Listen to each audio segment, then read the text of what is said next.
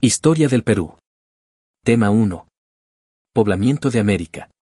El poblamiento americano constituye uno de los hechos más relevantes en nuestro continente, su diseminación da origen a numerosas culturas, tuvieron que adaptarse a las diferentes condiciones climáticas, lugares inhóspitos, peligrosos para la vida, conseguir alimentos permitió la lucha por la sobrevivencia y el desarrollo de la tecnología.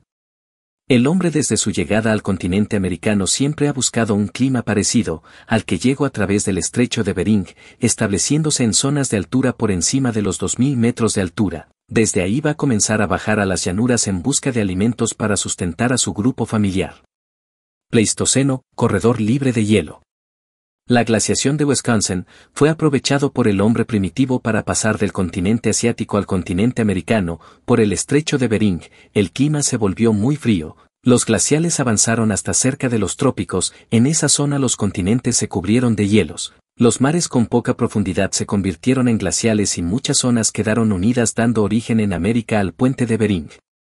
Los cuatro principales periodos glaciares reciben el nombre de Guns, Mindel, Ries y Burn.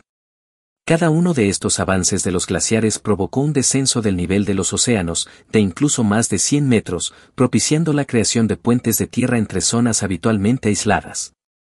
Sin embargo, también las áreas desérticas fueron más secas y extensas, debido a la escasez de lluvias provocada por la escasa evaporación de los océanos. Corredor libre de hierro.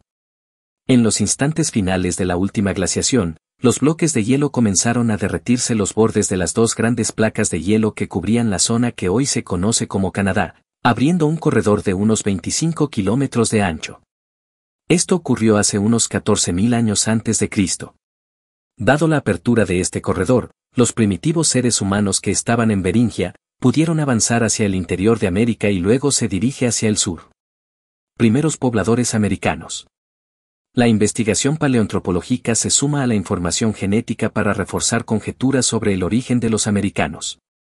Se afirma que la mayor parte de los indígenas americanos son descendientes del noreste de Asia y son los pueblos de habla nadie y los ingresaron en una segunda ola migratoria serían los esquimales. Eran de piel cobriza, pómulos altos, ojos oscuros y cabello negro y liso, es decir, tenían rasgos mongoloides o asiáticos. Eran grupos nómades, que se organizaban entre 40 y 50 personas. Gozaban de una excelente salud, ya que muchos de los virus y bacterias que trajeron desde Asia no sobrevivían al frío al que estaban expuestos. Fueron hábiles depredadores, fabricantes de armas arrojadizas que les permitían cazar especies de la megafauna del Pleistoceno tardío. Teoría inmigracionista asiática. Es una explicación del poblamiento tardío del continente americano, propuesto por el antropólogo checo norteamericano Alex Horleska. Esta teoría goza en la actualidad de mayor credibilidad dentro de la comunidad científica. En el año de 1929, Redley Whiteman, joven indígena de 19 años, escribió una carta al Instituto Smithsoniano sobre una serie de huesos que había encontrado en la aldea de Clovis, Nuevo México.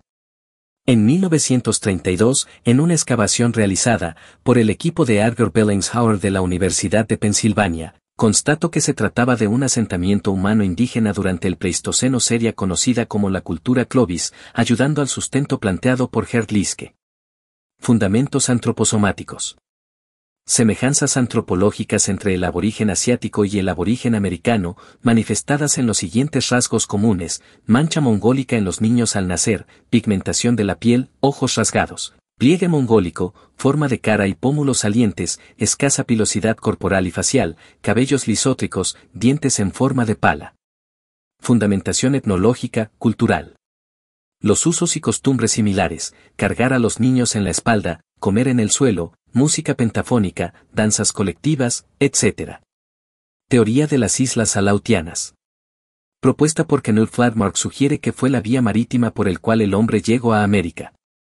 Las Islas Alautianas, un nombre derivado del nombre propio de la etnia que las habitaba, Aleuti, es un archipiélago de islas volcánicas, una cadena de más de 300 pequeñas islas volcánicas que describen un amplio arco de unos 1900 kilómetros que va del sudoeste de Alaska, Estados Unidos, hasta la península de Kamchatka, Rusia. Las islas están situadas entre el mar de Bering, al norte, y el Océano Pacífico septentrional, al sur. Casi todo el archipiélago es parte del estado de Alaska, aunque las islas más occidentales forman parte de Rusia. Las islas están localizadas al norte del cinturón de fuego del Pacífico y en ellas hay 57 volcanes. Teoría australiana. Fue sostenida por el antropólogo Antonio Méndez Correa, afirma que América fue poblada por una corriente migratoria proveniente de Australia. Un grupo de pescadores australianos y de Tasmania se habrían hecho a la mar y accidentalmente habrían sido arrastrado por las corrientes marinas hacia el sur y habrían llegado hasta las islas Auckland, desde donde siguieron la corriente y habrían llegado a la Antártida, continente que habrían logrado atravesar gracias a la ocurrencia de un optimum climaticum, es decir, un recalentamiento antártico, el cual habría permitido que estos hombres de climas tropicales puedan sobrevivir. Luego de haber cruzado la Antártida se habrían embarcado nuevamente en sus frágiles embarcaciones y habrían llegado al extremo sur de América, Tierra de Fuego y Patagonia en donde habrían dado origen a algunas tribus indígenas como los ounes, mapuches, fueguinos, alacalufes y fueguinos. Algunas otras pruebas que avalan esta teoría son semejanza en los grupos sanguíneos o empleo de armas arrojadizas el boomerang, construcción de chozas en forma de colmena, teoría de origen múltiple del hombre americano. Paul Vivist fue un etnólogo francés, creador de la teoría oceánica o multirracial, según la cual la población indígena americana es el resultado de migraciones procedentes de Asia, Australia, Polinesia y Meleniche. Las oleadas estuvieron separadas por distintos espacios de tiempo, aportando caracteres asiáticos, australianos y melanesio-polinesios. Mongoloide. Los primeros en ingresar a América serían los asiáticos, a través del estrecho de Bering aportarían elementos premongólicos y mongólicos propiamente dichos, evolucionando física y culturalmente. Australianos. En segundo lugar, hicieron su arribo los elementos australianos, demostrado, según Divid, por grandes similitudes físicas entre los cráneos de los patagones y de los australianos, del predominio del grupo sanguíneo o, en ambos grupos y del común uso de producciones culturales como la cerámica, los mantos de pieles animales, las chozas circulares de ramas, el uso de mosquiteros, tambores de madera, puentes colgantes, el uso de troncos ahuecados como canoas, parecidas ceremonias religiosas, etc. Melanesio malayo polinesio. Planteado también por Paul Vivid. Es solo una variante de la hipótesis anterior, aquí el investigador plantea una corriente migratoria hacia América provenientes de las islas de Meleniche en Océano Pacífico, el cual estuvo habitado por pobladores de raza negra que llegaron a América Central. Teoría poligenista. Es una teoría sobre los orígenes de los hombres, asimismo postula la existencia de diferentes linajes para las razas humanas. Samuel Morton afirmaba que el ser humano evolucionó paralelamente en América, Asia, África y Europa. Samuel George Morton 1799, 1851. Fue un médico estadounidense versado en ciencias naturales, muy reconocido como racista científico y difusor de la teoría del poligenismo. Morton afirmaba que podía determinar la capacidad intelectual de una raza según el tamaño del cráneo. Un cráneo grande implicaba un cerebro grande y destacadas capacidades intelectuales, mientras que un cráneo pequeño indicaba pocas capacidades intelectuales. Morton recogió centenares de cráneos humanos de todo el mundo estudiándolos, distinguió en qué punto un individuo dejaba de ser de raza blanca y en qué punto empezaba la raza negra. Morton, que tenía muchos cráneos del antiguo Egipto, llegó a la conclusión que los antiguos egipcios no eran africanos sino de raza blanca. La cultura Clovis. Beachley Whiteman, de 19 años, descubrió las primeras piezas arqueológicas. Desde mediados del siglo XX es la teoría generalmente aceptada entre los arqueólogos. Clovis fueron los primeros habitantes del continente americano.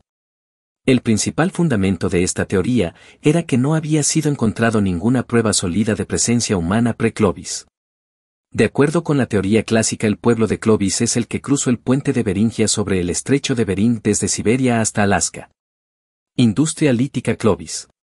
Perfeccionaron herramientas elaboradas con piedras, como el sílex y la obsidiana, para poder cazar.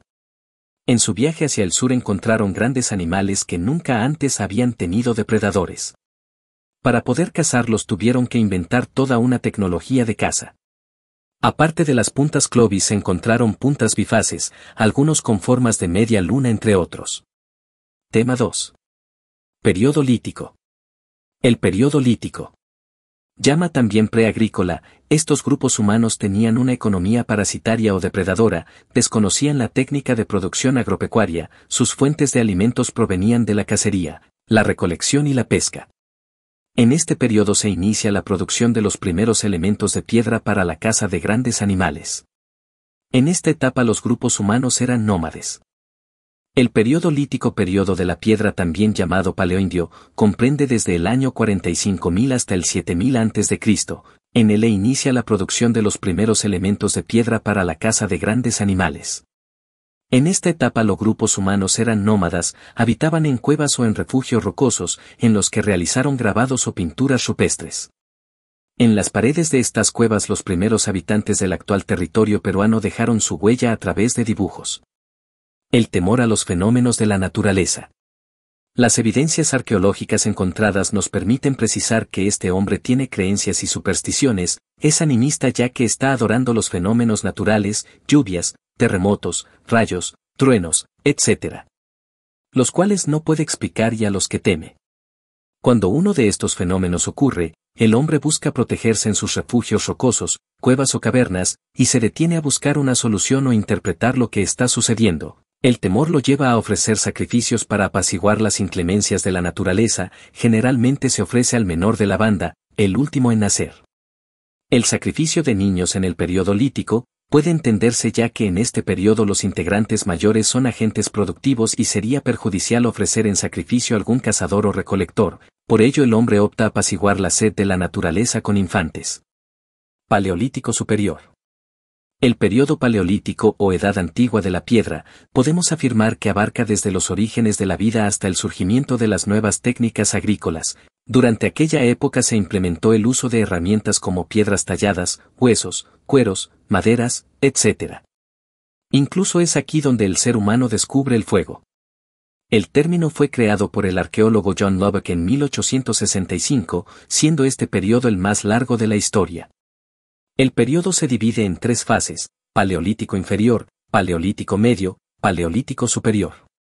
Hombres y mujeres se organizaban en grupos unidos por lazos de parentesco, empieza las nuevas formas de organización empezando desde el grupo familiar, se iniciado la división del trabajo, cuya primera expresión debió ser la distribución de tareas de acuerdo con el sexo.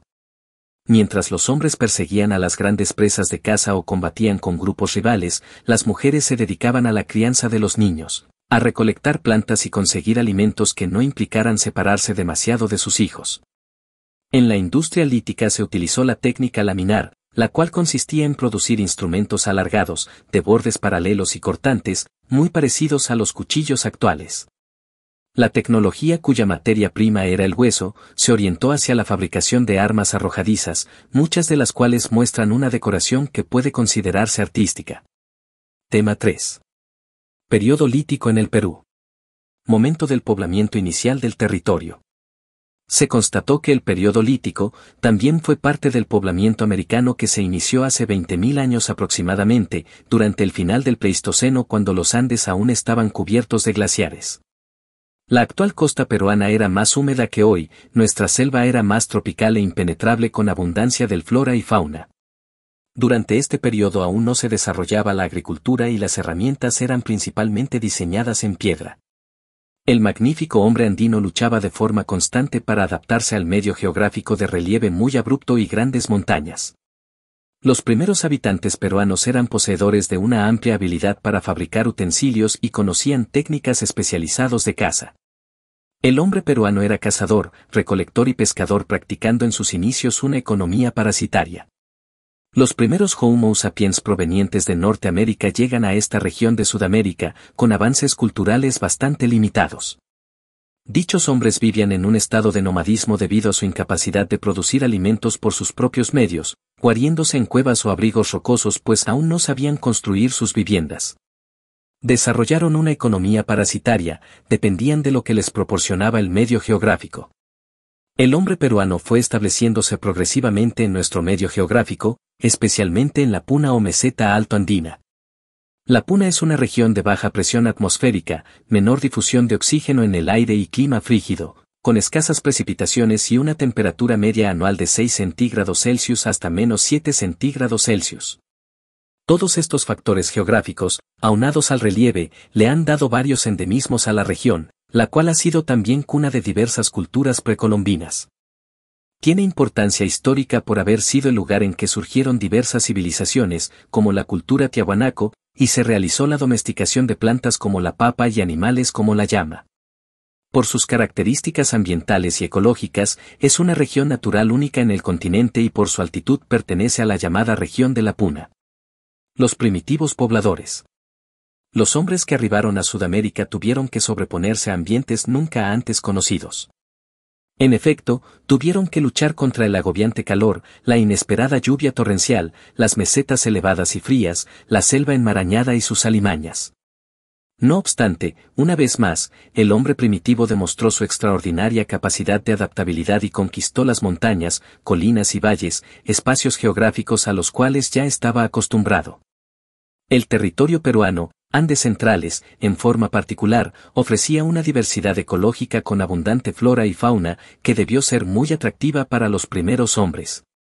Julio César Tello Rojas. Él fue hijo de una modesta familia panadera y creció en la provincia de Huarochirí, se dice que desde pequeño destacó por ser inteligente. En 1900 ingresó a la Facultad de Medicina de la Universidad Nacional Mayor de San Marcos, donde fue condiscípulo de un hijo del ilustre tradicionista don Ricardo Palma. Tuvo por maestros a celebridades del mundo científico, como Eilhard Liske y Franz Boas. Obtuvo su maestría en artes en 1909 y en antropología en 1911, siendo el primer peruano en alcanzar tal grado académico. A mérito de sus estudios, obtuvo una nueva beca, que le permitió concurrir, en Londres, al XVIII Congreso Internacional de Americanistas en 1911 y seguir estudios de especialización en el Seminario de Antropología de la Universidad de Berlín en 1912. Conoció por entonces a la dama inglesa Olive Chasman, con quien después se casó. Julio Tello ejerció también como catedrático de Arqueología Americana y Peruana y de Antropología General publicó, entre otros trabajos que han dado a conocer importantes aspectos de las culturas incaica y preincaica. Autóctonismo de la cultura peruana. El gran maestro Julio Cetello, postuló siempre el carácter autónomo del proceso evolutivo andino partir de un foco difusor amazónico arabax, cuya expresión más antigua fue la cultura chavín, matriz del desarrollo de las culturas de la costa. Por autóctonismo cultural se entiende cuando una cultura es originaria del mismo territorio en el que se ha desarrollado. Tello sostuvo que la cultura más antigua del Perú fue la cultura chavín, surgida hace 3.000 años en la sierra oriental del departamento de Ancas, y que de allí se había irradiado hacia la costa y a otras regiones del área andina. Contradecía así a la teoría inmigracionista de Max Hugo, que sostenía que los elementos culturales arribaron a la costa peruana procedentes de Mesoamérica, para irradiarse luego a la sierra. Tello sostuvo también que los iniciadores de cultura chavín fueron gente procedente de la selva amazónica, portadores de una cultura rudimentaria, pero que con el tiempo forjaron una alta cultura, sin recibir ninguna influencia foránea. Para respaldar esta tesis del origen amazónico, señaló la aparente representación de animales amazónicos en el arte chavín, principalmente el caimán y el otorongo. Según la teoría de Tello, la cultura peruana habría el siguiente proceso. 1. En épocas prehistóricas, grupos de hombres primitivos procedentes del norte llegaron a la selva amazónica. Esta gente vivía de la caza, pesca y recolección. 2. En busca de un medio más acogedor, estos grupos fueron ascendiendo por el flanco oriental de los Andes y se establecieron en la ceja de selva o selva alta, zona que es muy favorable para la vida. Allí descubrieron la agricultura y aprendieron a cultivar maíz, yuca, camote, frijoles, maní y árboles frutales, papaya, chirimoya, palta, piña, guanábana, lúcuma, pacae, granadilla. Con la agricultura surgió la vida sedentaria, la construcción de viviendas, la fabricación de utensilios, tejidos, cestos, etc. Nació propiamente la cultura. 3. Prosiguiendo su ascensión llegaron dichos hombres a la Sierra Interandina, donde perfeccionaron la agricultura. Domesticaron la papa, la cañigua, la quinoa, la oca, el oyuco y animales como la llama y la alpaca. Desarrollaron enormemente la textilería, la cerámica, la arquitectura de piedra, etc. 4. Posteriormente los hombres de las altas culturas serranas bajaron a la costa y formaron las culturas costeñas. Aloctonismo de la cultura peruana. Fue propuesta por Federico Kaufmann Doig, concluye en una explicación sobre el origen de la cultura andina, afirma que los orígenes remotos de la alta cultura peruana estaban localizados más allá de nuestros límites fronterizos actuales. Para este antropólogo los centros de alta cultura de México, Bolivia y Perú no surgieron de manera espontánea e independiente, sino que provendrían de un grupo común que luego se difundió. Argumenta y defiende que la difusión de la cultura olmeca es la que dio origen a la civilización chavín. La posición de Kaufman se basaba en varias premisas, como las siguientes. Las culturas chavín y cupisnique, consideradas entonces las más antiguas del Perú, de 1500 a 1000 a.C., no contaban con antecedentes en suelo peruano que explicaran su formidable florecimiento. Este surgía de improviso, sin vislumbrarse arqueológicamente las fases de transición necesarias. Las evidencias del precerámico peruano parecían muy burdas y elementales como para considerarlas como antecedentes de una cerámica tan elaborada como la de Chavín y Cupisnique. La teoría del origen selvático de la cultura chavín sostenida por Tello era muy frágil. No parecía ser una evidencia consistente la representación de monos y felinos en el arte chavín. De acuerdo al panorama cronológico de entonces, las primeras fases de la cerámica olmeca, formativo mesoamericano, eran más antiguas que las de Chavín y Cupisnique, formativo andino. Es decir, la alta cultura mexicana era más antigua que la peruana. El maíz es el alimento nuclear en toda América, pero la evidencia más antigua de su domesticación se halla en México. Inmigracionismo de la cultura peruana. Fue propuesta por Max Hugo quien sustenta el origen del hombre peruano sería foráneo, y los hombres habían llegado al Perú por el mar que serían los mayas y aztecas, los que difundieran e irradiarían su cultura por los Andes centrales, llegando a las costas peruanas, para dar origen a las grandes culturas de Proto-Chimú y Proto-Nazca y a partir de ahí difundirse hacia la sierra peruana. Fundamentos. La facilidad de navegación que proporciona el Océano Pacífico como medio de comunicación y como fuente alimenticia. La similitud del arte maya y azteca con algunas manifestaciones culturales peruanas sobre todo en la arquitectura, Chavín, Chan Chan y el Gran Pajatén. El cultivo del maíz que se cree de origen centroamericano, aunque también en el Perú hubo un maíz de variedad primitiva. Principales características del periodo lítico peruano. El periodo lítico constituye el primer periodo evolutivo del hombre peruano, es conocido también como periodo preagrícola o de cazadores nómades. Durante este momento el hombre se dedicará básicamente a la caza y recolección indiscriminada, es decir, prefiere cazar hembras preñadas o crías, extrayéndolas directamente de sus madrigueras. Las herramientas líticas que manejan hacen de la caza una actividad de mucho riesgo, por ello, van en busca de animales en desventaja, aunque ello contribuya a la extinción de las distintas especies. Es así, que el primer peruano presenta una economía de subsistencia, consumo o simplemente parasitaria. Este hombre enfrentó a la gran megafauna propia de los fines del Pleistoceno, la era del hielo. Las bandas constituyen la primera forma de organización humana, está compuesta por 30 o 40 individuos liderados por el mejor cazador o el más experimentado. Los distintos grupos cazadores-recolectores del periodo lítico compartieron entre sí criterios generales acerca de la fabricación de sus artefactos de piedra. Esto ha permitido, para el caso de los Andes centrales, agruparlos en cuatro grandes grupos de tradiciones líticas. Tradición del extremo norte. Los grupos cazadores-recolectores se caracterizan por poseer sencillos artefactos de piedra, trabajados únicamente a percusión, y solamente por una de sus caras, artefacto unifacial, habiendo ausencia de puntas líticas. El uso de estos artefactos fue múltiple, útiles no especializados, y está relacionada con economías de caza de pequeños animales, pesca y recolecta. Está presente en Piura, Tumbes, Cajamarca y el sur del Ecuador. Tradición paijanense. Paiján es el nombre designado a un complejo arqueológico situado en la costa norte del territorio nacional. El nombre de Paiján deriva de una localidad situada en la margen norte del torrente de Chicame, en el distrito de Paiján, departamento de la Libertad. Los restos arqueológicos encontrados pertenecen al periodo lítico andino o paloamericano. Los grupos cazadores-recolectores se caracterizan por poseer elaboradas puntas pedunculadas, es decir, con un pedúnculo o apéndice en la parte inferior de la punta, de diversos tamaños, predominando las de grandes dimensiones, punta de paijano punta paijanense, trabajadas por talla a percusión y presión. Asociados a este tipo de punta, se suele encontrar artefactos de piedra más sencillos como rederas, cuchillos, perforadores y piedras de molienda. Se practica el enterramiento de los muertos. Caza de animales pequeños y medianos, pesca y recolecta. Está presente desde Lambayeque hasta Ica, en zonas costeñas y de Yunga. Tradición lauricochense, los grupos cazadores-recolectores se caracterizan por poseer principalmente puntas foliáceas, en forma de hoja, junto a artefactos líticos como raspadores, perforadores, cuchillos, raederas, percutores y piedras de molienda. Se practica la caza de camélidos y venados, y en menor medida de pequeños animales, junto a la recolecta de plantas. La práctica del entierro funerario es poco conocida. Está presente en la Sierra Central y Sur del Perú. Tradición vizcachanense, los grupos cazadores recolectores se caracterizan por poseer principalmente puntas triangulares y foliáceas, de estilo muy diferente al de la tradición lauricochense.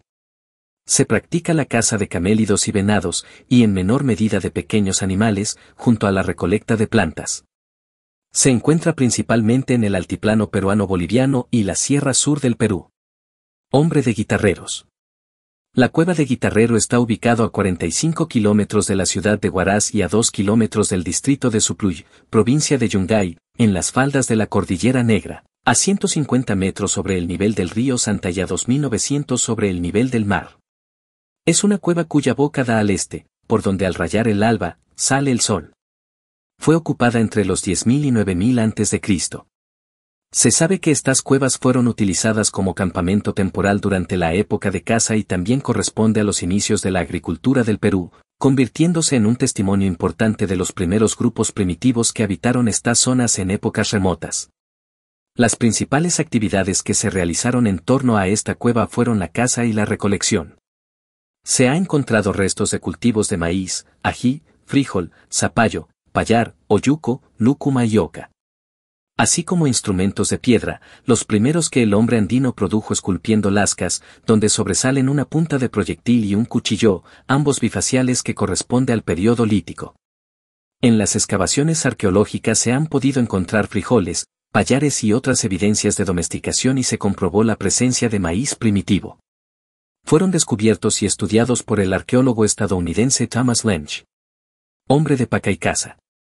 Hombre de Cueva de las Pulgas o Piqui Macay, ubicada a 19 kilómetros al norte de la ciudad de Ayacucho, situada en la margen derecha del río Pongora, en el distrito de Pacaycasa, provincia de Huamanga. Estudiada por el arqueólogo norteamericano Richard McNash, encontró artefactos líticos, junto con restos óseos de animales ya extinguidos, con una antigüedad de 20.000 a.C., considerando la presencia más antigua de la presencia humana en el Perú. Contienen artefactos elaborados a partir de lascas con bordes modificados, la tendencia de talla bifacial parece clara y la selección de rocas silificadas, reflejan la intención de buscar y saber seleccionar una buena materia prima. Hombre de chivateros. Descubierto en el año 1961 por el arqueólogo Edward Lanning, guiándose por los datos suministrados por Thomas Patterson. Exploro los cerros de chivateros y cucaracha, encontrando gran cantidad de instrumentos líticos, parecidos a los hallazgos de Yabo en Venezuela. Se afirma que el poblador de Chivateros comenzó a utilizar la piedra, la madera, el barro y todo lo que encontró en la naturaleza para sobrevivir. Se dedicaba a la caza en las lomas de Caraballo y Ancón donde había gran cantidad de zorros, venados, llamas y guanacos, del mar y del río extraían peces y mariscos, cazando además lobos marinos. Conseguían también insectos, semillas y plantas comestibles. Siempre estaban formando grupos porque así les era más fácil la caza para obtener alimento y abrigo. Los utensilios líticos eran trabajados con la técnica de percusión y en sus fases iniciales se elaboraban, principalmente, raspadores unifaciales. En las más recientes se elaboraban puntas de lanza bifaciales alargadas en forma de hojas. Los habitantes del río Chillón vivieron en los inicios del periodo Holoceno caracterizado por el retroceso de los cielos, la extinción de la megafauna. Hombre de Toque Pala. Toque Pala está ubicada en el distrito de Illabaya, en la provincia de Jorge Basadre, departamento de Tacna. En la pinacoteca encontramos diversas pinturas rupestres, con diversas escenas de cacerías, en la que representan a cazadores acorralando y matando a un grupo de guanacos. Para poder realizar estas pinturas se han usado varios colores, entre ellos el rojo, el amarillo, el blanco y negro, Estas escenas habrían sido realizadas con fin mágico religioso, con la finalidad de propiciar una buena cacería.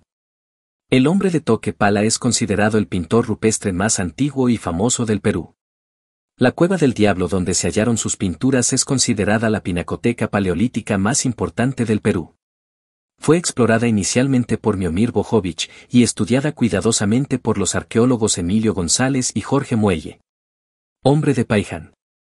Se constató que los primeros restos fósiles humanos completos de hombre y mujer fueron los restos óseos completos más antiguos del Perú, se localiza en los valles de Virú, Pacasmayo, en la cuenca del río Chicame, Costa de la Libertad, en el lugar se encontraron restos humanos completos de una mujer de 25 años y un niño de 12 años aproximadamente. Los pobladores de Paiján fueron pescadores, cazadores y recolectores que vivieron en el Holoceno temprano, hace unos 12.000 años, cuando en los Andes todavía no se practicaban actividades productivas, agricultura y ganadería. Cultura Caral. Fueron constructores de colosales edificios con forma de pirámide distingue a la gente de Caral de los demás pueblos de su tiempo en los Andes. La pirámide en los Andes es un edificio de grandes proporciones usado por los curacas, gobernantes, como el centro de sus actividades, ya sean religiosas, políticas o económicas. Era el símbolo y centro del poder. Allí se realizaron las ceremonias que garantizarían el orden establecido en fechas señaladas por un calendario ceremonial que emulaba el ritmo de la naturaleza. Las pirámides de Caral son las más antiguas encontradas hasta la fecha en los Andes, datan de hace 5.000 años, 3.000 a.C., aproximadamente. Construir estructuras de este tipo necesitó de un alto grado de tecnología y organización social para afrontar los problemas de su construcción y el elevado gasto de materiales y energía. Estudios rigurosos han demostrado que esta civilización es contemporánea con otras civilizaciones primigenias del mundo, como la de Egipto, India, Sumeria, China, pero a diferencia de ellas, que intercambiaron sus logros, se desarrolló en completo aislamiento. En América, es la más antigua de las civilizaciones prehispánicas, superando en 1500 años a la civilización olmeca, otro importante foco civilizatorio situado en Mesoamérica. En el Perú supera en antigüedad a la cultura chavín que fue en el 1200 a.C., que durante mucho tiempo había sido considerado como la cultura madre del Perú. Actualmente, según todos los indicios, se puede afirmar que a partir de la civilización caral se origina la civilización andina. Características. Aunque en lugares como Valdivia, en Ecuador, se producía cerámica desde 4000 a.C., en Caral no se utilizó, de allí viene la denominación de precerámica, aunque la doctora Ruth Sherry, su descubridora, Prefiere hablar de cerámica, es decir, sin cerámica, pues al disponer los antiguos pobladores de Caral de una gran cantidad de mates o cucurbitáceas que usaban como recipientes, no necesitaban de la alfarería. La extracción de productos marinos, pescado y mariscos, fue la principal proveedora de proteínas. Se desarrollaron técnicas de pesca, consistentes en el uso de anzuelos, cordeles, embarcaciones y redes de fibra de algodón con flotadores hechos de mates y pesos confeccionados con piedras anudadas. Los hombres de Caral desarrollaron una agricultura intensiva en el valle de Supe. Emplearon herramientas sencillas como palos y astas para cavar. Construyeron también canales de riego muy simples que llevaban el agua del río hacia los campos de cultivo. Las plantas alimenticias que cultivaron fueron, mate o calabaza, achira, pacae, pajuro, maní, ají, guayaba, lúcuma, papa, payar, camote, frijol, palta y maíz. Y de especial importancia fue el cultivo del algodón, cuya fibra aprovecharon en gran escala. Cada asentamiento estaría representado por una autoridad o curaca, además de los principales de sus ayuso grupos de familias. Cultura Cotos. Lo construyeron cerca al río Higueras, un afluente del río Guayaga, muy cerca de donde hoy en día está la ciudad de Huánuco. El clima y la geografía son propicios para la vida humana, así como para el desarrollo de la agricultura y la ganadería. Cotos es un sitio arqueológico ubicado en el distrito, provincia y departamento de Huánuco, en el Perú. Se compone de una serie de edificios superpuestos con seis periodos de ocupación continua que datan desde el arcaico tardío hasta el intermedio temprano. Cotos está conformado por una serie de edificios construidos de piedra canteada con barro, de plantas cuadrangulares y sobre plataformas rellenadas con tierra de cantos rodados, piedras canteadas y barro. Estos recintos son relativamente pequeños, de entre 4 y 6 metros de largo, aunque también hay de más de 10 metros de largo. Todos carecen de ventanas y probablemente tenían techos planos. En el interior de cada recinto se aprecia un piso cuadrangular que consta de dos niveles, uno más bajo, en forma de piso hundido, rodeado por otro nivel más alto a modo de banqueta. El nivel bajo contiene al centro un pequeño pozo que servía de fogón, conectado a un pequeño conducto subterráneo de ventilación. Las paredes internas, y a veces las del piso hundido, tienen nichos de diversos tamaños, y en algunos casos pinturas sencillas o relieves en forma de brazos cruzados, como es el caso del Templo de las Manos Cruzadas. Cultura Paraíso. El Paraíso es el nombre moderno de un complejo arqueológico monumental del periodo arcaico tardío, realizado entre el 3500 a 1800 a.C., es también conocido como Chuquitanta. Está situado en el valle del río Chillón, en la costa central de Perú, a varios kilómetros al norte del centro de Lima, capital del Perú y a dos kilómetros del Océano Pacífico. Pertenece al distrito de San Martín de Porres. El paraíso fue construido con piedras obtenidas de una cantera cercana, donde se han hallado varios martillos. Existen paredes hasta de 2.4 metros de ancho, con dos caras de bloques planos. Al igual que otras construcciones de la época, una característica fue el uso de grandes cicras, es decir, redes o bolsas de fibras vegetales llenas de piedra, usadas como material de relleno. Todas las paredes del conjunto fueron enlucidas con barro y posiblemente recibieron una aplicación de pintura, a juzgar por los restos de pigmentos ocre, blanco y rojo. El edificio, con sus muchos compartimientos, puertas altas y gradas de acceso, está asentado sobre plataformas que le dan un aspecto piramidal. No presenta restos de cerámica, pero sí de tejidos de algodón y canastas de fibra vegetal, las llamadas cicras. Se hallaron también cinco entierros humanos envueltos en mantos de algodón. Las plantas silvestres, como las raíces de juncos, tomatillos y colas de gato pueden haber representado una parte sustancial de la dieta. Más del 90% de las proteínas se obtuvo por medio de los recursos marinos, predominantemente de peces y moluscos. Cultura Aldas. Está situado en la provincia de Casma del departamento de Ancas, a la altura del kilómetro 345 de la carretera panamericana norte, al borde del Océano Pacífico y a 30 kilómetros al sur del valle de Casma. Fue puesto al descubierto en 1958 por Frederick Engel y su colaborador Edward Lanning. Su estructura o pirámide principal, que se alza sobre una elevación, es de base rectangular, casi cuadrangular. Esta estructura se encuentra acompañada por pirámides laterales o templos secundarios, que tienen el mismo diseño que la pirámide principal. En la plataforma superior del templo principal hay una estructura con tres paredes, que forma una letra o abierta hacia el este y que contiene los elementos principales del culto. Las Aldas es uno de los más antiguos e importantes centros monumentales del formativo en la costa peruana. Su cercanía al mar y el imponente paisaje marino que se divisa desde la cima de su templo principal con sus islotes de la gramita, permiten conjeturar que su ubicación pudo ser fijada en honor al océano, la mamacocha o madre de las aguas, como la llamarían más tarde los quechuas. Tema 4.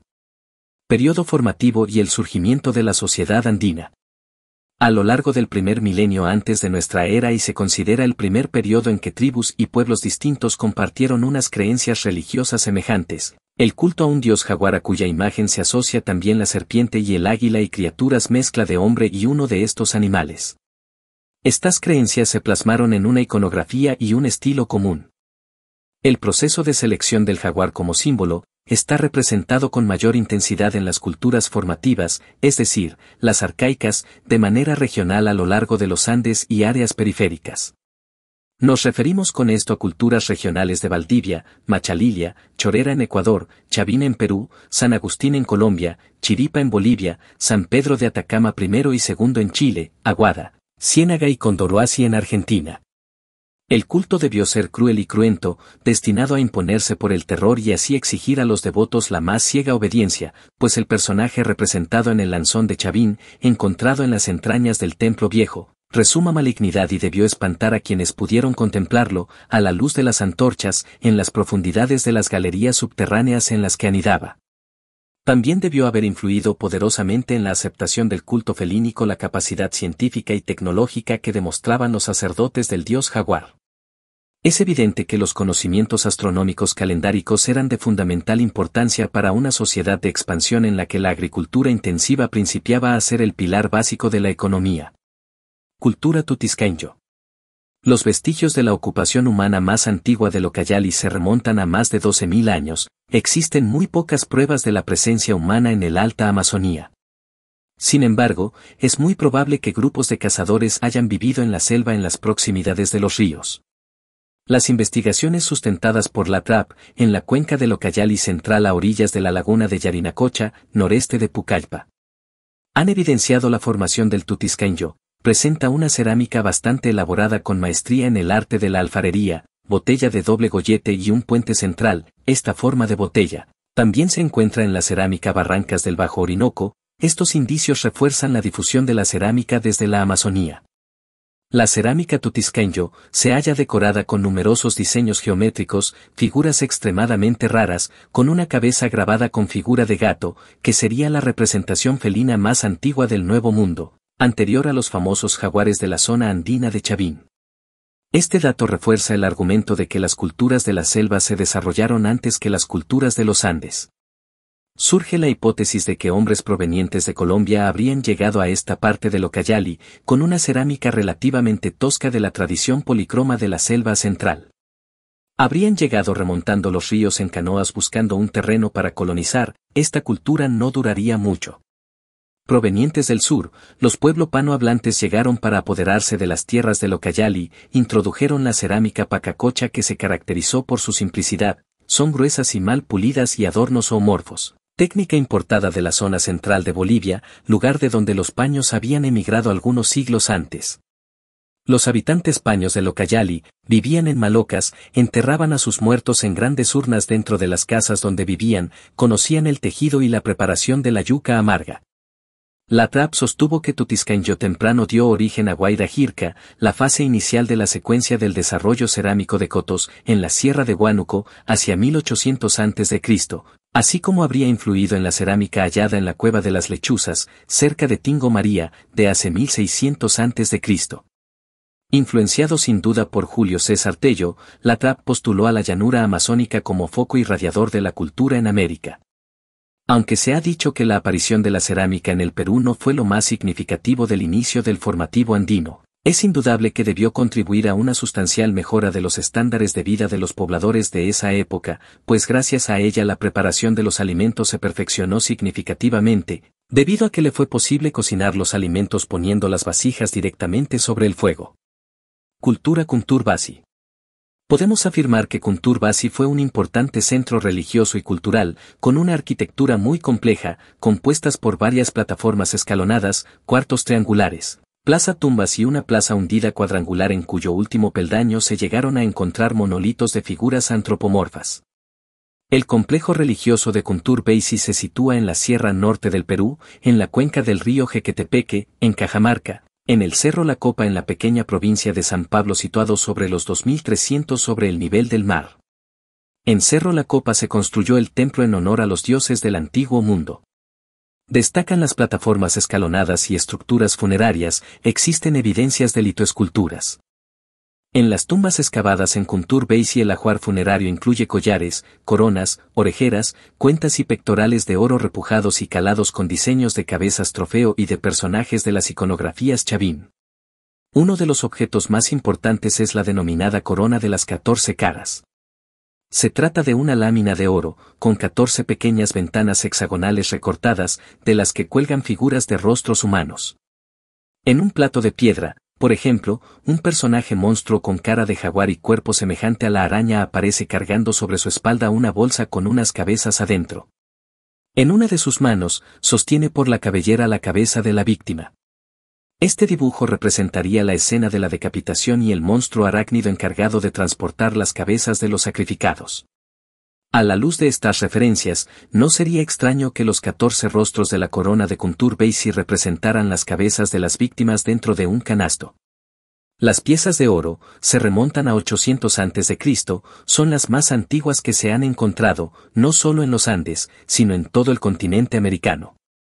Cultura Sechin El templo de Cerro Sechín, ubicado en Ancas, es uno de los monumentos arqueológicos más importantes del Perú, dada su antigüedad, belleza arquitectónica contenido cultural luce, como pocos, una fachada construida con losas de piedras grabadas con insinuantes motivos de guerreros en procesión, cuyo significado aún no está del todo definido descubierta para la arqueología por el sabio Julio César Tello en 1937. Se considera que fue la capital de toda una cultura, a la que se denominó cultura sechín. Es de finales del arcaico tardío y de inicios del formativo inferior. Rasgo distintivo de este monumento es su fachada enchapada con monolitos de caras planas, sobre las que se hallan grabadas figuras en relieve, que en conjunto parecen escenificar sacrificios humanos. Los personajes representados en los monolitos de las fachadas son de dos clases, los guerreros sacerdotes, ataviados con un arma o cetro, y las víctimas descuartizadas o sus despojos, cabezas principalmente, extremidades, ojos ensartados, intestinos, vértebras y vísceras, creando una escena sombría. En el edificio se puede distinguir la que representación a dos peces mitológicos, realizados mediante líneas labradas sobre la pared de barro todavía húmeda. Otra figura, que representa a un hombre sangrando, es secundaria. Estos motivos relacionan el mar, las lluvias y los sacrificios humanos muy estrechamente. Cultura cupisnique. Se afirma que la cultura cupisnique se desarrolló en las costas norte de Perú en lo que actualmente es el Departamento de la Libertad, a 600 kilómetros de la ciudad de Lima. Fue una sociedad agrícola bajo la dirección de una élite especializada en las tareas de gobierno, es decir, era una sociedad teocrática. Adoraban una divinidad con cuerpo humano y cabeza de felino y enterraban a sus muertos en tumbas junto con un abundante ajuar de lujo que comprendía vasos de cerámica y joyas. Creían en la vida después de la muerte, enterraban a sus seres queridos y los rodeaban de artefactos para su uso en el más allá. Los pintaban de rojo, para darles vitalidad para la vida eterna. La economía se basa en la agricultura a base de maíz, frijoles, yuca y calabazas. Por el hecho de estar en una zona costera, los cupisniques también desarrollaron la pesca. Los mariscos eran los productos marinos más abundantes y, por lo tanto, los más apreciados. Cultura Chavín. Chavín se encuentra ubicado en la zona de Conchucho, en el lado oriental de la Cordillera Blanca, en la confluencia de los ríos Mosna y Huachexa, afluentes del río Marañón, en el actual distrito de Chavín de Huántar provincia de Ancas. La cultura de Chavín se extendió por gran parte de la región andina abarcando por el norte hasta Lambayeque y Cajamarca y por el sur hasta Ica y Ayacucho, por ello es considerada una cultura panandina. La cultura chavín fue una sociedad de clases, sacerdotes y guerreros acumulando recursos, mientras que las personas eran explotadas para producir más. Estos líderes obligaron a la comunidad a producir más y terminan imponiéndose a los demás a través del conocimiento de la naturaleza sacerdotes. Los líderes de la cultura chavina han logrado construir grandes edificios en honor de los dioses. La razón principal para el progreso de Chavín de Guantar fue una agricultura moderna, productiva e innovadora. Los sacerdotes eran los especialistas que dominaban la ciencia de la astronomía, lo que les dio una gran influencia y poder, técnicos agrícolas eran también geniales ingenieros hidráulicos. Nobleza Guerrera, fue el encargado de contener el embate de las invasiones y disturbios en las regiones de la cultura chavín. Tenía un ejército capaz de garantizar las condiciones necesarias para su desarrollo. El pueblo, fueron las masas populares los que pagaban tributo a los dioses y gobernantes. La cultura chavín era politeísta. La deidad principal es un animal de gran tamaño como las serpientes con pelo y colmillos largos, esto fue considerado para equilibrar las energías opuestas. Había varias otras deidades que fueron adoradas por el pueblo de la cultura chavín, incluyendo una deidad representada por un caimán y una deidad del inframundo ilustrado como una anaconda. El maíz era su principal fuente de alimento, así como la calabaza, el frijol, el algodón, la papa, la quinoa y el maní. Su ganadería se basa en la crianza de auquénidos como la llama, alpaca y cuyes. Las esculturas en bajo relieve sobre losas, dinteles y columnas se caracterizan por unos repertorios esencialmente zoomorfos, jaguares, serpientes, cóndores, caimanes, al que se añaden los rostros humanos. Las cabezas clavas una especie de ménsula redondo grabado en las piedras de la pared, uno de los cuales sigue existiendo in situ en la pared del castillo, en el flanco sur del templo, son una de las creaciones más apasionantes del arte monumental de la cultura chavín. Cultura mochica o moche. La nación Moche fue un estado militarista teocrático, no existió un gobierno central, sino que era un grupo de señoríos independientes donde gobernaba un curaca, cada una de ellos controlaba una o más valles de la costa. Los guerreros debieron de gozar de un estatuto especial, se formaron ejércitos profesionales para el control, la dominación política y la seguridad territorial, como lo demuestran complejos militares estratégicamente situados en los valles y extensas murallas que delimitaban los pequeños reinos. El centro principal o capital de los mochicas fue el Valle de Moche. La sociedad mochica estaba estratificada. El Estado mochica ampliaba sus territorios mediante las guerras de conquista, los nuevos territorios se vinculaban mediante una red de carreteras y caminos. El Siekich, representado como un jaguar era el gobernante o rey de uno o muchos valles costeños. El Alak, eran reyes subordinado al poder de un soberano moche Siekich. El sacerdote, representado como un zorro poseían gran poder en la población mochica e iniciaban los rituales religiosos. El pueblo, representado como un lagarto estaba compuesto por campesinos, pescadores, comerciantes y artesanos. Los textiles y ropas fueron hechos principalmente de lana de vicuña y alpaca. Usaron el guano en la siembra de maíz, frijol, papa, calabaza, cacahuate o maní, árboles frutales, etc. Practicaban la pesca en caballitos de totora, construyeron grandes proyectos de irrigación, obras de ingeniería hidráulica se llevaron a cabo, como el canal de la cumbre y el acueducto de Ascope. Los mochicas tuvieron gran experiencia como pescadores usaban los caballitos de totora. Pescaron tollos, rayas, lenguados, etc., y recolectaron mariscos como erizos y cangrejos. Para la élite gobernante, tumbas decoradas con objetos de cerámica y metal, principalmente de oro y cobre como la del señor de Sipón. Su principal dios fue Aiapac, un ser sobrenatural que fue representado por una figura humana con la boca de un tigre con colmillos. Uno de los aspectos más importantes de la religión de la cultura mochica fueron los sacrificios humanos. Era un ritual complejo en el que los prisioneros de guerra fueron ofrecidos por una sacerdotisa del dios Búho. Cultura Recuay. Recuay es una cultura arqueológica del antiguo Perú que se desarrolló en la sierra del actual departamento peruano de Ancas entre los 200 hasta los 600. Los Recuay mantuvieron contacto con otras culturas como Moche, Cajamarca y Tiahuanaco. Una de las manifestaciones artísticas fue la cerámica ceremonial. Sus piezas eran por lo general, vasijas de caolín, una arcilla muy fina de color crema. Los Recuay son reconocidos por sus trabajos escultóricos realizados en piedra, conocido como litoescultura. Estas esculturas consisten en lajas de piedra labrada, en forma de prisma o estatuaria, que se tallaba en alto o bajo relieve o por incisión en la piedra. Representaron guerreros, felinos y serpientes, cabezas humanas, caras y cabezas trofeo, maquetas y copas con pedestal, etc. De otro lado destacan los célebres monolitos recuay, bloques de piedra de forma casi cilíndrica, esculpidos aparentemente para representar a guerreros de rango elevado. La economía se basaba principalmente en la práctica agrícola, la zona que ocuparon cuenta con una abundante flora y fauna, y también en la ganadería de camélidos, venados y vizcachas de los cuales se extraían carne o charqui y cuero. Hace unos 15.200 a.C. apareció esta especie. Tuvieron una economía centrada en la ganadería de camélidos. La movilidad que les permitía disponer de animales de carga les permitió acceder a distintos ecosistemas lo que les daban acceso a recursos que provenían de distintos ambientes. Cultura Nazca. Cultura Nazca se desarrolló en el actual departamento de Ica. Fue descubierta por Max Hugel en 1901. Los nazcas tuvieron que enfrentarse a un entorno natural desértico en el que las lluvias eran muy escasas. Por ello idearon un eficiente sistema de manejos de oasis y construyeron una red de canales y acueductos subterráneos para distribuir el agua de los ríos y aprovechar el agua del subsuelo. Los canales llegaron a estar a más de 10 metros de profundidad.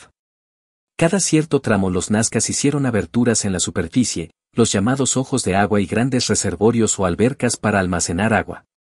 Al lado de los acueductos subterráneos, llaman también la atención las enigmáticas figuras geométricas fueron descubiertas por el arqueólogo Toribio Mejía Cespe en 1927. Han sido estudiadas desde 1941 por el norteamericano Paul Cossack y sobre todo por la alemana Maria Reich. Estos trabajos que llevan casi medio siglo tratan de desentrañar el significado de las líneas de Nazca. Para trazar estas líneas los antiguos pobladores de la cultura nazca se valieron de diversos instrumentos. El tupo el cual era una plancha de metal o madera colocada perpendicularmente a la tierra para proyectar la sombra del sol y de la luna, el teodolito que era un tubo de madera o terracota del que pendían una plomada para trazar el rumbo de las líneas, y el cordel y el nivel de agua. Así representaron figuras de animales, seres humanos, plantas y motivos geométricos. Sus trabajos se caracterizaban por su policromía, decoración y forma. La superficie de su cerámica fue pintada con todos los colores, excepto el verde y el azul. Los pigmentos utilizados eran minerales extraídos de los áridos desiertos de la región. Incluso los tintes eran exportados a otras regiones, como el Titicaca. Las formas de las piezas más abundantes son acalabazadas o lenticulars. Poseen dos picos divergentes que se unen mediante una asa puente. Hay también otras en forma de botellas, vasos tubulares y ollas con asas en la parte superior. Cultura Paracas. Se desarrolló en la península de Paracas, ubicada el distrito de Paracas de la provincia de Pisco, en la región Ica, ubicada a 18 kilómetros de la ciudad de Pisco. Sus centros principales estuvieron en la bahía de Paracas y su influencia llegó a Chincha, Pisco, Ica, Palpa y Río Grande. La cultura paraca se extendió por el norte hasta el valle de Cañete y por el sur hasta el valle del Yauca en Arequipa. Como restos importantes de esta cultura en el valle de Ica se encuentran dos aldeas Peña Bajaguana y Animas Altas y en el valle de Chincha la Huaca Rosa. La cultura Paracas fue una importante sociedad en la historia del Perú muy conocidos por su arte textil, sus momias y por la trepanación craneana para poder curar fracturas y tumores en el cráneo. La cultura Paracas fue descubierta en julio de 1925 por el arqueólogo peruano Julio César Tello, frente a la bahía de Paracas y al sur de Pisco. Tello estudió cómo los Paracas enterraban a sus muertos y sostuvo que esta cultura pasó por dos épocas. Los Paracas habitaron un territorio de clima cálido y seco en verano. Sobrevivieron gracias a la pesca, la caza y la recolección de frutos y mariscos y cultivos de sus valles, para ganar tierra al desierto, usaron dos técnicas principales. Las ollas o campos hundidos, que consistía en cavar un hueco hasta alcanzar tierra húmeda para cultivar. Los canales de irrigación, que consistía en cortar la roca de las laderas de los cerros y levantar los muros para canalizar el agua. Sociedad. Los Paracas estuvieron gobernados por una élite poderosa que al parecer ejercía un gobierno teocrático, basado en el poder religioso. Esta élite controlaba a la población a través del temor de los dioses. Las jerarquías sociales eran muy claras. Algunos muertos estaban envueltos en mantos bellamente decorados, unos en mantos más corrientes, mientras otros se hallaban casi desnudos. Los rituales funerarios. Los difuntos eran colocados en fardos en posición fetal, porque pensaban que para volver a nacer debían estar en la misma posición que mantuvieron en el vientre materno. Las trepanaciones craneanas. Estas operaciones quirúrgicas consistían en perforar el cráneo para extraer algún pedazo de hueso dañado. Usaban unos cuchillos especiales hechos de piedra dura y vidriosa llamada obsidiana, usaban hoja de coca y chicha de jora para anestesiar a los pacientes. El arte de Paracas. Arquitectura. Construyeron centros ceremoniales, enormes templos piramidales, rodeados de plazas, también edificaron aldeas que se ubicaban en las laderas de las montañas. Las viviendas tenían cimientos de piedra y las paredes eran de quincha. Cerámica. Era policroma y tenía pintura poscocción, los colores eran aplicados después de que la cerámica salía del horno. Textiles tejieron hermosos y coloridos mantos con fibra de vicuña, algodón, terciopelo, cabello de mujer y pelo de murciélago. Cultura Cajamarca. Se afirma que el arqueólogo Julio César Tello fue quien la descubrió, encontrando a su vez más de 90 sitios arqueológicos, entre los que sobresalen actualmente los complejos arqueológicos de Cumbemayo y Laizón se extendió desde el departamento de Amazonas hasta las serranías de la Libertad y el norte de Ancas, su centro de mayor influencia y desarrollo fue el Valle Interandino de Cajamarca. El centro preinca de Cajamarca se dio en el área ocupada hoy en día por las provincias de Cutervo, Chota, Santa Cruz, Hualgayoc, San Miguel, Celendín, Contumazá, San Pablo entre otros. La cerámica Cajamarca está hecha en base a la arcilla blanca llamada, caolín, que sirve de fondo para las decoraciones. Para el pintado de las vasijas utilizaron pinceles finos con los que trazaron líneas y figuras geométricas, motivos o morfos estilizados. Los tonos decorativos van desde colores muy claros como el rojo y anaranjado hasta los muy oscuros como el marrón. Los motivos del diseño incluyen elementos geométricos como triángulos, círculos, líneas y puntas, animales como aves, felinos, camélidos y serpientes. A veces hay un diseño en la base de los cuencos. Los cajamarcas solían enterrar a sus difuntos en nichos excavados en la roca, conocidos generalmente como ventanillas. Las más conocidas se hallan las inmediaciones de Otusco, a 8 kilómetros al norte de la ciudad de Cajamarca. Allí, las oquedades cavadas en la roca llegan a centenares y cada una de ellas alcanza los 8 a 10 metros de profundidad. Los Cajamarca tenían un conjunto de deidades relacionadas con el sol, la luna y las estrellas. La más importante era Atagujo, el creador del mundo, al que seguía Catequil, que producía la lluvia, los rayos, los truenos y relámpagos.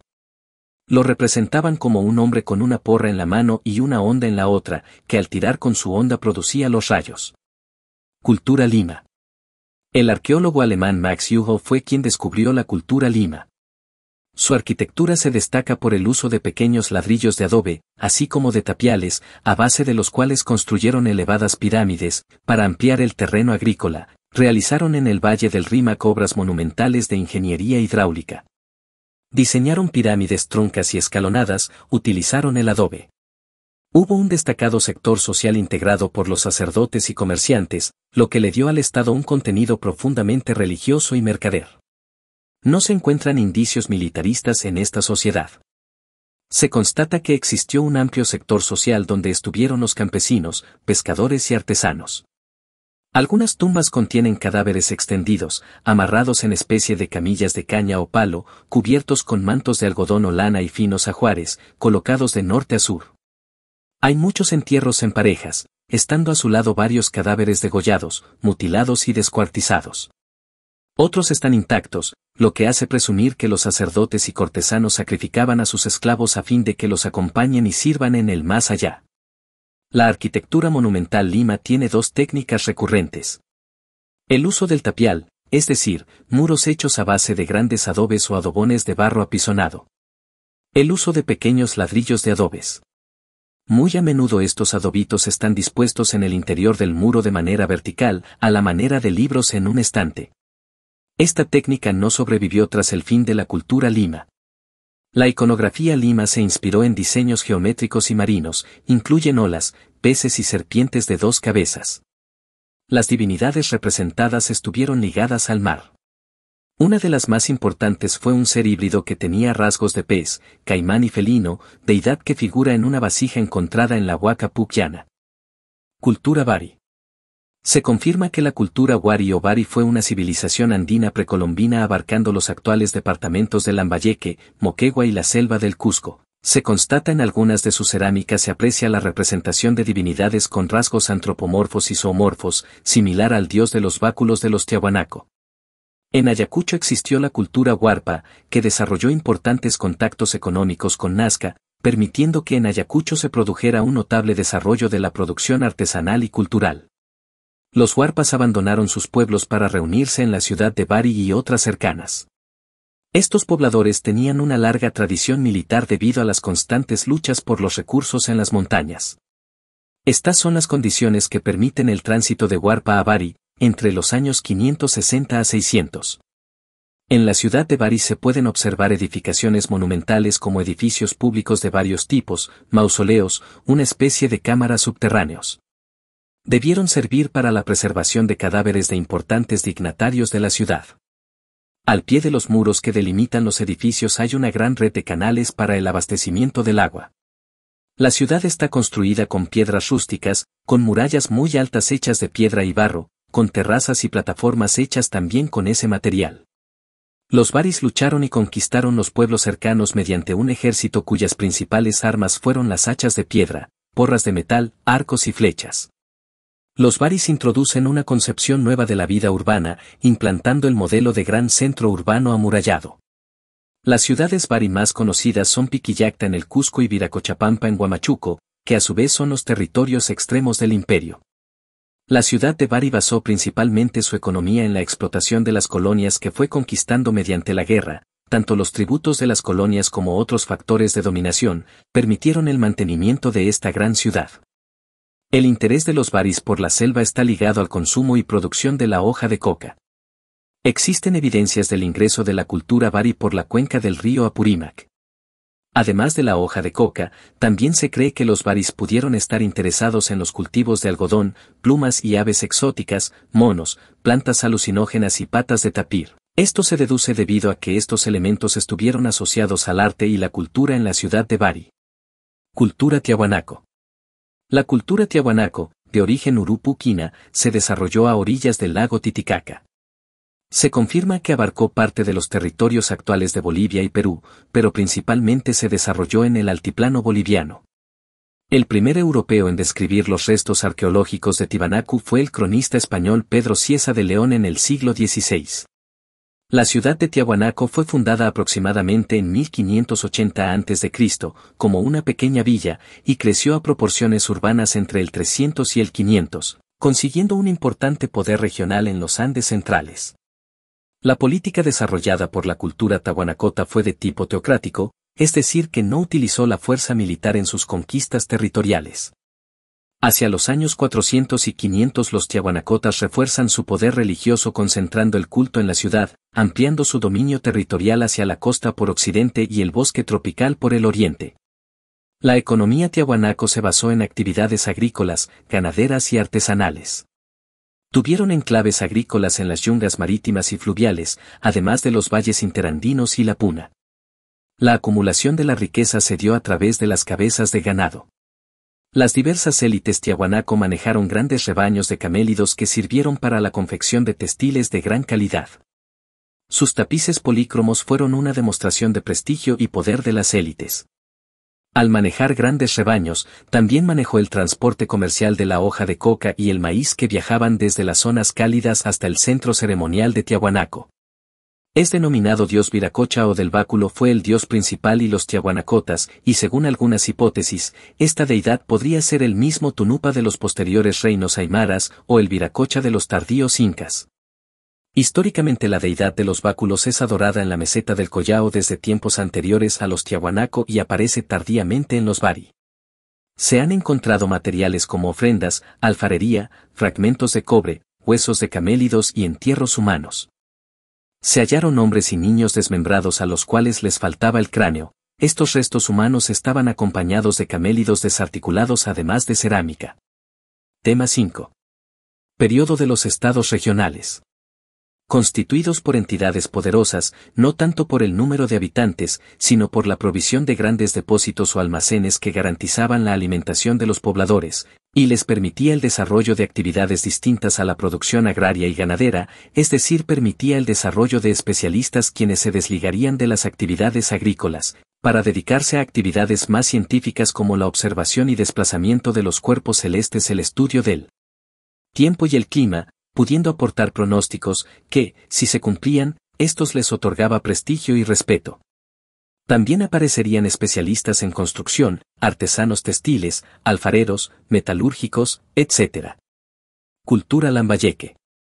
La cultura sicán tuvo como base un estado teocrático, cuyo centro político y religioso estuvo inicialmente asentado en el complejo de Batán Grande.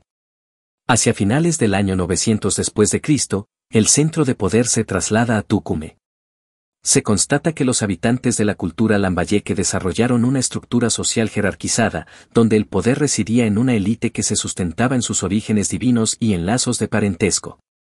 Los otros grupos sociales se encargaban de la administración, la artesanía y la agricultura. La cultura lambayeque se desarrolló entre los valles de Motupe por el norte y Jequetepeque por el sur, entre el 700 y 1350. Si bien su centro cultural abarcando el actual departamento de Lambayeque, su influencia se extendió en toda el área comprendida desde Sullana al norte, departamento de Piura, hasta cerca de Trujillo al sur, departamento de la Libertad. Lambayeque nació de las cenizas de la cultura moche, cuando ésta decayó, posiblemente, por un devastador fenómeno climatológico de El Niño. Lambayeque añadió a su herencia moche los tesoros culturales de Huari y Tiahuanaco. Por su ubicación geográfica, también recibió influencia cultural de la cultura cajamarca. Una cuarta influencia provino de los chimú. Pese a que Lambayeque era un poco más antigua, ambos descendían de Moche, solo que Lambayeque surgió en el norte, mientras que Chimú, en el sur. Según la leyenda redactada por el cronista español Miguel Cabello Balboa. Un gran rey de nombre llegó por mar desde el sur, en medio de una gran flota de balsas y acompañado de una lujosa corte de funcionarios, versados en diferentes artes y oficios. Desembarcó en la boca del río Faquisanga, río Lambayeque, y se adentró unos dos kilómetros tierra adentro, instalándose en un lugar donde edificó una huaca a la que llamó Chot, que probablemente es la que se conoce actualmente como Huaca Chotuna. El rey trajo un ídolo de piedra verde, esmeralda o jade, llamado Yampayek, del que deriva el nombre de Lambayeque, que era una representación de su propia imagen, la misma que guardó en la Huaca de Chot. Nailamp inauguró un largo periodo de paz y prosperidad en la región. La nobleza le enterró en su palacio, pero deseosos de hacer creer en su inmortalidad, anunciaron que, hastiado de la vida terrena, había empleado su poder para hacerse crecer alas y se había remontado en vuelo al cielo. Así fue convertido en divinidad. Nailamp inauguró una dinastía de varios soberanos, doce en total, incluyendo a él, el último de ellos, el rey Fempayek, quiso trasladar el ídolo Yampayek a otro lugar, provocando la ira de los dioses. En ese trance, un demonio en forma de mujer se le apareció a Fempayek y lo tentó a tener relaciones carnales. El pecado del rey ocasionó una serie de desgracias para la nación lambayeque, lluvias, sequías, hambruna. El castigo se completó cuando posteriormente llegó de los reinos del sur un tirano poderoso, el Chimó Capac o Chimú Capac, que se adueñó de las ricas tierras de Lambayeque. Los Lambayeque tuvieron una rígida estratificación social. En la cima se encontraba el rey y su familia. Luego los administradores, quienes se encargaban de vigilar el orden económico. Seguían los artesanos y especialistas, quienes producían bienes de lujo para la élite y también para la exportación. Por último, estaban los agricultores y la gente común, que trabajaban para mantener a todas las clases anteriores. Los Lambayeque construyeron grandes complejos monumentales con varias pirámides hechas de ladrillos de adobe, todas truncas, es decir, sin vértice ni punta, igual que la de los moches. Las principales pirámides o huacas se hallan en Batán Grande, Tucume y Yapurlec. El empleo de los metales provenía de la tradición moche, que en Lambayeque se perfeccionó con un mayor dominio técnico y nuevos estilos cubrieron todo el proceso metalúrgico, desde la extracción del metal de las minas hasta la preparación de aleaciones, y en esto último, precisamente, superaron a sus antecesores moches. En orfebrería, las joyas moches son espléndidas, pero para el ojo de un experto, las de Lambayeque son más perfectas en cuanto al acabado. Dichas técnicas avanzadas son el vaciado, el laminado, cera perdida, soldaduras, repujado, planchado, aleaciones y dorado con el añadido decorativo de piedras preciosas, esmeraldas, turquesas, cuarzo rosado y perlas. Destaca especialmente el Tumi Lambayeque, cuchillo ceremonial considerado como el rey de la metalurgia precolombina, el cual que consta de dos partes, el mango, que probablemente representa al dios Nailamp, y la hoja, que tiene forma de media luna.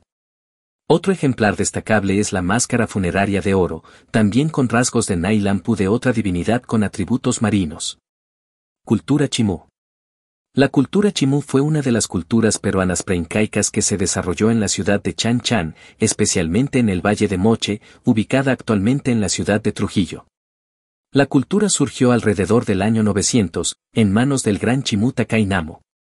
La cultura Chimú fue descubierta por el arqueólogo Max Agio. La cultura chimú sucedió a la cultura mochica alrededor de 700 a.C., su principal administrativa era la gran ciudad de Chan Chan, compuesto por miles de edificios y un laberinto de calles y callejones. Chan Chan, que fue tal vez el hogar de unas 60.000 personas en su apogeo, fue una de las ciudades más grandes de América del Sur y la mayor ciudad de adobe en el mundo. Los gobernantes eran tratados como dioses y vivían en un elegante palacio de Chan Chan. Desde el punto de vista político, el reino Chimú puede ser definido como un estado aristocrático clasista. Contaba con una burocracia de administradores. El estado se hizo fuertemente centralizado y se orientó hacia la expansión imperial. Era una sociedad clasista, con profundas diferencias entre sus grupos sociales. A la cabeza de la pirámide social estaba el gran señor llamado Siekich. Luego venían los Alak, o grandes curacas. Enseguida estaba un grupo con cierto prestigio y poder económico llamado Fisia. Al final se encontraba el pueblo, dedicados a la pesca, a la agricultura, a tareas artesanales y al comercio, y como último grupo, los sirvientes o esclavos. El sistema económico y social funcionaba por medio de una red de centros urbanos y rurales que se encargaban de recibir y enviar a la capital los tributos obtenidos. Los chimúes cultivaban maíz, frijol, zapallo, calabaza, maní, lúcuma, palta, ciruelo del fraile, pacae, caigua, guanábana, algodón. Para la pesca utilizaron los caballitos de Totora, con estos se adentraban al mar para la pesca de una gran variedad de peces, para lo cual utilizaban redes sujetadas entre dos embarcaciones o anzuelos. Recolectaban también moluscos marinos, como el choro, la almeja y el caracol. Los productos marinos conformaban la mayor parte de su alimentación de origen animal. Complementaban su dieta con animales domésticos, como la llama, el pato, el cuy y el perro, incluso con aves marinas que sabían guardar en corrales. Los diseños son de figuras zoomorfas, como peces y aves, así como de figuras geométricas, todo policromado. Las cerámicas chimúes cumplieron dos funciones, como recipientes para uso diario o doméstico y las cerámicas de uso ceremonial o para ofrendas de los entierros. Las principales características de las vasijas chimúes son una pequeña escultura en la unión del gollete con el arco, su fabricación moldeada para la cerámica ceremonial y modelada para uso diario, su coloración generalmente negro metálico con algunas variantes, su brillo característico se obtenía humeando la vasija que previamente había sido pulida. En la cerámica se han plasmado muchas representaciones realistas como animales, frutos y personajes, así como escenas místicas. Dedicaron especial culto a la luna porque consideraban que era más poderosa que el sol puesto que alumbraba de noche, por su influencia sobre el crecimiento de las plantas y su utilización como marcador del tiempo se le atribuía el alboroto del mar y las tempestades. Era la visitante del otro mundo y castigadora de los ladrones. Su principal templo se llamaba Xi'an, que significa, Casa de la Luna, donde se realizaban ritos la primera noche de Luna Nueva. Luna Shi, Marni, Sol Jian, Tierra Gis. Los chimúes sacrificaban infantes a sus dioses. Le ofrecían a la luna el sacrificio de niños menores de cinco años. Sus cuerpos eran envueltos en mantas de algodón de colores, los enterraban en las esplanadas de los templos, acompañados con frutas y derramaban chicha sobre la tierra. Cultura Chancay. Esta cultura se desarrolló en la costa central del Perú, con su centro en los valles Chancay y Chillón, pero extendió su influencia hasta Guaurá, por el norte, y la margen derecha del río Rímac por el sur, durante el periodo intermedio tardío, del 900 a 1400 a.C. Es un territorio desértico, aunque con valles fértiles que conforman verdaderos oasis fluviales, ricos en recursos. Basó su economía en la agricultura, la pesca y el comercio. Para desarrollar la agricultura, sus ingenieros construyeron reservorios de agua y canales de regadío. Situándose geográficamente frente al mar, explotaron la pesca artesanal tanto desde la orilla como alejándose un poco de esta con los caballitos de Totora. Igualmente fueron notorios comerciantes con otras regiones ya sea por tierra hacia la sierra y selva peruana y por el mar hacia el norte y el sur de sus límites territoriales. La cultura chancay es la primera de aquellas peruanas que masifica su producción en cerámica, textiles así como en metales como el oro y la plata de los cuales hicieron bienes rituales y domésticos. También se destacaron por sus artículos tallados de madera. Los curacas regulaban las producciones de los artesanos, ganaderos y agricultores y asimismo las actividades festivas. Sus textiles con encajes bordados con agujas y los tapices fueron de singular notoriedad, fueron elaborados con algodón, lana, gasa y plumas. Sobresalió notoriamente el brocado, la tecnología de la gasa decorada y el textil pintado habiendo sido decorados con peces, aves y también con dibujos de forma geométrica. Con pincel produjeron lienzos pintados directamente con diseños antropomorfos, zoomorfos, geométricos y otros creativos dibujos de libre imaginación. Las telas o gasas tuvieron principalmente objetivos mágicos religiosos y fueron utilizados para cubrir la cabeza de los muertos al estilo de los tocados. Respecto al arte realizado con plumas, eran insertadas en un hilo principal que luego era cosido sobre la tela. La iconografía de sus mantos representaba mayoritariamente peces, felinos, pájaros, monos y perros, especialmente perros sin pelo del Perú. En Chancay son comunes las cabezas humanas talladas en madera que coronan los fardos funerarios de importantes dignatarios. En el aspecto arquitectónico, esta civilización se destacó por crear centros urbanos de grandes dimensiones con montículos en forma de pirámide y complejos edificios. Fue organizada por diferentes tipos de asentamientos o ayllus y controlados por curacas o dirigentes y destacaron los centros urbanos con las típicas construcciones para dedicaciones cívico-religiosas comprendiendo también los palacios residenciales. Las construcciones fueron sobre todo de adobe fabricado en serie sobre la base de moldes. Cultura Ichma.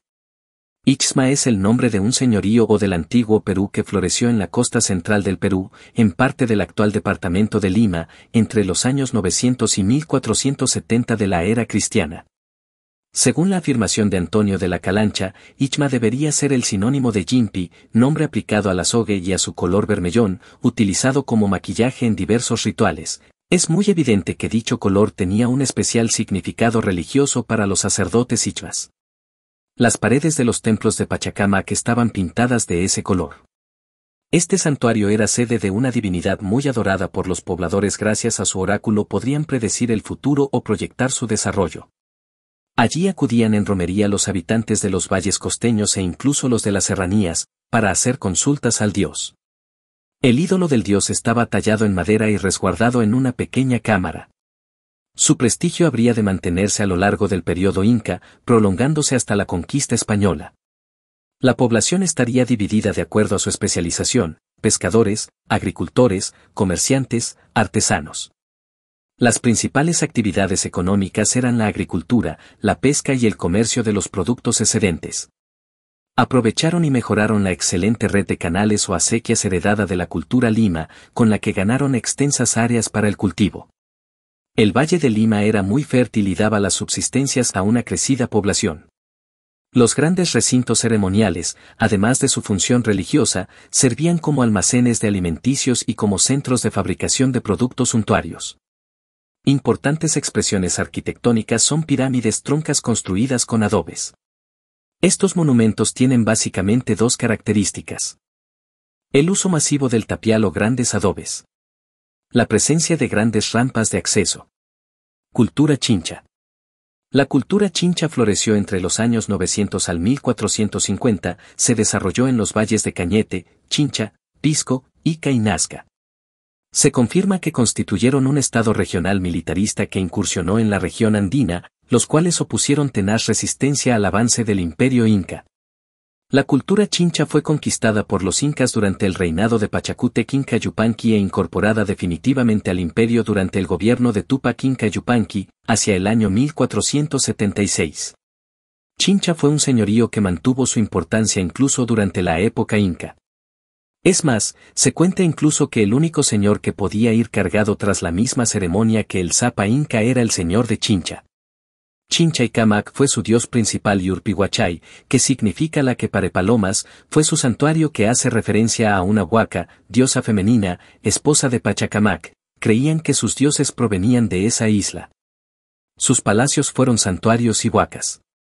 Los chinchas, al igual que otras culturas de la costa peruana, desarrollaron una arquitectura y utilizaron la técnica del adobe o tapial. Movidos por la expansión económica la cultura chincha, surcaron el mar en grandes balsas, se confirma que llegaron hasta el actual puerto de Valdivia ubicado ahora en Chile. Por el sur hasta Centroamérica una de las exportaciones fueron las conchas e espondilus. Tuvieron una habilidad para el comercio contaban con un sistema de pesas, medidas y balanzas, de tal modo que intercambiaron sus productos. El poderío del rey Chincha se dio gracias a la cantidad de balsas que tenía. No existía en la época de desarrollo Chincha, señor o rey que ganara en esto al rey de Chincha. Se dice que tenía una flota de ellas de unas 200, con las que comercializaba por todo el litoral del mar de Grau, hasta Centroamérica. Los productos chinchanos llegaron hasta el Caribe, lo cual debe ser cierto, por cuanto los chinchanos comercializaban sus productos en la desembocadura del río San Juan, de ahí comerciantes chipchas lo llevaban por el curso del río San Juan hasta el mar Caribe, comercializaron, chuño, charqui de llama, lanas diversas, cobre, pescado salado, calabaza, maíz y guacos. Traían esmeraldas y otras piedras preciosas. Cerámica era decorada con pintura bicolor, blanco y negro, sobre fondo rojo, sus representaciones eran especialmente pequeños motivos geométricos imitando diseños textiles, otras veces fueron aves y peces. Las formas más comunes son los cántaros ovoides con boca amplia, las tazas acampanadas, los platos con paredes verticales y base plana o convexa y los barriles horizontales con boca en la parte superior. Entre los objetos encontrados en las ricas tumbas están los llamados vasos narigones que representaban un rostro con nariz aguileña. Fueron hechos en oro, plata, aleación con cobre, y suelen estar acompañados por maíz, peces, serpientes o aves. Tema 6. El Tahuantinsuyo. El majestuoso territorio de los incas fue denominado Tahuantinsuyo, nombre compuesto que viene de dos palabras quechuas, Tahue que significa cuatro, y suyo que significa nación o estado. En el sentido quechua es un todo dividido en cuatro porciones del mundo. La palabra oso da como significa ombligo del mundo, o centro del mundo en este caso era el centro del imperio de los incas, el centro del Tahuantinsuyo. Desde la Plaza Mayor del Cusco partían cuatro caminos, principales hacia los cuatro suyos o naciones durante la época inca. Chincha y Suyo. Abarco hasta el río Ancasmayo en Pasto, Colombia. Conti Suyo. Hacia el noroeste, llegando a ocupar gran parte de la costa peruana, llegando hasta el río Maule en Chile. Coya Suyo. Estaba ocupado por todo el territorio que hoy es Bolivia hasta Tucumán en Argentina. Antisuyo. Abarcaba todos los valles subtropicales, ocupando la selva baja. Al periodo de su dominio se le conoce además como Incanato e Incario. Floreció en la zona andina del subcontinente entre los siglos XV y XVI, como consecuencia del apogeo de la civilización incaica.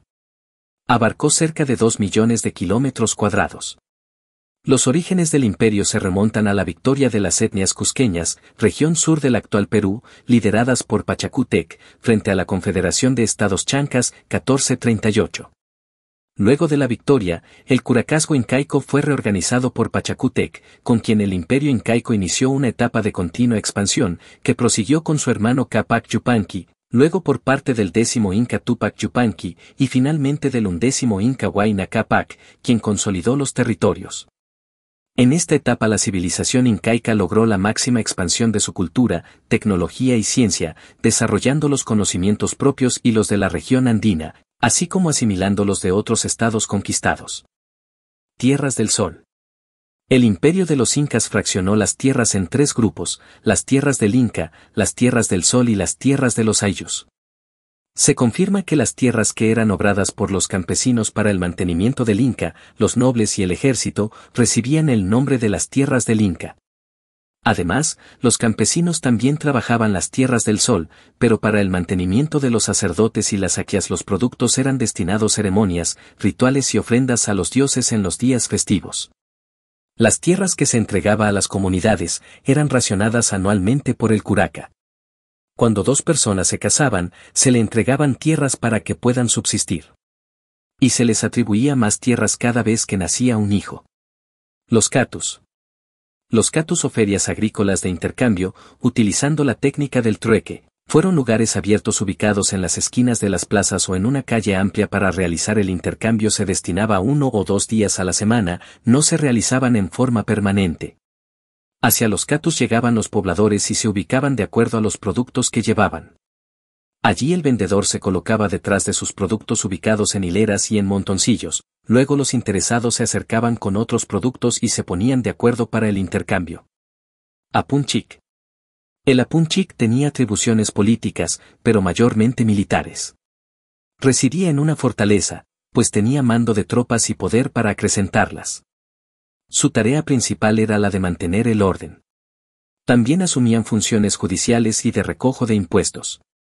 Al parecer, tenía como subordinados al Yacucamayoco superintendente de canales, el Atuñán Camayoco superintendente de caminos y el Chaca Camayoco superintendente de puentes.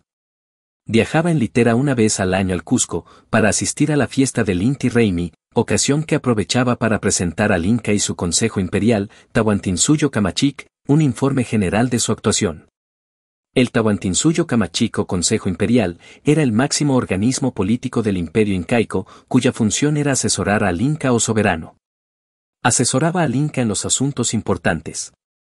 Contribuía poderosamente en la concepción de las leyes y en la formulación del plan de gobierno. Chunga. La chunga era otra forma de trabajo realizado en beneficio del pueblo inca por las mujeres en caso de desastres naturales. Estas mujeres estaban preparadas para actuar en casos de emergencia, ayudando en el rescate, dosificación de medicina, cura y cuidado de los heridos. Este accionar lo podemos comparar con la defensa civil de hoy en día. Las mujeres que participaban, eran doncellas traídas de diversas partes del imperio y recibían entrenamiento en el Akiai-Wasi, donde obtenían conocimientos de primeros auxilios, empleo de plantas medicinales, tejido y preparativos para la fiesta del Inti Reimi. Mitimaes. Los mitimaes no podían modificar los trocados de sus vestidos y los tocados de sus pueblos nativos, y cuando recibían la orden de trasladarse lo hacían con sus enseres, semillas y bienes, y conservando sus propias costumbres y tradiciones. El guardar sus distintivos permitía a los administradores estatales reconocer y diferenciar rápidamente a los advenedizos de los lugareños. Los mitimaes eran las familias destinadas a determinados lugares para colonizar tierras, defender la seguridad del Estado y difundir la cultura incaica. Cumplían pues funciones políticas, económicas y culturales.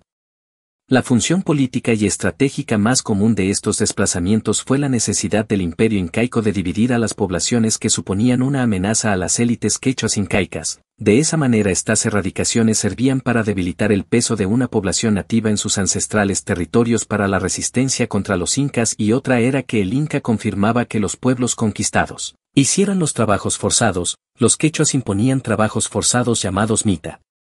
A las poblaciones originarias sometidas de grado, es decir, a las etnias y poblaciones originarias a los cuales los incas quechuas les daban a elegir entre la guerra total para quedar sometidas al Tahuantinsuyo o transformarse en pueblos sometidos pacíficamente en el cual los jefes de y caciques con sus familias eran transformados curacas del Inca. Zapa Inca. Los incas gobernaron sobre múltiples culturas y etnias. Desde la capital Cusco, el ombligo del mundo, el dominio incaico se extendió hacia los cuatro suyos. El Zapa Inca era el supremo emperador del Tahuantinsuyo.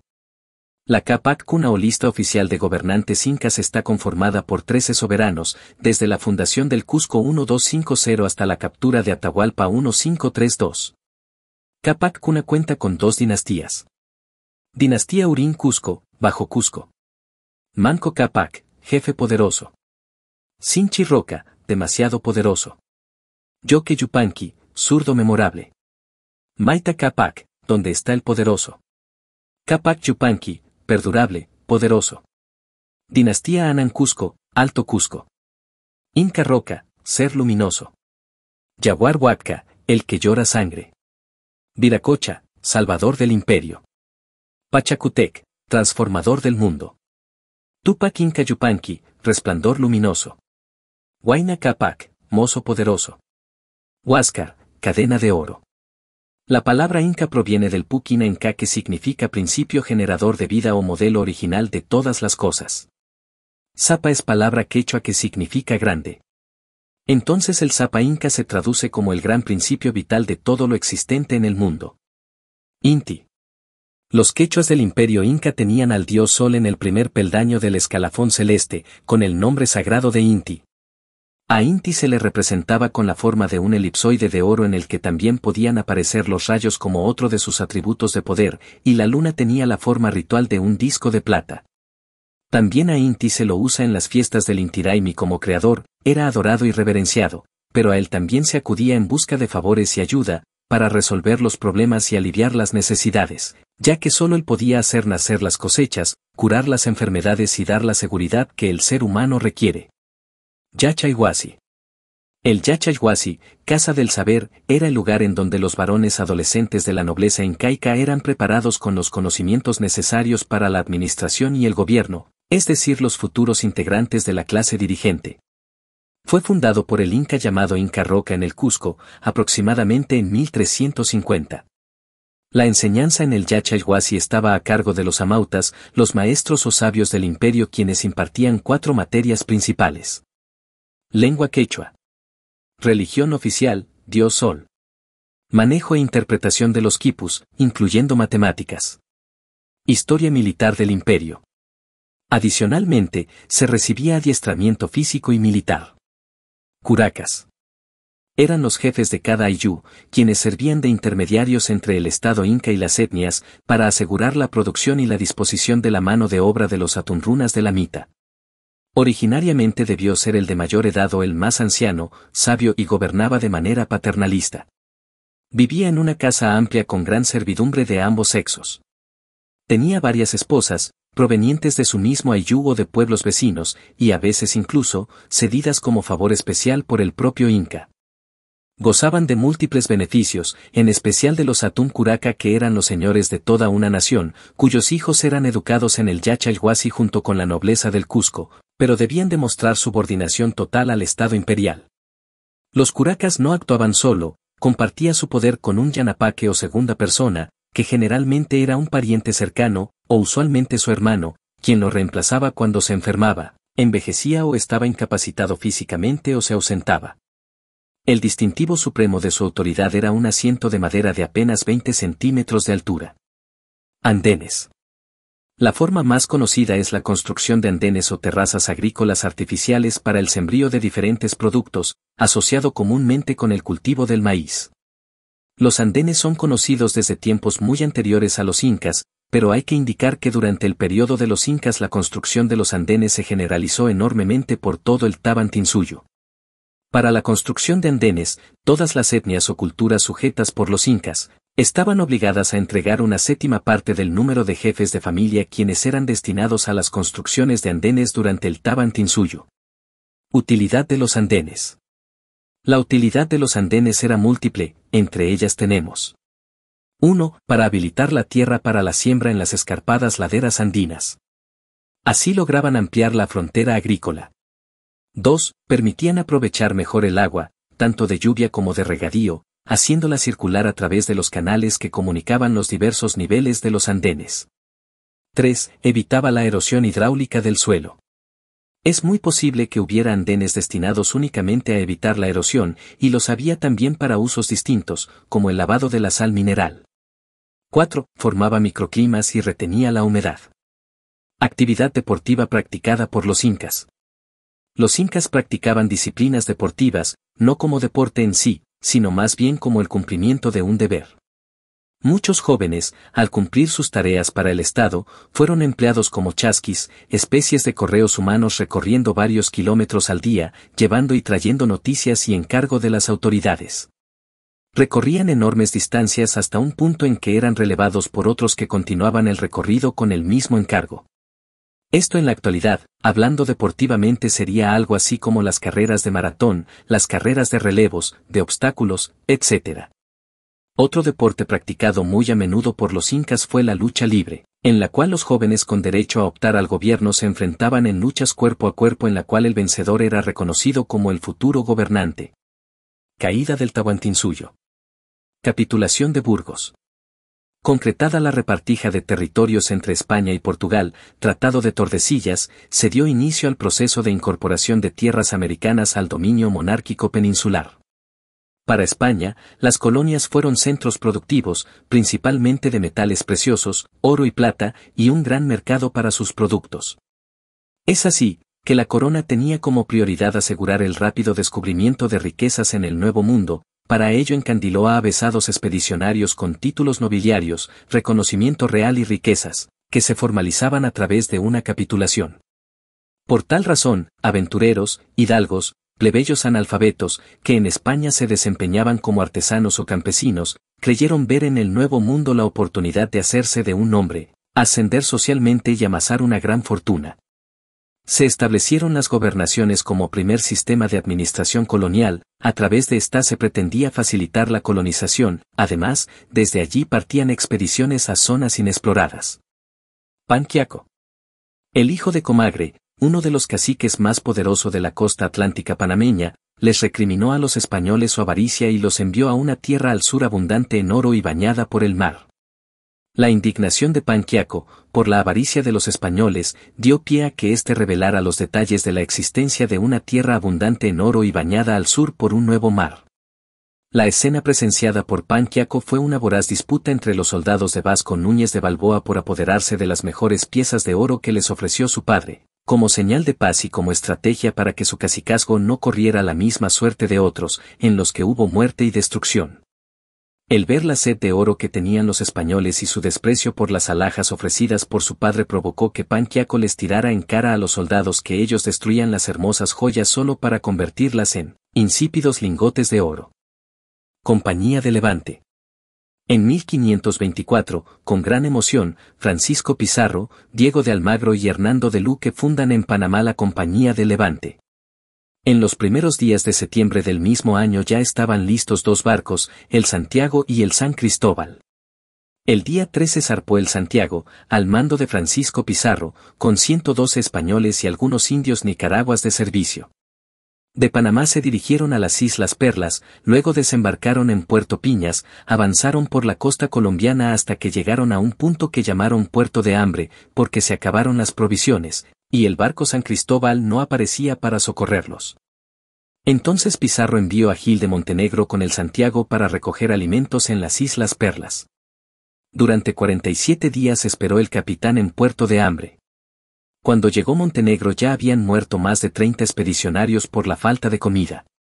Tras el fracasado una primera expedición en 1524, que solo aumentar las cicatrices de Pizarro y dejar tuerto a Almagro y el empobrecimiento de los tres socios. Un nuevo contrato se firma tras la obtención de la licencia, gracias a las gestiones de Luque, con el dinero de Gaspar de Espinosa y después de haber entregado mil castellanos de oro a Pedro Arias Dávila, Pedrarias, gobernador de tierra firme y obtener la licencia, quien a cambio de la mencionada suma se desvinculaba de la empresa. El acuerdo dejaba constancia de que el clérigo Hernando de Luque aportaba 20.000 castellanos de oro para los gastos de la expedición. Este dinero provenía en realidad de Gaspar de Espinosa, socio capitalista de los tres en la primera expedición y responsable del procesamiento y decapitación de Núñez de Balboa. Pizarro y Almagro, desposeídos de capital tras la primera aventura, aportaban sus personas y el haber de hacer dicha conquista. Asimismo, se comprometían a dividir todo lo hallado entre los tres. Según la tradición, el pacto se formalizó ante Dios y ante los hombres en una misa celebrada por el propio Luque en la que los tres socios comulgaron con un trozo de la misma hostia. La Compañía de Levante fue un prototipo de empresa privada en la conquista de América, una especie de sociedad anónima. Segundo viaje de Pizarro. Pizarro y Almagro eran muy cautelosos de que no llegaran a Panamá las cartas que los soldados enviaban a sus familiares, para evitar que las quejas de estos fueran conocidas por las autoridades. En Panamá, Diego de Almagro tuvo sin embargo dificultades pues en un ovillo de lana que había sido enviado como obsequio a Catalina de Saavedra esposa de Pedro de los Ríos, sucesor de Pedrarias, un soldado descontento había remitido escondida la siguiente copla. Pues señor gobernador, mírelo bien por entero, que allá va el recogedor y aquí queda el carnicero. De esta forma queda al descubierto los padecimientos de los expedicionarios, el gobernador impidió la salida de Diego de Almagro con nuevos auxilios y, por el contrario, envió un barco al mando del capitán Juan Tafur para que recogiese a Pizarro y sus acompañantes, que se hallaban en la isla del Gallo. El total descontento entre los soldados de Pizarro era muy grande, pues llevaban mucho tiempo pasando calamidades. Habían transcurrido dos años y medio de viajes hacia el sur afrontando toda clase de peligros, sin conseguir ningún resultado. Pizarro intentó convencer a sus hombres para que siguieran adelante, sin embargo, la mayoría de ellos quería desertar y regresar a Panamá. Eran en total ochenta los hombres que se hallaban en la isla del Gallo, todos flacos y macilentos, de los cuales veinte no podían mantenerse en pie. Tafur llegó a la isla del Gallo en agosto de 1527, en medio de la alegría de los hombres de Pizarro, que veían así finalizados sus sufrimientos. Fue en ese momento cuando se produjo la acción, épica de Pizarro, de trazar con su espada una raya en las arenas de la isla exhortando a sus hombres a decidir entre seguir o no en la expedición descubridora. Tan solo cruzaron la línea trece hombres. Estos trece de la fama, fueron. Nicolás de Rivera, el viejo Pedro de Halcón. Alonso Briceño Pedro de Candía. Antón de Carrión Francisco de Cuellar. García de Jarén Alonso de Molina. Cristóbal de Peralta Domingo de Soraluce. Juan de la Torre Martín de Paz. Gonzalo Martín de Trujillo, que falleció poco después en la isla Gorgona, por lo que su puesto fue ocupado por el piloto Bartolomé Ruiz. Guerra civil entre Huáscar y Atahualpa. La disputa por la corona incaica provocó la guerra civil entre Huáscar y Atahualpa, marcando la caída del imperio de los incas. El monarca triunfante, Atahualpa, no disfrutaría mucho de su victoria pues ya los españoles pisaban territorios del Tahuantinsuyo. La sucesión del trono. El legítimo heredero, designado por Huayna Capac, era su hijo el príncipe Niñán Cuyuchi, quien murió casi al mismo tiempo que su padre, víctima de una extraña peste que asoló la región ecuatoriana, probablemente fue la viruela traída por los españoles y que se propagó desde Panamá. Pero como aún en vida, Huayna Capac había designado a Huáscar como segundo sucesor al trono imperial, entonces este ciño la mascapaicha que lo acreditaba como gobernante del Tahuantinsuyo al que, también, aspiraba su hermano bastardo Atahualpa, que habiendo nacido en el Cusco había sido asimilado a la nueva nobleza de Quito y que, de esta forma, veía postergadas sus ambiciones. La guerra civil. Huáscar encolerizado, porque su hermano no había acompañado los restos de su padre, de Quito al Cusco, y tampoco había acudido a rendirle homenaje de sumisión y pleitesía, castigó con la muerte a la embajada que Atahualpa le había enviado para presentarle sus excusas por su inasistencia al Cusco. Pensó de esta manera Huáscar hacer sentir su autoridad. Pero no consiguió ya que esta actitud del gobernante cusqueño provocó la sublevación de Atahualpa, desencadenándose la guerra civil. El coronado Zapa Inca Huáscar consiguió éxitos iniciales. El general Atok, enviado por él, logró derrotar a las huestes de Atahualpa en la batalla de Tumipampa. Atahualpa fue hecho prisionero, pero logró fugarse. Reorganizó su ejército y emprendió la ofensiva, avanzando hacia el sur y contando con la colaboración de antiguos generales de su padre como Quisquis, Chalcuchimac y Rumiñahui. Cerca al Cusco derrotaron al ejército de Huáscar en la batalla de Quipay-Pampa. El ejército triunfante de Atahualpa se volcó sobre la ciudad imperial, la que fue saqueada y destruida completamente. Huáscar fue hecho prisionero y obligado a presenciar esta destrucción. Se buscaba no dejar vestigios de lo que había sido la ciudad del Cusco, así como de su arrogante nobleza imperial. En esta forma se aceleró la caída del Tahuantinsuyo. El poderío imperial estaba debilitado. Atahualpa, luego de la victoria de sus generales, retornó hacia el norte, deteniéndose en Cajamarca. En estas circunstancias hacían su aparición los españoles en las costas de Tumbes. Más tarde, Atahualpa fue hecho prisionero por los invasores españoles y, desde allí, mandaría matar a su hermano Huáscar que aún se encontraba en prisión. A su vez, él fue ajusticiado el 26 de julio de 1533. Captura del Inca Atahualpa. La captura de Atahualpa fue considerado un ataque sorpresa al monarca del imperio incaico realizada por Francisco Pizarro y sus tropas. Ocurrió en la tarde del 16 de noviembre de 1532 en la Plaza Mayor de Cajamarca. Francisco Pizarro encomendó a Hernando de Soto la misión de ir donde el Inca para invitarle a que viniera a cenar con él en Cajamarca. Soto y sus hombres llegaron a Pultumarca, el Inca descansaba en un palacete situado en medio de un pradillo cultivado, situado un poco más atrás del campamento Inca. Unos 400 guerreros incas, desplegado en el pradillo, custodiaban la residencia del Inca. Soto y sus hombres, después de cruzar el campamento, llegaron ante la puerta del palacete y, sin bajar de sus caballos, enviaron a Felipillo para que solicitase la presencia del Inca. Un orejón, un noble inca, fue donde su señor con el mensaje y los españoles quedaron a la espera de alguna respuesta.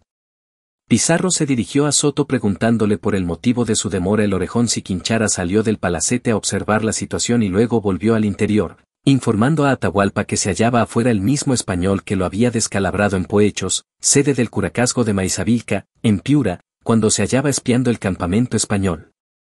Fue entonces cuando Atahualpa se animó a salir, caminando hacia la puerta del palacete y procediendo a sentarse sobre un banco colorado, siempre tras una cortina que únicamente dejaba ver su silueta. De este modo, podía observar al enemigo sin ser visto. Hernando Pizarro, sintiéndose desplazado, le dijo a Martinillo que le comunicara al Inca que entre él y el capitán Soto no había diferencia, porque ambos eran capitanes de su majestad. Pero Atahualpa no se inmutó, mientras cogía dos vasos de oro, llenos de licor de maíz, que le alcanzaron dos mujeres. Luego, el Inca ofreció a los españoles los vasos de licor, pero aquellos, temerosos de que la bebida estuviera envenenada, se excusaron de tomarla, diciendo que estaban en ayuno. A lo que el Inca replicó diciendo que él también estaba ayunando y que el licor de ningún modo hacía romper el ayuno. Para que se disipara cualquier temor, el Inca probó un sorbo de cada uno de los vasos, lo que tranquilizó a los españoles, que bebieron entonces el licor.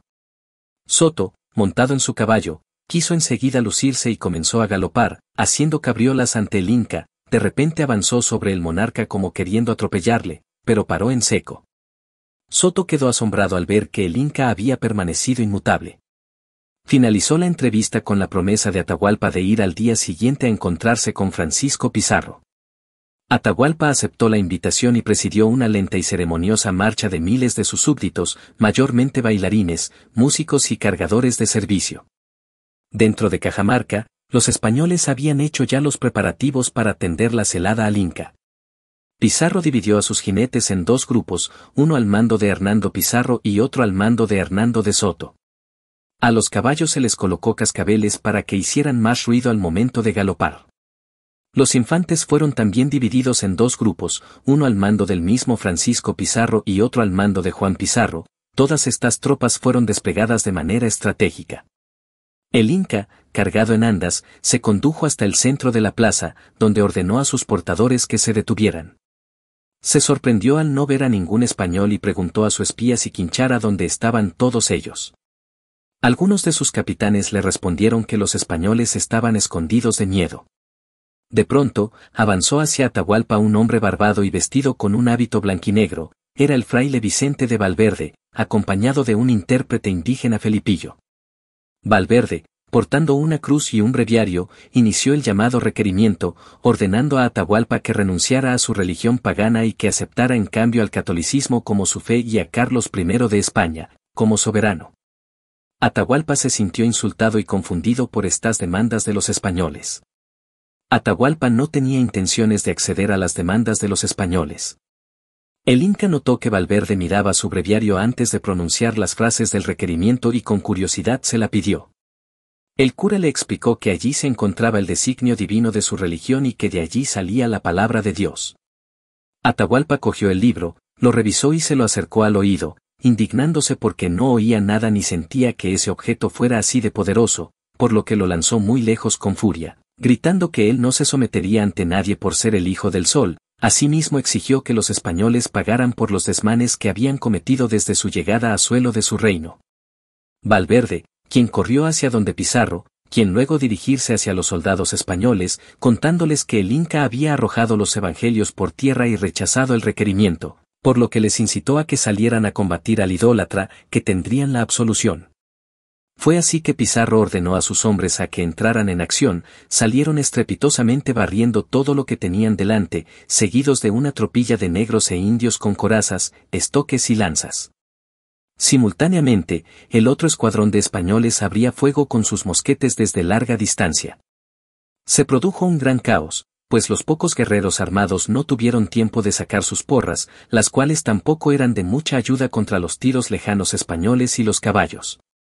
La mayoría de la masa india trató de salir del complejo para alejarse de la masacre, y como la única puerta principal estaba abarrotada cargaron contra uno de los muros, haciendo un forado en este, y salieron del complejo. El principal blanco del ataque español era Atahualpa y sus comandantes. Pizarro se dirigió a caballo hacia donde estaba Atahualpa, pero el Inca no se movió. Los españoles cortaron las manos o brazos de los asistentes que portaban la litera de Atahualpa para obligarlos a dejarla caer y poder alcanzarlo. Los españoles estaban sorprendidos porque los asistentes ignorando sus heridas y con sus miembros todavía sanos, sostuvieron la litera hasta que varios de ellos fueron matados y la litera volcó. Atahualpa permaneció sentado en la litera mientras que un gran número de asistentes se apresuraron a colocarse entre la litera y los españoles, dejando que los españoles los mataran. La esposa de Atahualpa, Cuxirimayo Kyo, que por entonces tendría entre 13 y 15 años de edad, estaba con el ejército y acompañó a Atahualpa mientras estuvo prisionero. Después de su ejecución fue llevada a Cusco y adoptó el nombre de Doña Angelina. Hacia 1538 era la concubina de Francisco Pizarro, con quien tuvo dos hijos, Juan y Francisco. Después de que Pizarro fuera asesinado en 1541, ella se casó con el intérprete Juan de Betanzos. La muerte de Atahualpa. Al caer la noche del 26 de julio, Atahualpa fue llevado al centro de la plaza de Cajamarca. Rodeado por los soldados españoles y el cura Valverde, le ataron a un tronco clavado en el medio de la plaza y arrimaron leños a sus pies. Un español se acercó con una tea encendida. Atahualpa, al ver que lo iban a quemar, se alarmó, pues según la religión incaica, su cuerpo debía ser embalsamado para lograr su resurrección en el otro mundo, lo cual no sería posible si era consumido por las llamas. Dialogó entonces con Valverde, que le ofreció como alternativa ser bautizado como cristiano y luego ahorcado en el garrote vil, de esa manera su cuerpo podría ser enterrado. Atahualpa aceptó y allí mismo le bautizaron con el nombre cristiano de Francisco. A continuación le estrangularon. Según el cronista soldado Miguel de Estete, durante la ceremonia un grupo de mujeres formado por hermanas, esposas y criadas de Atahualpa, entraron en la iglesia y se ofrecieron a enterrarse vivas con el monarca muerto, ya que esa era la costumbre en el funeral de un inca.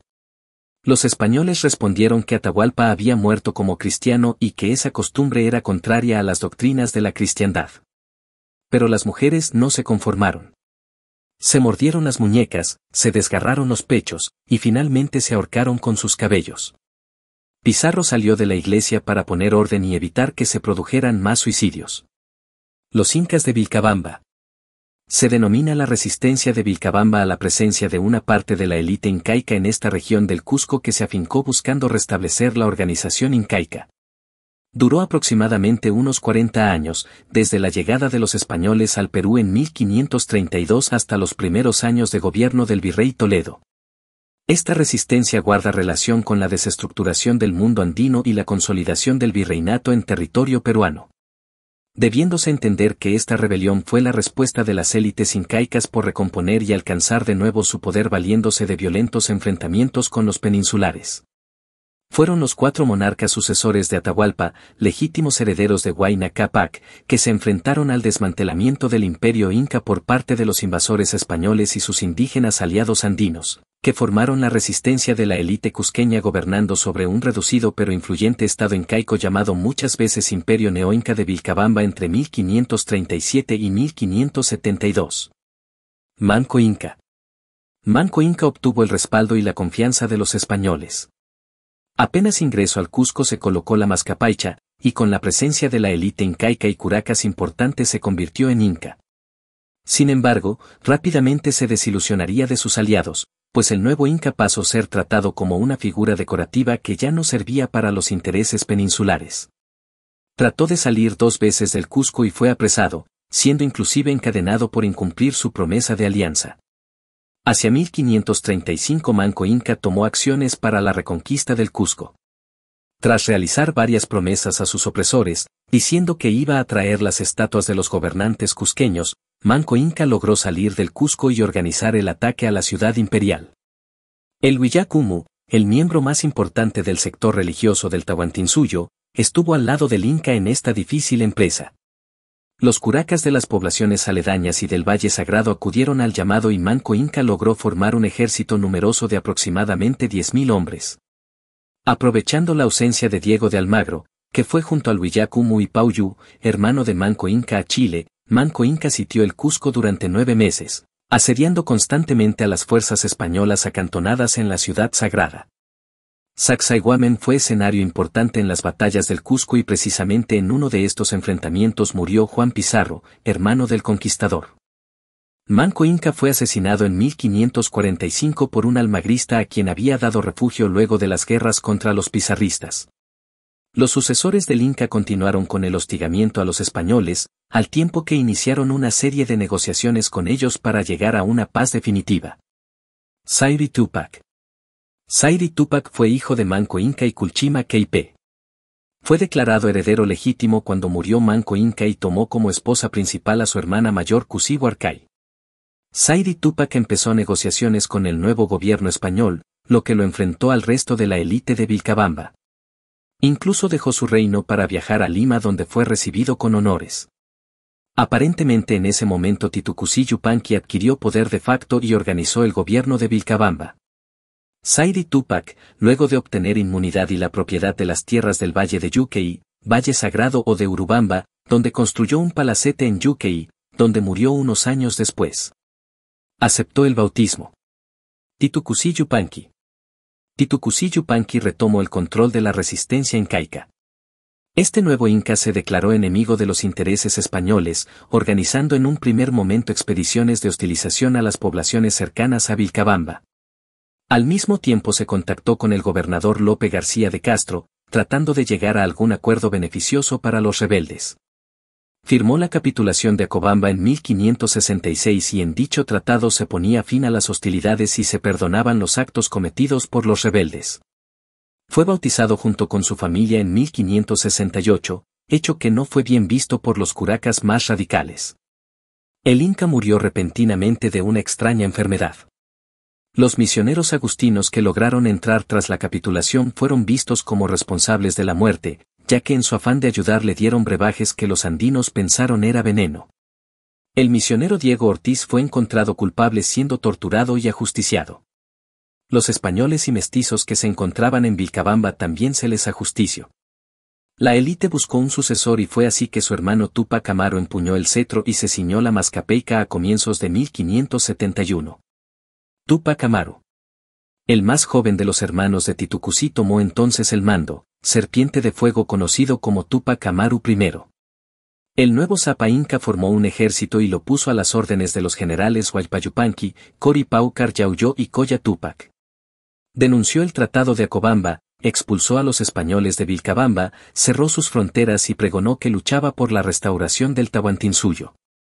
El virrey del Perú, Francisco Álvarez de Toledo, quinto gobernante del Perú hispano, el cual gobernó entre 1569 a 1581, que ya había recibido de España el cúmplice que incluida la bula que autorizaba el matrimonio de Quispetitú, el 20 de julio de 1571, envió al dominico Gabriel de Oviedo y al licenciado García de los Ríos a Vilcabamba, para que entregaran los documentos a Tupac Amaru Inca y solucionar el problema de forma pacífica. Esta comisión no fue recibida por Tupac Amaru Inca y tuvo que volver al Cusco. Encontrándose el virrey en el Cusco, envió a Tilano de Anaya con una carta amenazante al Zapa Inca. Al cruzar el puente de Chuquichaca, fue muerto por los leales a Tupac Amaru. Conocido el hecho, el virrey Toledo decidió terminar las conversaciones y el concordato con Vilcabamba, enviando una expedición militar al mando de Martín García Óñez de Loyola, Martín Hurtado de Arbieto y Juan Álvarez Maldonado, para ocupar Vilcabamba a sangre y fuego.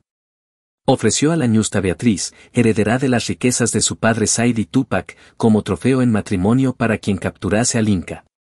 Con ayuda de los informes de múltiples espías, la expedición española logró burlar las defensas de Vilcabamba, destruir Vicos y capturar, tras una larga persecución, al joven rey. Fue capturado y tras un juicio sumario en la antigua capital del imperio, Tupac Amaru fue decapitado en mayo de 1572. Con su muerte terminó oficialmente la conquista del Perú. La capitulación de Toledo. La capitulación de Toledo de 1529 es un decreto real emitido el 26 de julio de 1529 en Toledo por la Corona de Castilla, por medio del cual se otorgaba un adelantamiento al conquistador Francisco Pizarro en el marco de la conquista y colonización española de América.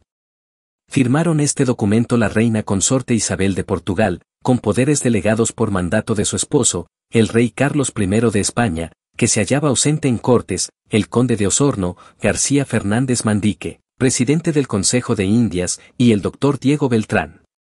Por esta capitulación, Pizarro recibió la autorización para la conquista y población de la provincia del Perú o Nueva Castilla, desde el pueblo de Tempuya o Santiago, costa del actual Ecuador, hasta el pueblo de Chincha, costa del actual Perú, entre ambos puntos mediaba una distancia de 200 leguas. Gran parte de esta área, que se extendía por la costa del entonces llamado Mar del Sur, había sido ya descubierta y explorada por Pizarro y su socio, el capitán Diego de Almagro, en los cinco años anteriores a la firma de la capitulación. Este acuerdo significó el triunfo personal de Pizarro en desmedro de sus socios, Almagro y Luque, debido a las enormes ventajas y beneficios que sacó de él.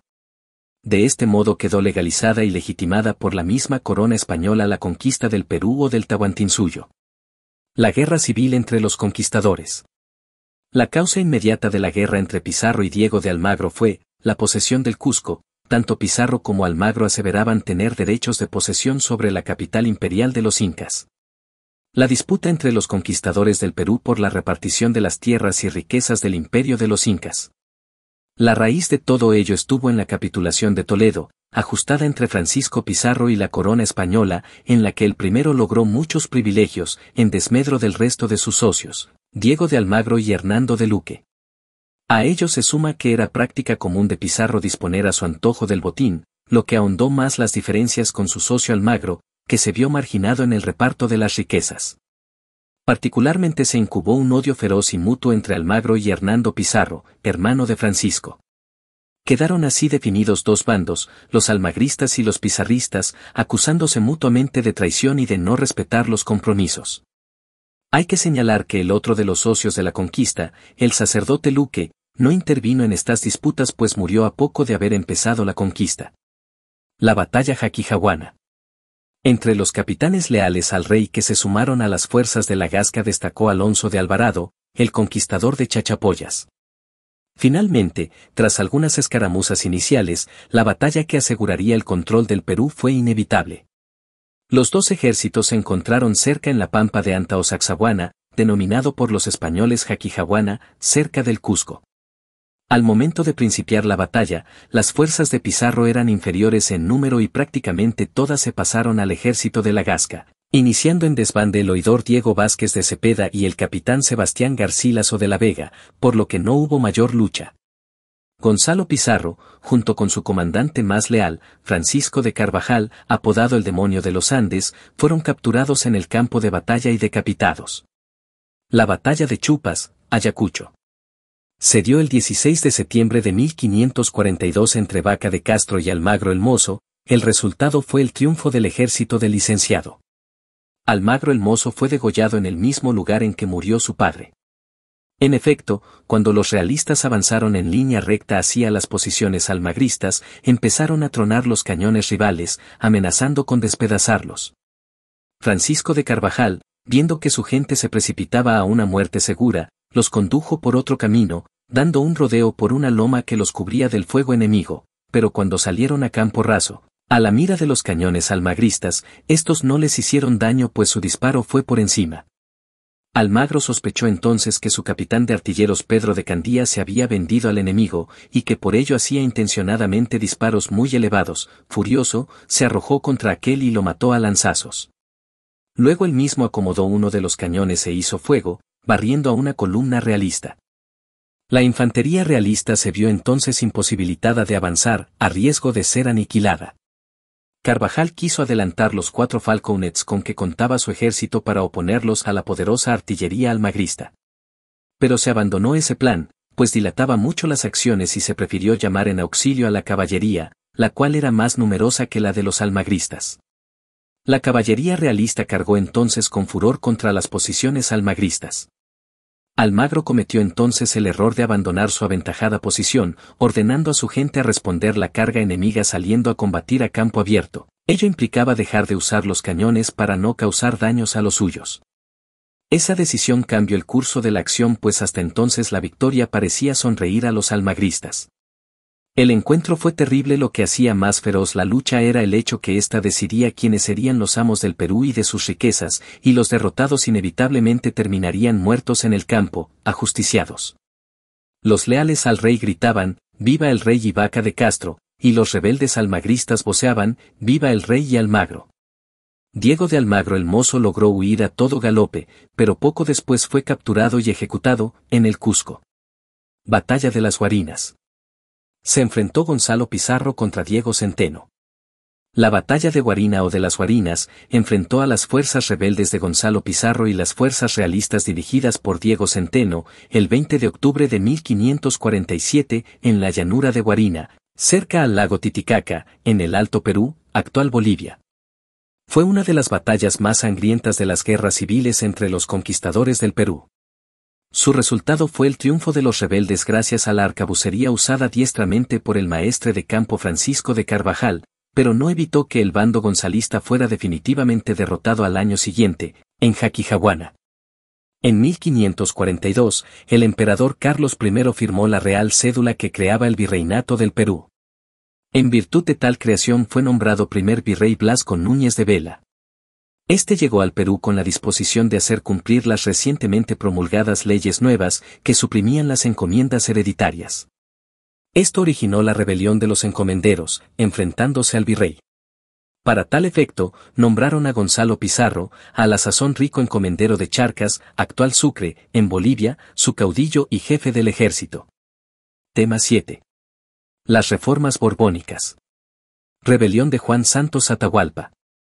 Juan Santos Atahualpa fue un mestizo descendiente de la nobleza incaica que en 1742 se sublevó con el objetivo de expulsar a los españoles y restaurar el Tahuantinsuyo, pero integrando a los negros y mestizos. La rebelión estalló en la región del Gran Pajonal, ubicado en la selva central, donde los nativos asán incas, sipivos, conivos, pirous y siriminques estaban hartos de la opresión española, la que se iniciaba con los misioneros franciscanos y se extendía con la llegada de autoridades y militares desde Lima. Con el apoyo de los curacas del río Perene estableció su cuartel en Quizopango, cerca de Chanchamayo. Al enterarse, el virrey marqués de Villagarcía ordenó que tropas de Jauja y Tarma ataquen a los rebeldes y capturen a su líder. Sin embargo, a fines de 1742 después de sangrientos combates los soldados realistas retrocedieron y se refugiaron en Jauja. En 1745, la corona envió como nuevo virrey al conde de Superunda, quien también ordenó atacar al Inca, pero sus tropas también fracasaron. Entonces, ordenó fortificar los pueblos cristianos cerca de la frontera para defenderlas de los rebeldes selváticos. Mientras tanto, Juan Santos Atahualpa organizó un gobierno en la región liberada y preparó sus fuerzas para acometer sobre Tarma y Jauja, pasos previos rumbo a la toma de Lima, la capital del Perú. En 1752, el Inca avanzó hacia Jauja y logró tomar Andamarca, pero no logró que los curacas serranos se sumen a la rebelión. Alertado de la cercanía de nuevas tropas coloniales se replegó hacia sus bastiones en el Gran Pajonal. Muchos nativos, sobre todo los asanincas y conivos, mantuvieron la esperanza de su retorno por mucho tiempo más. Tupac Amaru. Tupac Amaru II se sublevó en la localidad de Tinta. La rebelión de Tupac Amaru II, iniciada en 1780, constituyó la expresión de lucha más alta de las masas indígenas durante la colonia. Esta rebelión tuvo un carácter antifeudal y anticolonial. Inició el levantamiento el 4 de noviembre de 1780, después de una fiesta efectuada en celebración del natalicio de Carlos III tomó prisionero a Arriaga y lo condujo a Tungazuca, obligándole a firmar una carta dirigida a su cajero Mendieta, en la que le ordenaba le remitiese todos los fondos disponibles y todas las armas alcanzables. Una vez obtenido su cometido, Tupac Amaru inicia un proceso a Arriaga, quien es sentenciado a la horca y ejecutado el 10 de noviembre. El caudillo parte al día siguiente para Quiquijana, donde reparte la lana de un obraje, da libertad a los presos y emite un bando de liberación de los negros. Luego de su triunfo en Sangarará el día 18 lanzó constantes bandos pidiendo la unión de criollos mestizos, negros e indios. Estos últimos se hallaban dividido tanto que unos decidieron unirse a los realistas y otros se plegaron a la rebelión, entre los caciques realistas destaca Mateo Pumacagua, entre los rebeldes los caciques de Acus, Tomás Tito Condemaita. En 1780 empezó la más grande rebelión en la historia de la colonia española en América, descontando las guerras de independencia. Aquel 10 de noviembre, José Gabriel Condorcanqui, llamado también Tupac Amaru II, ajustició al corregidor Antonio de Arriaga. La máxima autoridad española de la zona fue ahorcada en un patíbulo cuya soga fue jalada, entre otros, por su propio esclavo. La rebelión duraría años y se expandiría hacia el sur, desde Cusco hasta la actual Bolivia, volviéndose cada vez más violenta. Las acciones de los insurgentes tupacamaristas y cataristas continuarían hasta 1783. Tupac Amaru fue derrotado antes. En mayo de 1781, las autoridades españolas lo decapitaron y despedazaron en un acto público en la Plaza de Armas del Cusco. Tupac Katari. Julián Espasa, Tupac Katari, o simplemente Katari fue un indígena aymara, hijo de un minero que murió como mitayo en las minas de Potosí. Luego de quedar huérfano en su adolescencia comenzó a servir como sirviente de cura, convirtiéndose en campanero gracias a su tío Manuel, curaca de una comunidad vecina a Ayo Ayo, llegando a ser campanero oficial de la iglesia del poblado. Luego trabajó dos años como peón en la mina de San Cristóbal, de Oruro, al principio como barretero y luego acarreando trozos de mineral. Allí conoció el sufrimiento de otros indígenas y comenzó a proclamar la necesidad de rebelarse. Se trasladó a Sique Sique donde trabajó como panadero y donde conoció a su compañera Bartolina Sisa. Más tarde fue comerciante trajinante minorista hasta La Paz, estudiando la forma de pensar de los indígenas, mestizos y cholos, observando especialmente su descontento creciente ante la explotación colonial. Fue secundado en su lucha por su esposa, Bartolina Sisa, y su hermana menor Gregoria Apaza. Adoptó el seudónimo de Tupac Katari en homenaje al cacique inca rebelde Tupac Amaru II. La Corte de Cádiz. Los españoles no reconocían la figura de José Bonaparte como su rey. Estas juntas tienen como objetivo defenderse de la invasión francesa y llenar el vacío de poder. Estaban compuestas por militares, representantes del alto clero, funcionarios y profesores, todos ellos conservadores, por lo que a pesar de que el origen del movimiento fuera revolucionario, la finalidad no mantendría la misma naturaleza. En septiembre ceden su poder a la Junta Central Suprema Gubernativa del Reino la cual se va a encargar del gobierno del país, de dirigir la defensa frente a los franceses. El 19 de noviembre de 1809 las tropas imperiales derrotaron al ejército de la Junta Central en Ocaña y los franceses tuvieron el paso franco hacia Andalucía. La Junta se retiró a Cádiz y el 29 de enero de 1810, desacreditada por las derrotas militares. La Constitución de 1812 establecía un nuevo orden económico y social, pues la certeza de que todos los ciudadanos que integraban la nación eran iguales en derechos y estaban sujetos a la misma ley obligaba a liquidar los privilegios estamentales que conformaban la sociedad del antiguo régimen.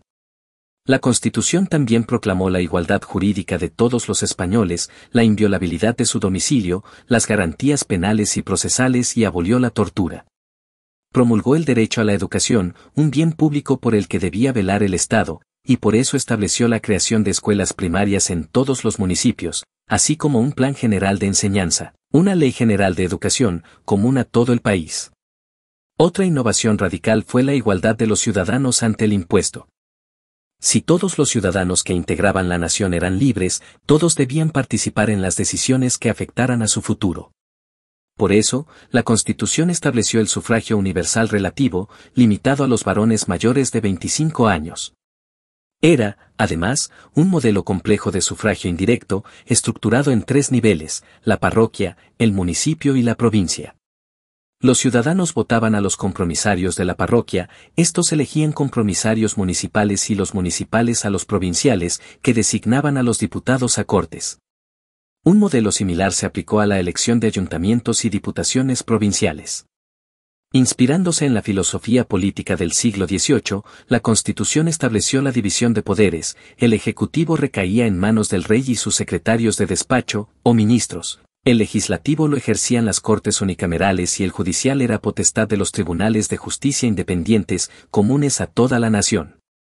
Como consecuencia del principio de soberanía nacional, la legitimidad del monarca no provenía del origen divino, sino de la nación reunida en las cortes y de las leyes que éstas promovieran. Además de la Constitución, las Cortes de Cádiz promulgaron entre 1810 y 1813 varios decretos que desmantelaban las estructuras económicas y sociales del antiguo régimen. Un decreto del 6 de agosto de 1811 abolió el régimen señorial, célula básica de la organización local, medida de trascendental importancia que debía preceder a la aprobación de la Constitución. En el antiguo régimen, aproximadamente la mitad de la población española vivía bajo el régimen señorial.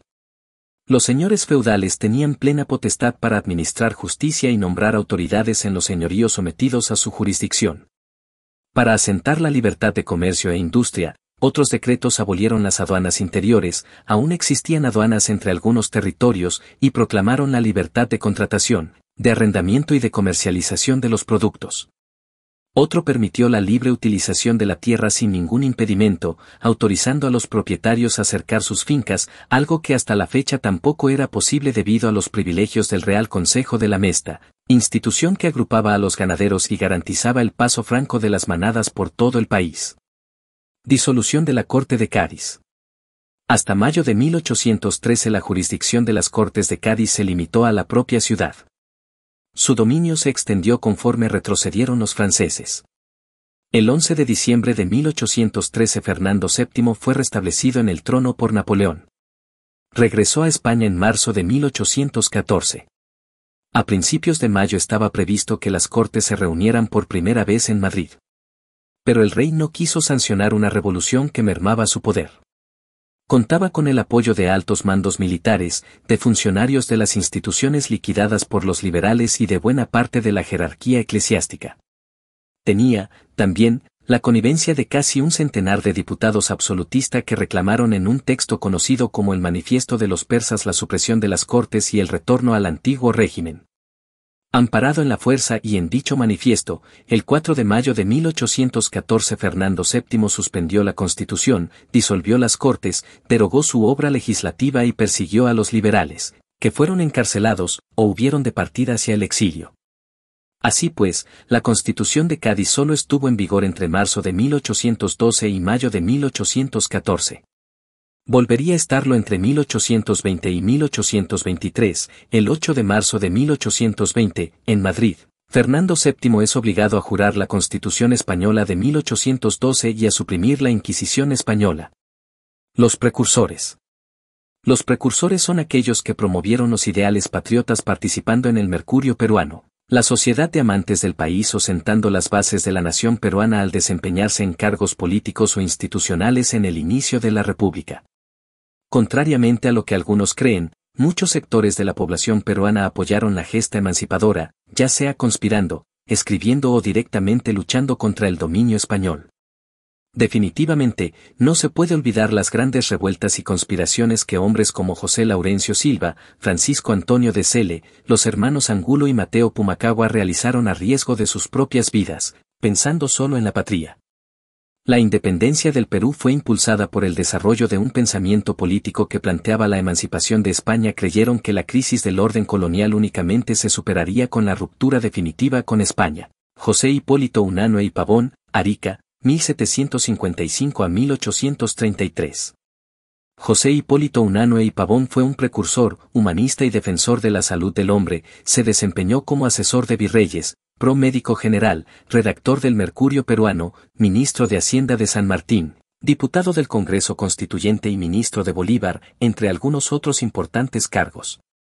Entre sus obras se encuentran observaciones sobre el Claim de Lima 1806, donde critica la hipótesis de que el clima americano disminuía las facultades del hombre. Idea General del Perú, otra de sus obras fundamentales, integra en un solo discurso el pasado inca y el virreinato, reconociendo como peruano todo el testimonio histórico del territorio. José Baquíjano y Carrillo, Lima, 1751, Sevilla, 1817. Reformista peruano, hombre de derecho y profesor de la Universidad de San Marcos. Fue colaborador del Mercurio peruano. Es precursor reformista de la emancipación peruana porque creía que las reformas eran el mejor camino para autogobernarnos. Toribio Rodríguez de Mendoza, Chachapoyas, 1750 Lima, 1825. Sacerdote y maestro del importante Colegio de San Carlos. En la Universidad de San Marcos obtuvo los grados de licenciatura y doctorado en teología. Como docente, transmitió sus ideas, apoyadas en el pensamiento cristiano, educando a la generación que afirmó la independencia. Juan Pablo Vizcardo y Guzmán, Arequipa, 1748, Londres, 1798. Pensador activo e influyente de la época y principal representante de la corriente separatista. Luego de ingresar a la Compañía de Jesús, realiza sus estudios eclesiásticos en el Cusco. Con la expulsión de los jesuitas en 1767, viaja a Europa, donde escribe su célebre carta a los españoles americanos en 1799, texto dirigido a los criollos en América en el que afirma que el Nuevo Mundo es nuestra patria y su historia es la nuestra. La Sociedad de Amantes del País, 1790. Fue una agrupación conformada por una serie de intelectuales jóvenes con ideas reformistas e ilustradas. Sus inquietudes fueron plasmadas en el Mercurio peruano. Próceres. Los próceres de la independencia son los primeros participantes en lo que se denominaría la lucha directa contra el sistema colonial al pertenecer al denominado bando patriota que incluyen tareas de infiltración y contraespionaje. José Gabriel Condorcanqui, Tupac Amaru II, 1738-1781. José Gabriel Condorcanqui fue un líder indígena, cacique de Surimana, Tungazuca y Pampamarca. Fue el responsable de organizar una gran rebelión contra el sistema colonial en 1780, hecho por el cual pasó a la historia. La de mayor dimensión en toda la época previa a la independencia nacional. Juan Santos Atahualpa, 1710-1756.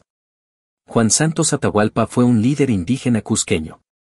Se le reconoce haber desarrollado una importante rebelión en Chanchamayo contra el sistema colonial con el objetivo de restablecer el Tahuantinsuyo. Micaela Bastidas Puyucagua, 1745-1781. Micaela Bastidas fue esposa de José Gabriel Condorcanqui y prócer y mártir de la independencia del Perú. Bastidas a pocos momentos previos a ejecutarse su sentencia enunció, enérgicamente su conciencia independentista y declaró, por la libertad de mi pueblo he renunciado a todo. No veré a mis hijos florecer. Francisco Antonio de Cela, 1768-1819. Francisco Antonio de Cele fue un administrador y militar criollo. En 1811 lideró una rebelión en Tacna contra el virrey Abascal.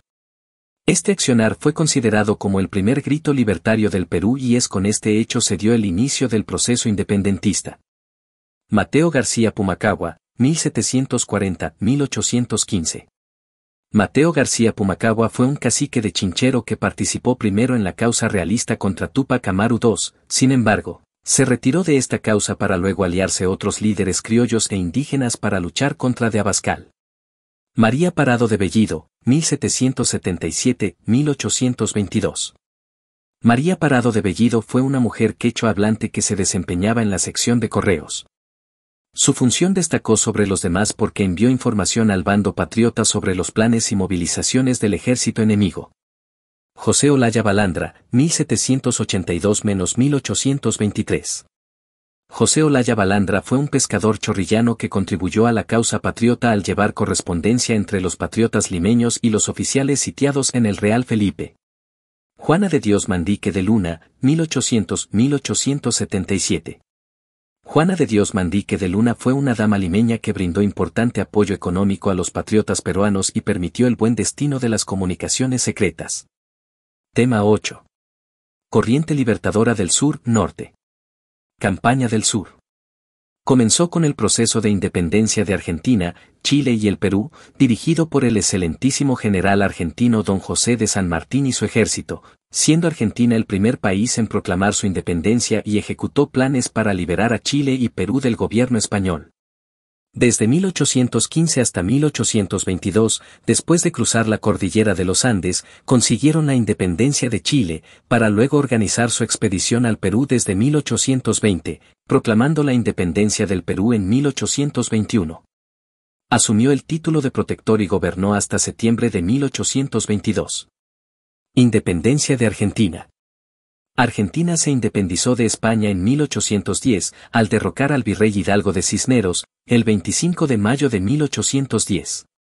Durante algunos años lucharon contra la resistencia realista, ganando varias batallas como la de San Lorenzo en 1813, donde destacó don José de San Martín.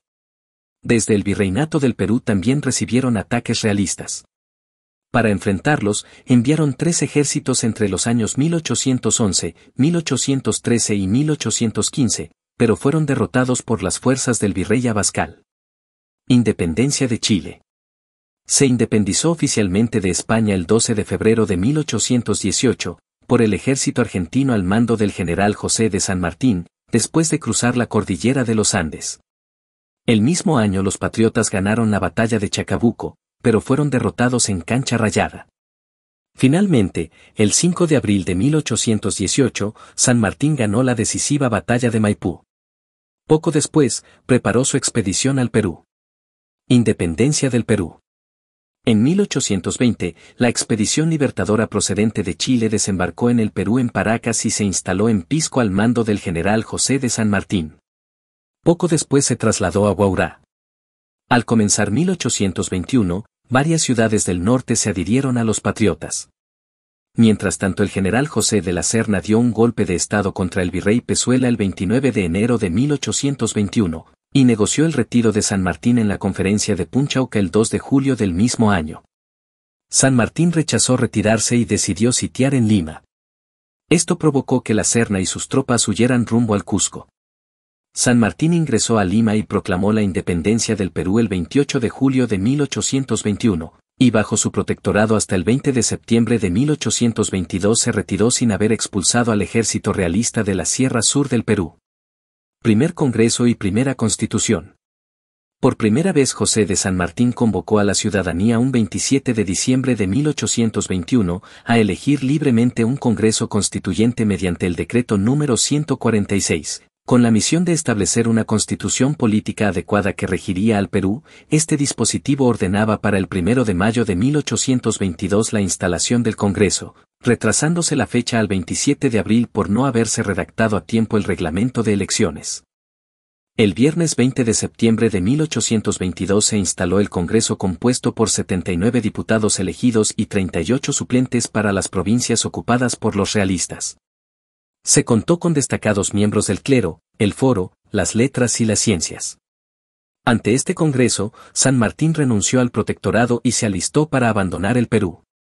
El Congreso peruano de 1822 fue la primera institución política elegida democráticamente en el Perú.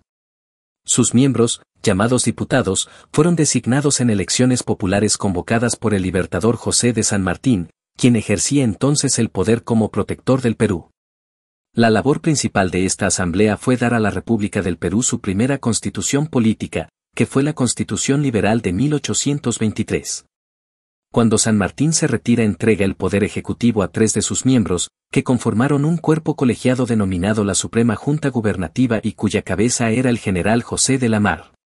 Luego de la proclamación de la independencia del Perú, en la antigua capital del Virreinato del Perú, Lima, el 28 de julio de 1821, el general José de San Martín asumió el mando político-militar de los departamentos libres del Perú, bajo el título de protector, con el permiso peruano, según el decreto del 3 de agosto de 1821.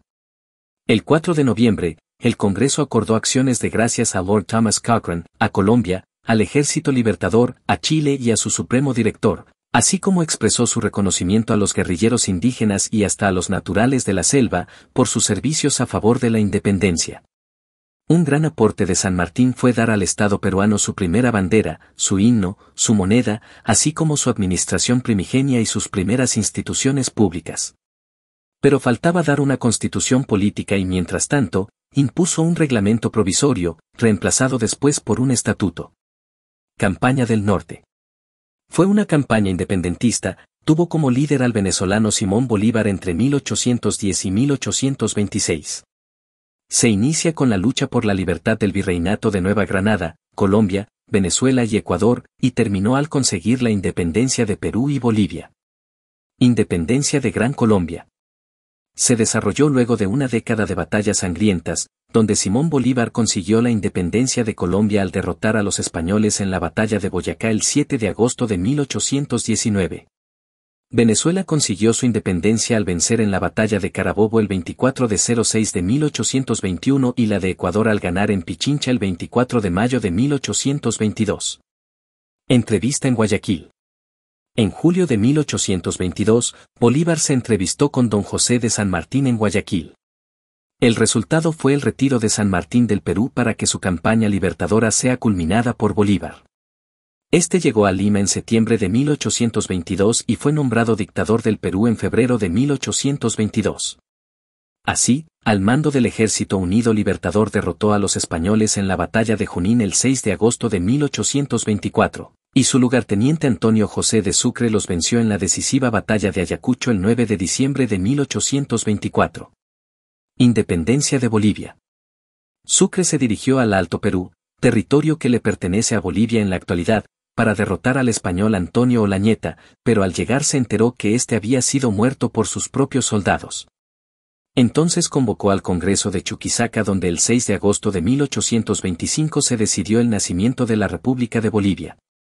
Proyecto bolivariano, Bolívar intentó unir Gran Colombia, Perú y Bolivia para convertirlas en la Confederación de los Andes.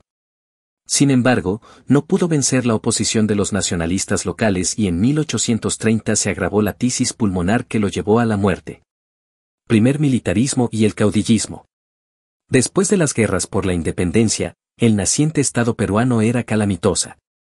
La economía estaba en franca decadencia como resultado de tantos años de campaña militar.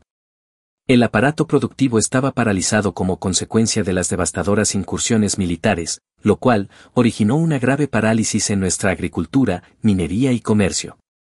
La crisis económica repercutía directamente sobre la sociedad peruana, siendo los sectores populares, indios, mestizos, negros, los que recibían el impacto con mayor dureza. Un naciente Estado republicano, constituido formalmente bajo los esquemas ideológicos demoliberales burgueses de la Revolución Americana y Francesa, debió traer consigo un cambio sustancial de las estructuras estamentales de diferenciación social imperantes durante el coloniaje. Cambios que se debió manifestar en un mejoramiento sustantivo de las condiciones de vida del indio, el negro y los sectores excluidos, pero fue lo contrario, las diferencias se agudizaron y el Estado se convirtió en un instrumento coercitivo al servicio de las cúpulas oligárquicas que, desde el poder, usufructuaron en desmedro de las masas. Con respecto al ordenamiento jurídico legal que iba a servir de base al funcionamiento del naciente Estado, se debe señalar que fue la Constitución Liberal de 1823 el instrumento legal que garantizó el desenvolvimiento inicial de la nuestra recién fundada República. La determinación territorial de los nacientes estados republicanos en Hispanoamérica fue solucionada en virtud de la aplicación de dos principios jurídicos. 1. El Jutiai Posidetis de 1810, este principio consistía que cada país tendría derecho a una soberanía territorial, conforme al territorio que había poseído como territorio colonial hacia 1810. 2. La libre determinación de los pueblos. Este segundo principio jurídico señalaba que los pueblos, en aplicación de los principios de soberanía popular, podían decidir espontánea y libremente a qué nación pertenecer. Según esto, si un pueblo por Yotia y Posidetis pertenecía a un país, pero decidía por libre determinación pasar a otro, entonces el primer principio quedaba sin efecto y el pueblo pasaba a pertenecer al otro país. Ejemplo es esto es el caso de Jaén, que por Yotia y Posidetis pertenecía legítimamente a la Gran Colombia, pero al decidir por libre determinación pertenecer al Perú, pasó legítimamente a ser parte de nuestra soberanía, eligiendo incluso sus representantes para nuestro Congreso Constituyente de 1822. El caudillaje de los primeros años de la República surge como consecuencia de la falta de una clase civil orgánica, la carencia de una burguesía emprendedora y con objetivos políticos precisos y definidos. El prestigio obtenido por los caudillos de la independencia, conocidos como los mariscales de Ayacucho, luego de concluida las guerras por la independencia. La incapacidad de los criollos civiles de garantizar la estabilidad y el orden interno y externo de la incipiente república. La necesidad de imponer el principio de autoridad frente al peligro que representaban los montoneros o guerrilleros indios para los intereses de las clases dominantes. Concluidas las guerras por la independencia y alejado el peligro que representaba España, quedaba la tarea de consolidar el naciente Estado peruano. Sellada nuestra independencia con la firma de la capitulación de Ayacucho en diciembre de 1824, Bolívar prolongó sus poderes dictatoriales en nuestro país, aspirando a instituir su anhelada dictadura vitalicia, hecho que quedó demostrado cuando contra todo sentido de racionalidad encomendó al mariscal Sucre la creación de una nueva república, sobre territorios que históricamente habían sido peruanos, esto es el Alto Perú. Así, en 1825 Sucre crea la República de Bolivia y redacta la Constitución Vitalicia como instrumento jurídico para perpetuarse en el poder. Es aprobada en el Perú, aunque días después es derogada, dada la tenaz oposición política de los sectores liberales nacionalistas que presionan a Bolívar a dejar el mando y abandone el país. Es en ese contexto que, en junio de 1826, las pretensiones autoritarias y vitalicias de Bolívar llegan a su máxima expresión, convocando al Congreso de Panamá, con el propósito de establecer una confederación hispanoamericana, es decir, la reunión de todas las nacientes repúblicas hispanoamericanas desde el Mississippi hasta el Cabo de Hornos, obviamente, bajo la hegemonía bolivariana. Este proyecto fracasa debido a los recelos de las burguesías locales de cada una de las mencionadas naciones, renuentes a aceptar someterse al dictador venezolano. En un último intento lograr sus anhelos federativos, Bolívar plantea la creación de la Federación de los Andes, consistente en la reunión de los estados por el liberados, en ese momento representado por la Gran Colombia, Perú y la recientemente fundada Bolivia. Este ensayo federalista tampoco tuvo éxito debido a las reacciones opositoras de cada uno de esos países. Viendo que sus planes autoritarios se ven frustrados y acorralado por la férrea oposición liberal en el Perú, opta por abandonar el país en septiembre de 1826, zarpando del Callao con destino a la Gran Colombia, dejando encargado del Consejo de Gobierno al general Andrés de Santa Cruz, personaje que también poseía ambiciones y pretensiones autoritarias. Santa Cruz convoca a un Congreso Constituyente y a elecciones para 1827, presentando su candidatura frente a la de su oponente el general José de la Mar. El Congreso de la República, mayoritariamente liberal, y por tanto, adversario político de Santa Cruz, le entrega el poder al general José de la Mar, dado que éste no representaba ninguna amenaza para sus intereses, sino que por el contrario, sería un dócil instrumento para la consecución de sus objetivos. De esta manera es que se instaura en el Perú el primer militarismo, un periodo de caudillismo signado por la inestabilidad, el interés mezquino de los sectores dominantes y de oportunidades perdidas en desmedro del Perú. Gobiernos del primer militarismo en el periodo 1827-1845. 1. José de la Mar, 1827-1829. Principales hechos. Representó el poder ejecutivo débil, predominio del Congreso. Promulgó la Constitución Liberal de 1828, implanta el Congreso bicameral. Derrotó la rebelión de los iquichanos, sublevados contra los tributos en Huanta, Ayacucho. En un conflicto con la Gran Colombia era peligrosísimo para el Perú la presencia del ejército colombiano en Bolivia, puesto que el Perú se encontraría entre dos frentes de guerra. Luego de que Gamarra invade Bolivia, en julio de 1828 Sucre se ve obligado a firmar el Tratado de Piquiza por el cual renuncia al gobierno. Esto será el detonante para que Bolívar nos declare la guerra. Guerra con la Gran Colombia, 1828-1829. Causas. Ambiciones hegemónicas de Bolívar. Pretensiones territoriales bolivarianas sobre Tumbes, Jaén y Manes. Intervención de Gamarra en Bolivia. Etapas. Marítima, éxito peruano dirigidos por el almirante inglés Jorge Martín Guise. Los peruanos vencen en los combates de Malpelo y Cruces, bloqueando el litoral colombiano y ocupando Guayaquil. Inmolación de Guise. Terrestre, derrotas peruanas en las batallas de San José de Saraguro el 13 de febrero de 1829 y Portete de Tarquí el 27 de febrero de 1829. La Mar negocia con Sucre firmando ambos el convenio de Girón el 28 de febrero de 1829. En este convenio se acordó la desocupación peruana de Guayaquil y todo el territorio colombiano, el pago por parte del Perú de una indemnización a Colombia y un cese a las hostilidades. Golpe de Estado contra la Mar luego de desconocer este convenio, catalogándolo de entreguista y lesivo para los intereses del Perú, Antonio Gutiérrez de la Fuente dirige en Lima un golpe de Estado contra Manuel Salazar y Baquijano, vicepresidente de la Mar. Simultáneamente en Piura Gamarra captura a la Mar y lo deporta a Costa Rica. Fin de la guerra. La guerra culmina luego que Gamarra firma el armisticio de Piura y el definitivo tratado de paz firmado en Guayaquil el 21 de septiembre de 1829, denominado la Rea, Gual. Por este tratado, Colombia renunciaba a sus pretensiones sobre las provincias peruanas de Tumbes, Jaén y Manes, en tanto que el Perú renunciaba para siempre a sus legítimos derechos sobre el puerto litoral de Guayaquil. Agustín Gamarra, 1829-1833. Datos generales. Rango, Gran Mariscal del Perú y Generalísimo de las Fuerzas de Mar y Tierra. Periodo de gobierno, 19 de diciembre de 1829 a 19 de diciembre de 1833. Ganó las elecciones presidenciales de 1829, primeras elecciones populares del Perú. Fue el primer mandatario del Perú que concluyó su periodo presidencial. Estilo de gobierno, quiso fortalecer el Estado mediante un estilo autoritario hasta 1833, contando con el apoyo de su esposa Francisca Subiaga, la mariscala. Hecho más importante de su gobierno, el hecho importante del gobierno de Agustín Gamarra fue el Tratado de Paz y Amistad, celebrado en Guayaquil el 22 de septiembre de 1829, por el cual se zanjaba el litigio con Colombia que originó la guerra. En 1831 se produjeron tensiones con Bolivia, firmándose los tratados de Arequipa y Tiquina, lo cual evitó un conflicto bélico con el país altiplánico. Principales obras.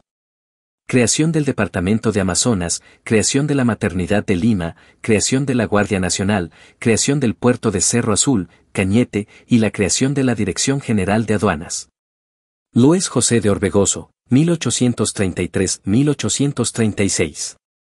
Principales hechos y obras. Creó la Beneficencia Pública de Lima.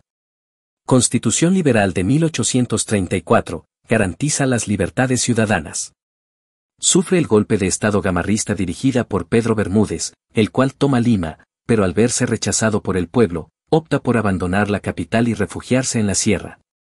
Es allí donde se producirá una sangrienta guerra civil, produciéndose un divisionismo del ejército entre los dos caudillos.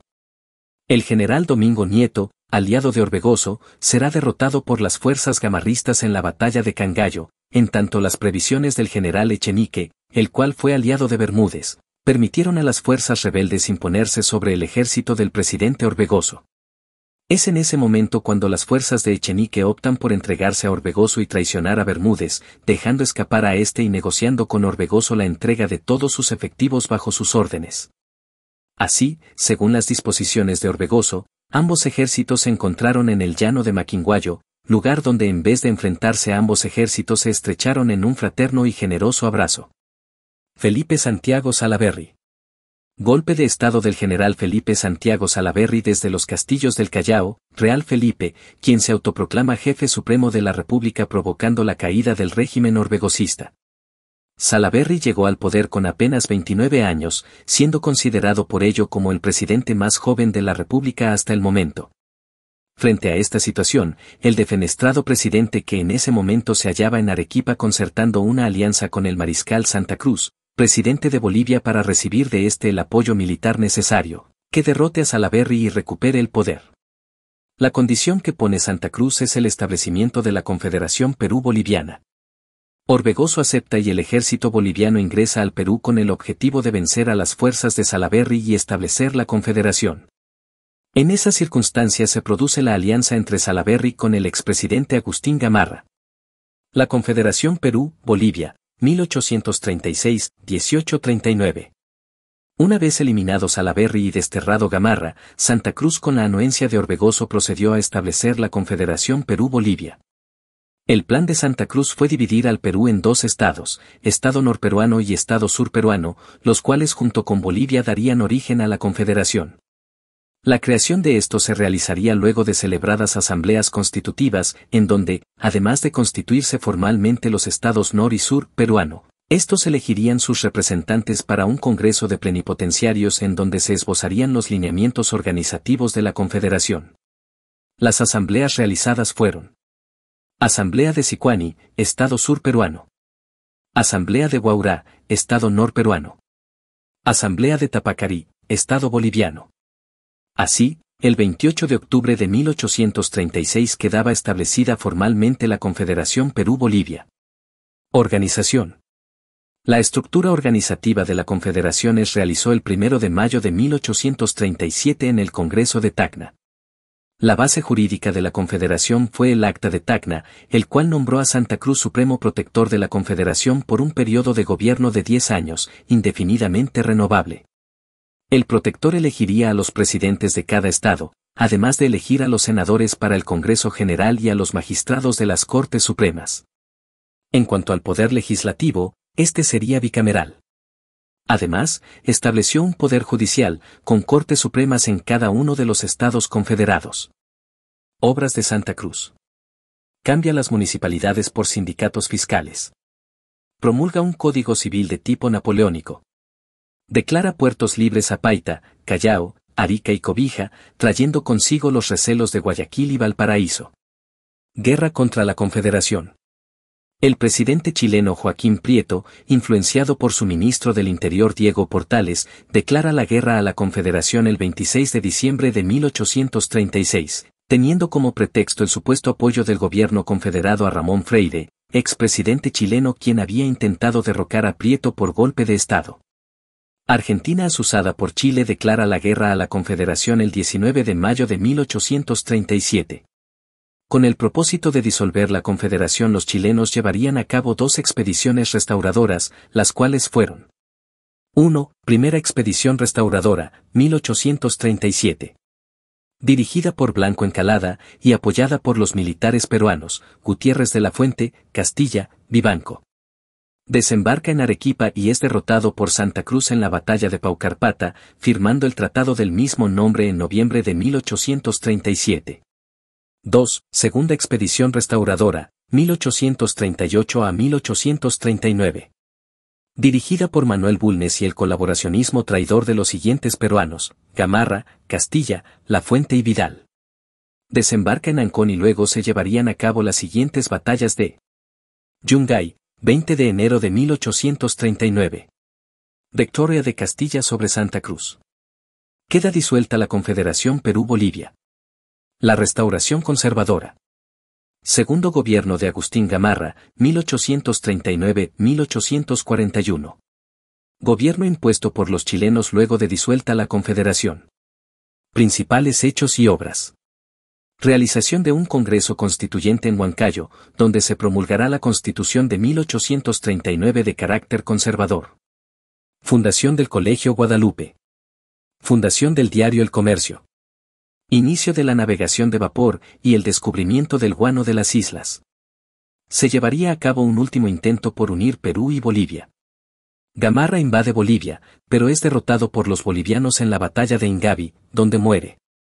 Toma el poder el señor Manuel Menéndez en su calidad de presidente del Consejo de Estado. Los bolivianos invaden Perú e intentan arrebatarnos Puno, Moquegua, Tacna, Arica y Tarapacá.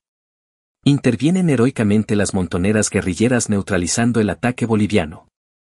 Con la mediación de los chilenos se firma el Tratado de Puno en junio de 1842, con el cual se pone fin a la guerra con Bolivia. Los bolivianos desocupan territorio peruano, pero se ven liberados de su deuda con el Perú. Anarquía militar, 1842-1844. Etapa de caos y convulsión política y social en el Perú. Fue una etapa difícil en el que ningún gobierno llegó a consolidarse. En esta época destacan los siguientes hechos. Noviembre de 1841, Manuel Menéndez es reconocido presidente del Perú a la muerte de Gamarra.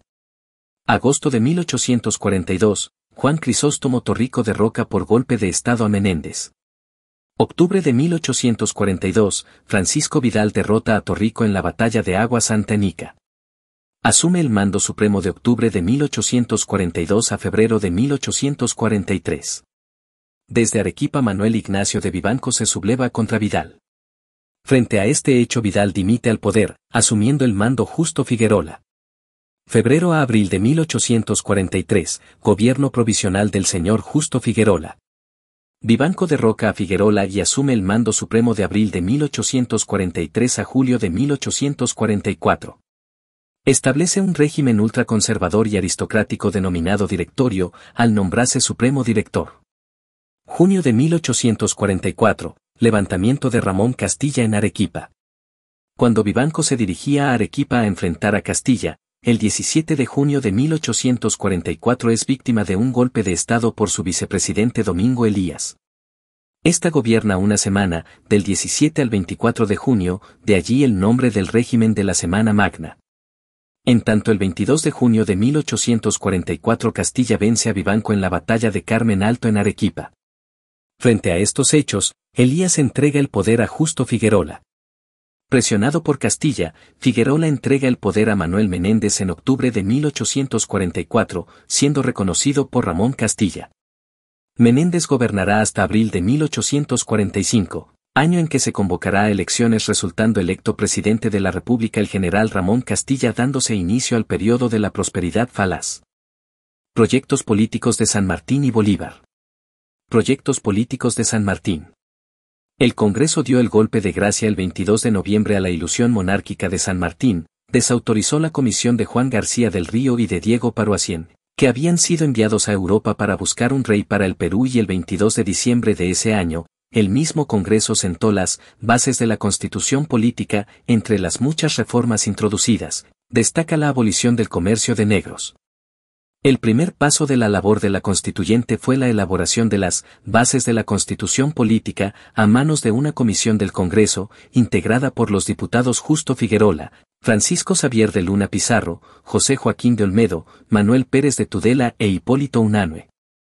Estas bases fueron promulgadas por la Junta Gubernativa el 17 de diciembre de 1822, Constaban de 24 artículos que a grandes rasgos declaraban que todas las provincias del Perú, reunidas en un solo cuerpo, formaban la nación peruana, que a partir de entonces se denominaría República Peruana, asimismo, establecía que la soberanía residía en la nación, siendo independiente de la monarquía española y de cualquier otro tipo de dominación extranjera, su religión sería la católica, con exclusión de cualquier otra, y en cuanto al poder nacional, estaría dividido en tres poderes, el legislativo, el ejecutivo y el judicial. Proyecto político de Simón Bolívar propuso una alternativa de organización política, de superar la fragmentación territorial de las antiguas colonias españolas.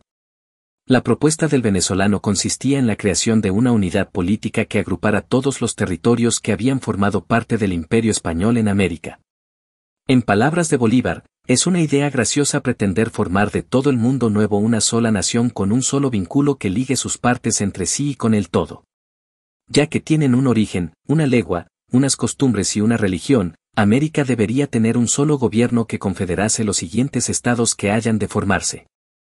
El intento más serio por lograr esa unidad estuvo dado por el Congreso al que Bolívar convocó en Panamá en 1824.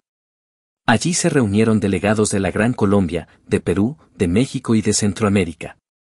A pesar de las buenas intenciones, no se lograron avances concretos en pos de la unidad continental.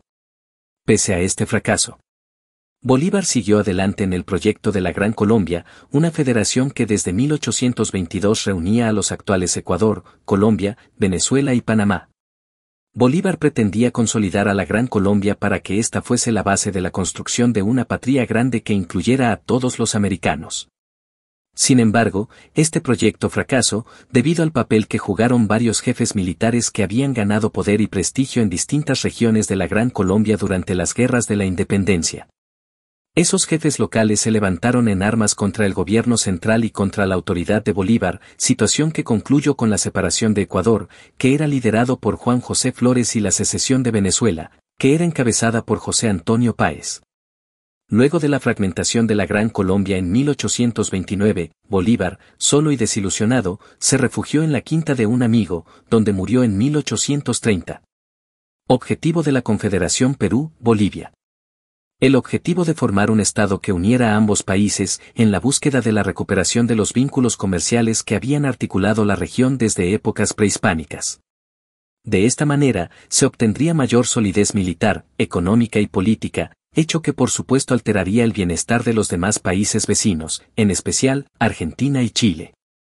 Recordemos que el circuito comercial entre el sur del Perú y Bolivia se disolvió con la anexión del Alto Perú al Virreinato del Río de la Plata entre los años 1776 a 1814, y, posteriormente, con la creación de la República de Bolivia, en 1825. En 1833 Agustín Gamarra era presidente del Perú. Tras una serie de conflictos con el Congreso, se creó la Convención Nacional. Este organismo designó a Luis José de Orbegoso como nuevo presidente. Sin embargo, Gamarra se rebeló y entró en una pugna por el poder. Gamarra fue desterrado a Bolivia, de allí pasó a Ecuador y luego a Chile. El 22 de enero de 1835, en el Callao, el caudillo militar Felipe Santiago Salaverry que cedió de 1806 a 1836, donde se rebeló contra el presidente Luis José de Orbegoso y se proclamó jefe supremo de la República. Fue entonces que en Arequipa, Orbegoso inició conversaciones con el presidente boliviano Andrés Santa Cruz para proteger su autoridad. Alianza con Bolivia.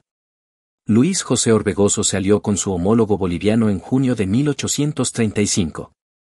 Andrés de Santa Cruz envió cerca de 2.000 soldados para combatir a Salaverry, quien estaba en Arequipa.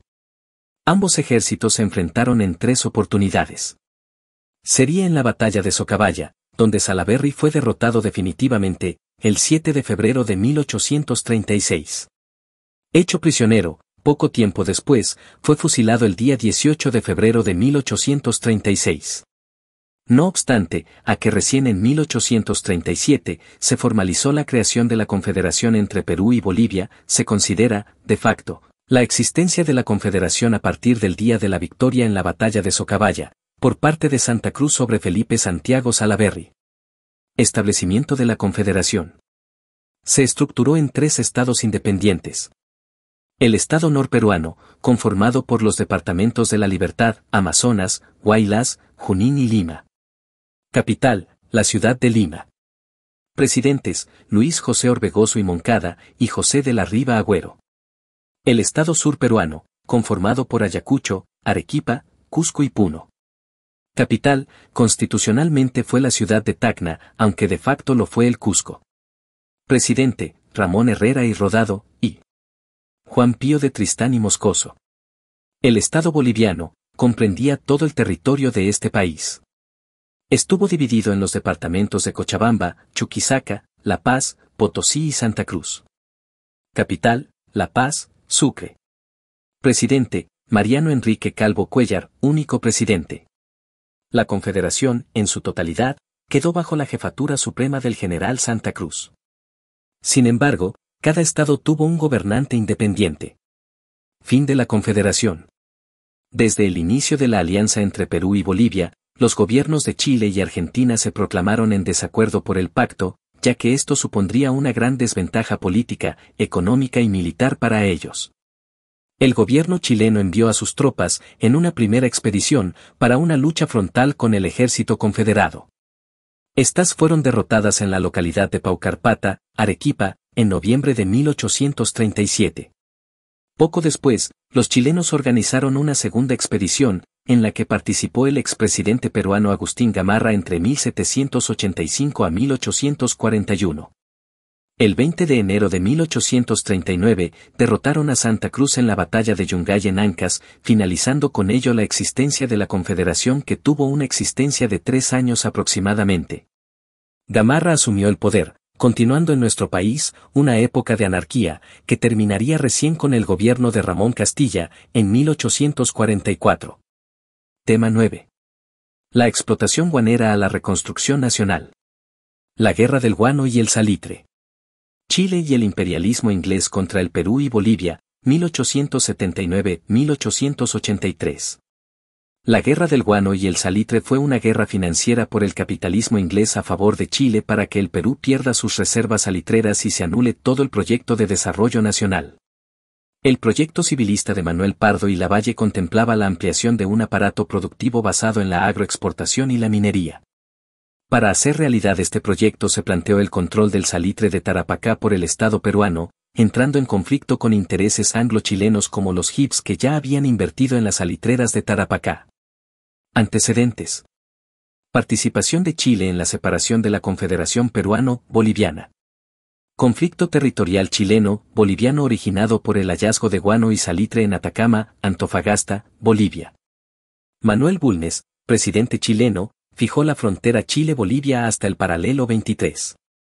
En 1886 Mariano Melgarejo, presidente boliviano chilenófilo, a través de un tratado con Chile fijó la frontera Chile-Bolivia hasta el paralelo 24 y permite a los chilenos seguir explotando los yacimientos hasta el paralelo 23 siempre y cuando las ganancias vayan mitad y mitad. En 1871 el Senado boliviano crea un impuesto aduanero para Antofagasta que Chile acepta pagar siempre y cuando no suba en 25 años. En 1873 se firma el Tratado Secreto de Alianza Defensiva entre Perú y Bolivia. En 1878 el presidente boliviano Hilarión Daza sube en 10 centavos el impuesto aduanero, Chile no acepta y Bolivia toma las instalaciones de la Compañía Anónima de Salitres de Antofagasta, ante lo cual Chile bloquea el puerto de Antofagasta. El Perú se ofrece como mediador y envía a la misión Lavalle, fracasando. Causas fundamentales. La crisis de la economía chilena, que quería remediarlo apoderándose de las salitreras de Antofagasta y Tarapacá el proyecto expansionista de la oligarquía chilena, a través de la cual encontraban la única forma de salir de sus dificultades económicas. La voracidad del capitalismo inglés por el guano y el salitre, quienes financiaron y utilizaron a los chilenos para lanzarlos contra el Perú y Bolivia. Las medidas adoptadas por los gobiernos de Bolivia y Perú que afectaron a las compañías salitreras de Antofagasta y Tarapacá que los ingleses habían invertido en ellas. Pretextos. Para con Bolivia, en 1878 el presidente boliviano Hilarión Daza decidió grabar con un impuesto de 10 centavos a cada quintal de salitre exportado de Atacama. El gobierno chileno reclamó y las salitreras chilenas se negaron a pagar. Daza expropió las salitreras. En respuesta, Chile rompió sus relaciones diplomáticas con Bolivia y el 14 de marzo de 1879 el coronel Sotomayor ocupó militarmente la región de Atacama, declarando que reivindicaban para Chile el territorio al sur del paralelo 23. Bolivia quedó encerrada en los Andes. Para con el Perú, el peruano José Antonio de la Valle fue enviado como árbitro para que Chile y Bolivia pudieran llegar a un acuerdo pacífico. En el trayecto recién vino a enterarse del Tratado Secreto de 1873. Lavalle fue recibido con hostilidad en Chile. Su mediación fracasó, pues durante las negociaciones el presidente boliviano Daza le declaró la guerra a Chile el 1 de marzo de 1879. El gobierno chileno, encabezado por Aníbal Pinto, le exigió al Perú neutralidad. Al negarse, Chile le declaró la guerra al Perú el 5 de abril de 1879. Situación de los países beligerantes. La República de Chile. Pobre y pequeño, endeudado pero armado. País relativamente ordenado. Sociedad de blancos y mestizos con significativa inmigración europea, cierto desarrollo económico dependiente del capitalismo inglés y algún nivel cultural. Ejército numeroso y respetable por disciplina y equipamiento.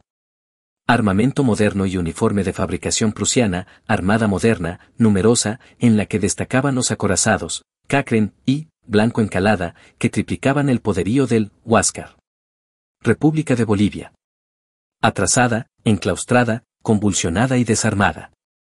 Población indígena mayoritaria, marginada, explotada e ignorante. Ejército reducido con efectivos analfabetos casi carentes de instrucción militar. Armamento anticuado y variado. Sin armada. La República Peruana. Endeudado, con armamento anticuado que su crisis impidió renovar. Gobernado por oligarcas y caudillos imprevisores. Abismo social entre la aristocracia criolla y la población indígena explotada, marginada e ignorante. Ejército disminuido, mitad indios analfabetos con escasa instrucción militar, mandos indisciplinados. Armada anticuada. Ramón Castilla y Marquesado. El mariscal Ramón Castilla nació en Tarapacá, el 31 de agosto de 1797. Sus padres fueron Pedro de Castilla y Juana Marquesado. En su juventud ingresó al ejército realista y combatió en Chile contra las fuerzas independentistas. En 1820 decidió unirse a los patriotas y en 1824 participó en la batalla de Ayacucho con el Ejército Unido Libertador. Ramón Castilla llegó a ser presidente constitucional de Perú de 1845 a 1851, durante el cual pagó la deuda externa e interna. Se produjo una época de bonanza económica en torno a la extracción del guano de la isla. En 1849 se produjo la inmigración de chinos culíes a nuestro país. Una de sus obras más importantes fue la construcción del primer ferrocarril del Perú y segundo en Sudamérica. En su segundo gobierno, entre los años de 1855 a 1862, puso fin al tributo injusto que pagaban los indios por vivir en su propia tierra y abolió la esclavitud.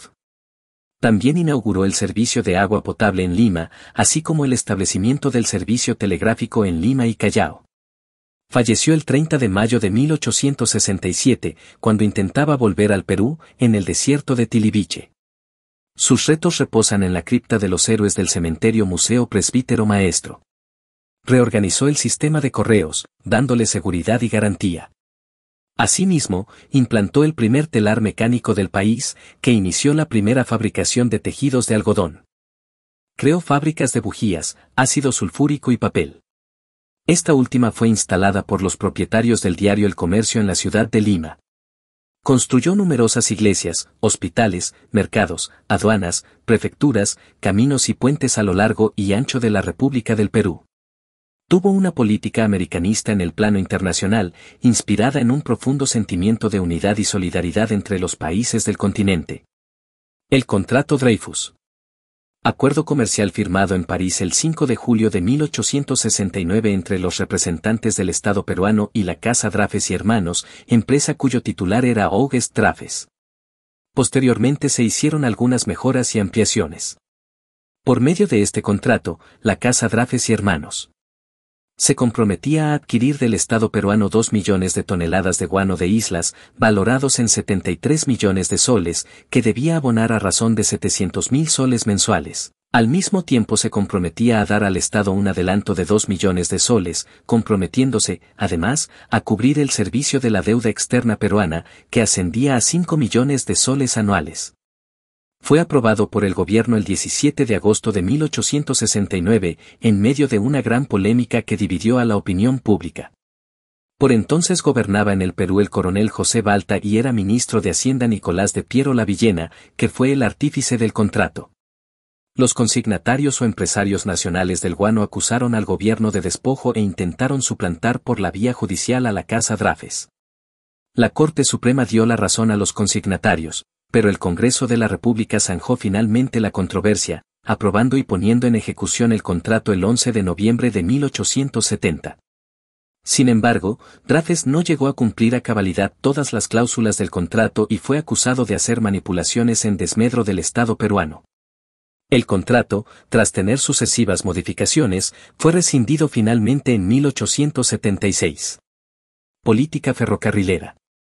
El propósito del presidente José Balta era que mediante los ferrocarriles se iba a lograr la tan ansiada unidad nacional, con este artefacto uniría tanto lugares centrales como los más recónditos. Además, explotar las riquezas del país. Para este propósito, el presidente Balta contrajo los servicios del célebre empresario Henry Max, el yanqui Pizarro de Stuart, quien a su vez contrató al ingeniero polaco Ernesto Malenowski, artífice del ferrocarril central andino Lima-La Oroya.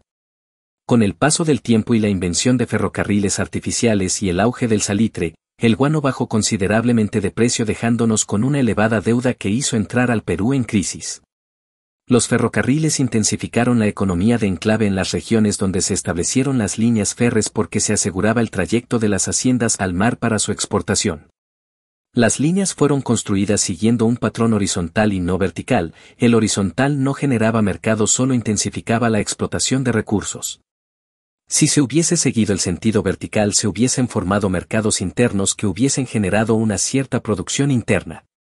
Surgimiento del proyecto civilista fundado el 24 de abril de 1871 por 193 ciudadanos reunidos en el domicilio de José Antonio García y García con el fin de apoyar la candidatura presidencial del ex alcalde de Lima, Manuel Pardo y Lavalle.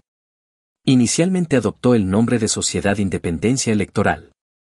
Se trataba de una agrupación de acaudalados comerciantes, consignatarios del guano, industriales y hacendados, representantes de la naciente burguesía nacional. No contentos con detentar el poder económico, aspiraban también a controlar el poder político. A ellos se les unieron también numerosos intelectuales, como abogados de la Universidad de San Marcos y periodistas del Comercio y el Nacional. El militarismo fue para ellos el maleficio que había venido postergando el despegue del Perú como nación, este fue acusado de absolutismo, de postergar a las clases sociales del manejo de la política y de ser el acicate de las revoluciones o sediciones.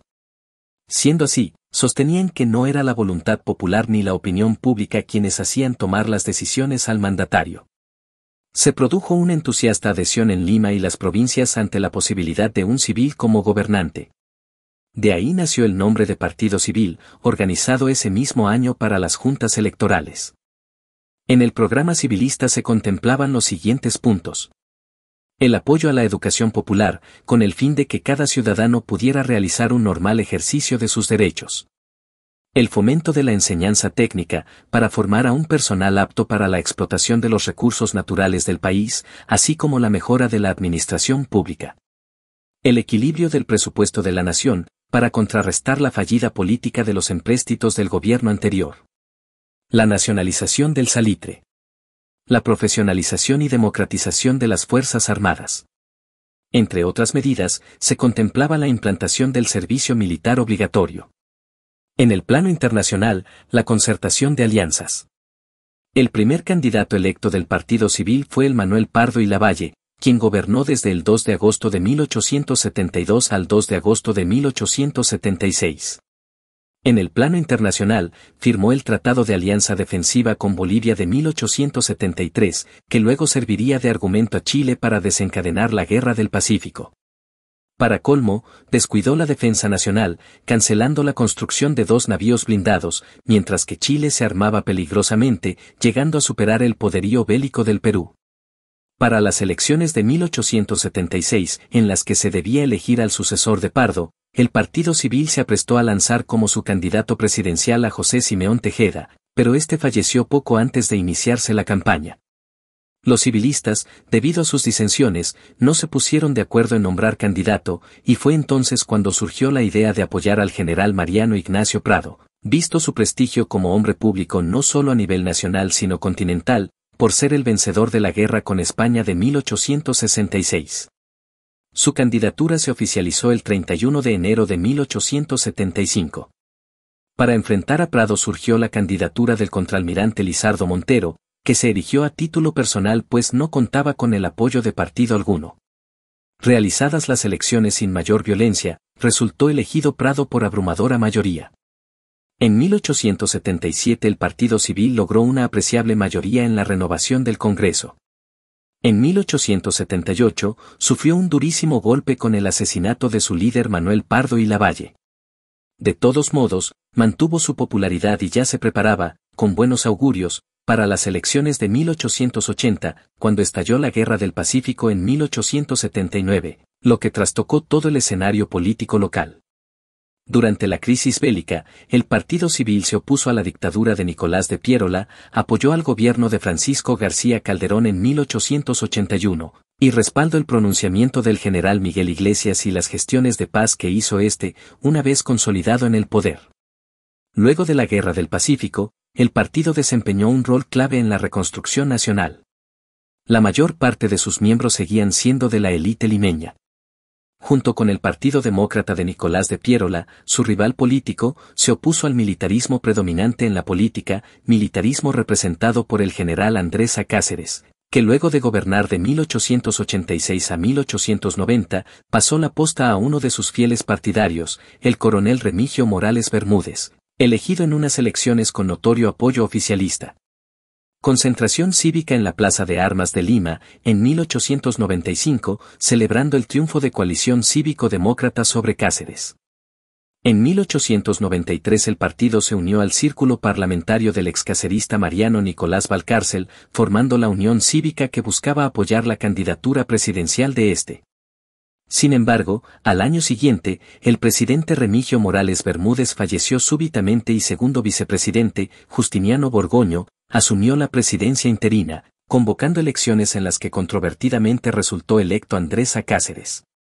En la víspera de la muerte de Morales Bermúdez, la Unión Cívica se había unido al Partido Demócrata del exiliado Nicolás de Piérola, quien lideró la llamada coalición nacional contra el presidente Cáceres.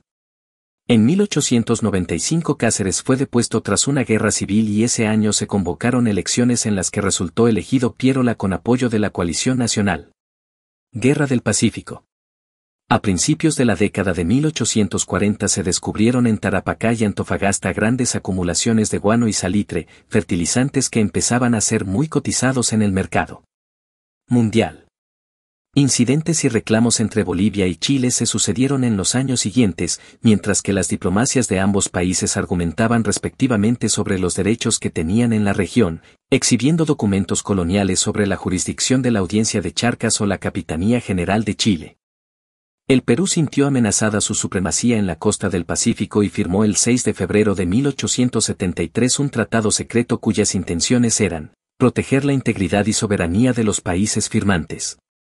Argentina fue invitada a firmar el pacto, su gobierno se mostró de acuerdo y solicitó la aprobación del Parlamento. Efectivamente, la Cámara de Diputados en Buenos Aires aprobó la adhesión al pacto y agregó una partida de 6 millones de pesos al presupuesto para la guerra. Pero Bolivia y Argentina disputaban la zona de Tarija y no lograron un acuerdo. Argentina propuso entonces a Perú un tratado Perú-Argentina, sin Bolivia, pero Perú rechazó la oferta. Combate de Iquique 21 de abril de 1879. El Monitor Huáscar y la Independencia salieron el 16 de mayo del Callao rumbo al sur, llevando al presidente general Prado. Al arribar a Arica se enteraron que Iquique se encontraba bloqueado por la corbeta Esmeralda y la cañonera Covadonga, el resto de la escuadra chilena navegaba hacia el Callao para dar caza a los únicos blindados peruanos. Grau decidió enfrentarlos en la bahía. Mientras el Huáscar enfrentaba a la Esmeralda la Covadonga aprovechó para huir, Guillermo Mor comandante de la Independencia, persiguió a la fugitiva cañonera. El combate entre Huáscar y la Esmeralda fue duro, después de los cañonazos Grau decidió usar el espolón, cuya ejecución resultó fatal para la corbeta chilena. A los pocos instantes de haberse producido la colisión empezó a naufragar, al verse perdido su capitán Arturo Prat, tomó la decisión de abordar a su adversario. Pistola en mano se enfrentó al teniente segundo Velarde a quien lo eliminó, convirtiéndose este en el primer héroe peruano de la campaña naval. Casi al mismo tiempo el marinero peruano Mariano Portales disparó un certero balazo contra la frente de Prat, quien falleció instantáneamente, con este episodio terminó el combate. El comandante Grau ordenó a sus oficiales a salvar a los náufragos de la Esmeralda, cuando los chilenos se encontraron en la cubierta del Huáscar gritaron Viva el Perú generoso. Mientras tanto la Independencia perseguía al Covadonga que se pegaba a las costas aprovechando su menor calado. Esta táctica obligaba a la fragata peruana a mantenerse a cierta distancia tratando de darle caza con el único cañón que tenía. Desgraciadamente este cañón pronto se malogró por lo que Moore trató de espolonear a su rival. Cuando se encontraba a escasos 200 metros fue sorprendido por una roca que no figuraba en las cartas de navegación. Nuestra nave pronto se fue llenando de agua. Carlos Candel, capitán de la Covadonga al darse cuenta del sucedido regresó para terminar de hundirla y ametrallar a sus náufragos que pugnaban por salvarse. Desde la orilla el coronel Cáceres y su tropa trataban de socorrer a los de la Independencia que luchaban por alcanzar la costa. Luego que el Huáscar salvara a 40 chilenos, se dirigió al sur en persecución de la Covadonga, que huyó al ver la presencia del Huáscar. Grau ordenó recoger a los sobrevivientes, retirar los cañones y quemar la fragata para que el enemigo no aprovechara nada. En Iquique el Perú perdió la guerra. Una ventaja naval abrumadora quedaba a favor de Chile. El comandante Mor fue sometido a juicio por haber perdido a la independencia y sufrió la degradación como castigo. Murió como un héroe en defensa de Arica. Las correrías del Huáscar. Después del combate de Iquique el Huáscar siguió muy activo lo que le dio prestigio para después llenarse de gloria. Desde entonces se convirtió el Huáscar en el terror de los chilenos, hasta el extremo de generar serias tensiones políticas dentro del gobierno de Aníbal Pinto. El 24 de mayo salió al sur de Iquique hundiendo a la goleta recuperado, al llegar a Mejillones incendió a la goleta Clorinda, destruyendo otras embarcaciones e instalaciones portuarias. El 26 de mayo llegó a Antofagasta donde cañoneó a las defensas de tierras e intercambió disparos con la Covadonga, luego cortó el cable submarino que comunicaba con Valparaíso. Al día siguiente apresó a la goleta Coqueta y a la barca Emilia, llegando a Arica con sus presas. Al continuar sus correrías fue perseguido durante diez días por el blindado Cacren y la Magallanes, llegó al Callao con el fin ejecutar diversos arreglos en el barco, pero recibió órdenes del director de guerra, Aurelio García y García de volver al sur para capturar buques menores. El 23 de julio el Huáscar y la Unión capturaron al transporte artillado Rimac que conducía a Antofagasta al escuadrón de carabineros de Yungay, con su dotación completa de caballos y aperos. La captura del Rimac provocó gran alegría en el Perú, pero en Chile se produjeron altercados en el Senado, violentas, manifestaciones populares contra los conductores de la guerra, que trajo la renuncia del almirante Williams Rebolledo, hasta se habló de la renuncia del presidente Aníbal Pinto. Combate de Antofagasta, 28 de agosto de 1879. El Huáscar al visitar Antofagasta el 25 de agosto encontró a la Magallanes, a Bato y a Limarí, ante la pasividad de esto se retiró sin que se produjera combate alguno. Siguió navegando hacia el sur. Al retornar a Antofagasta el 28 fue atacado por la Magallanes y el Abato. En esa ocasión por primera vez se usaba torpedo de guerra. El Huáscar disparó contra el abato un torpedo ley, pero por estar descompuesto el mecanismo no fue bien lanzado y regresó contra el Huáscar. De haberlo tocado la suerte del Huáscar hubiera sido fatal, pero uno de sus oficiales el teniente Fermín Díez Canseco, viendo el peligro, se arrojó al mar y logró desviar el curso del torpedo. Luego de este incidente el Huáscar cañoneó al abato causándole serios daños. El combate duró tres horas al término del cual Grau enrumbó su buque hacia el norte. Al término del combate, Grau enrumbó su buque hacia el norte, haciendo escalas en Mejillones, Cobija, Tocopilla e Iquique. Al arribar a Arica fue ascendido a contraalmirante. El alto mando militar chileno estaba muy preocupado por las correrías del Huáscar y la habilidad que demostraba su comandante Miguel Grau. Al Huáscar lo veían por todos lados al mismo tiempo. Los buques de guerra chileno no andaban solos, navegaban en convoy para protegerse del solitario Monitor. El terror llegó al punto hasta el faro del puerto de Valparaíso se mantenía apagado. Para acabar con esta situación todos los recursos navales se pusieron en acción con un solo objetivo la captura del Huáscar. El nuevo ministro de Guerra y Marina Rafael Sotomayor dispuso que todos los buques limpiaran fondo, cambiaran calderas en mal estado, repararan maquinarias, completaran cañones para destruir al Huáscar. El combate de Angamos, 8 de octubre de 1879. El combate de Angamos, ocurrido en el marco de la campaña naval de la Guerra del Pacífico entre 1879 a 1883, enfrentó al buque peruano Huáscar contra una escuadra chilena frente a Punta Angamos, en la entonces costa boliviana. Aquel día murió en combate el máximo héroe naval del Perú, don Miguel Grau Seminario. Este combate ocurrió el 8 de octubre de 1879 entre el buque peruano Huáscar y los buques chilenos Cacren, Blanco Encalada y Covadonga. Esto es en marco de la Guerra del Pacífico, en 1879 a 1883. A las 9 y 40 de la mañana de aquel día el Huáscar abrió fuego contra el blindado Cachren, pero no le hizo mayor daño. El buque chileno respondió con cañonazos que causaron graves destrozos en el Huáscar.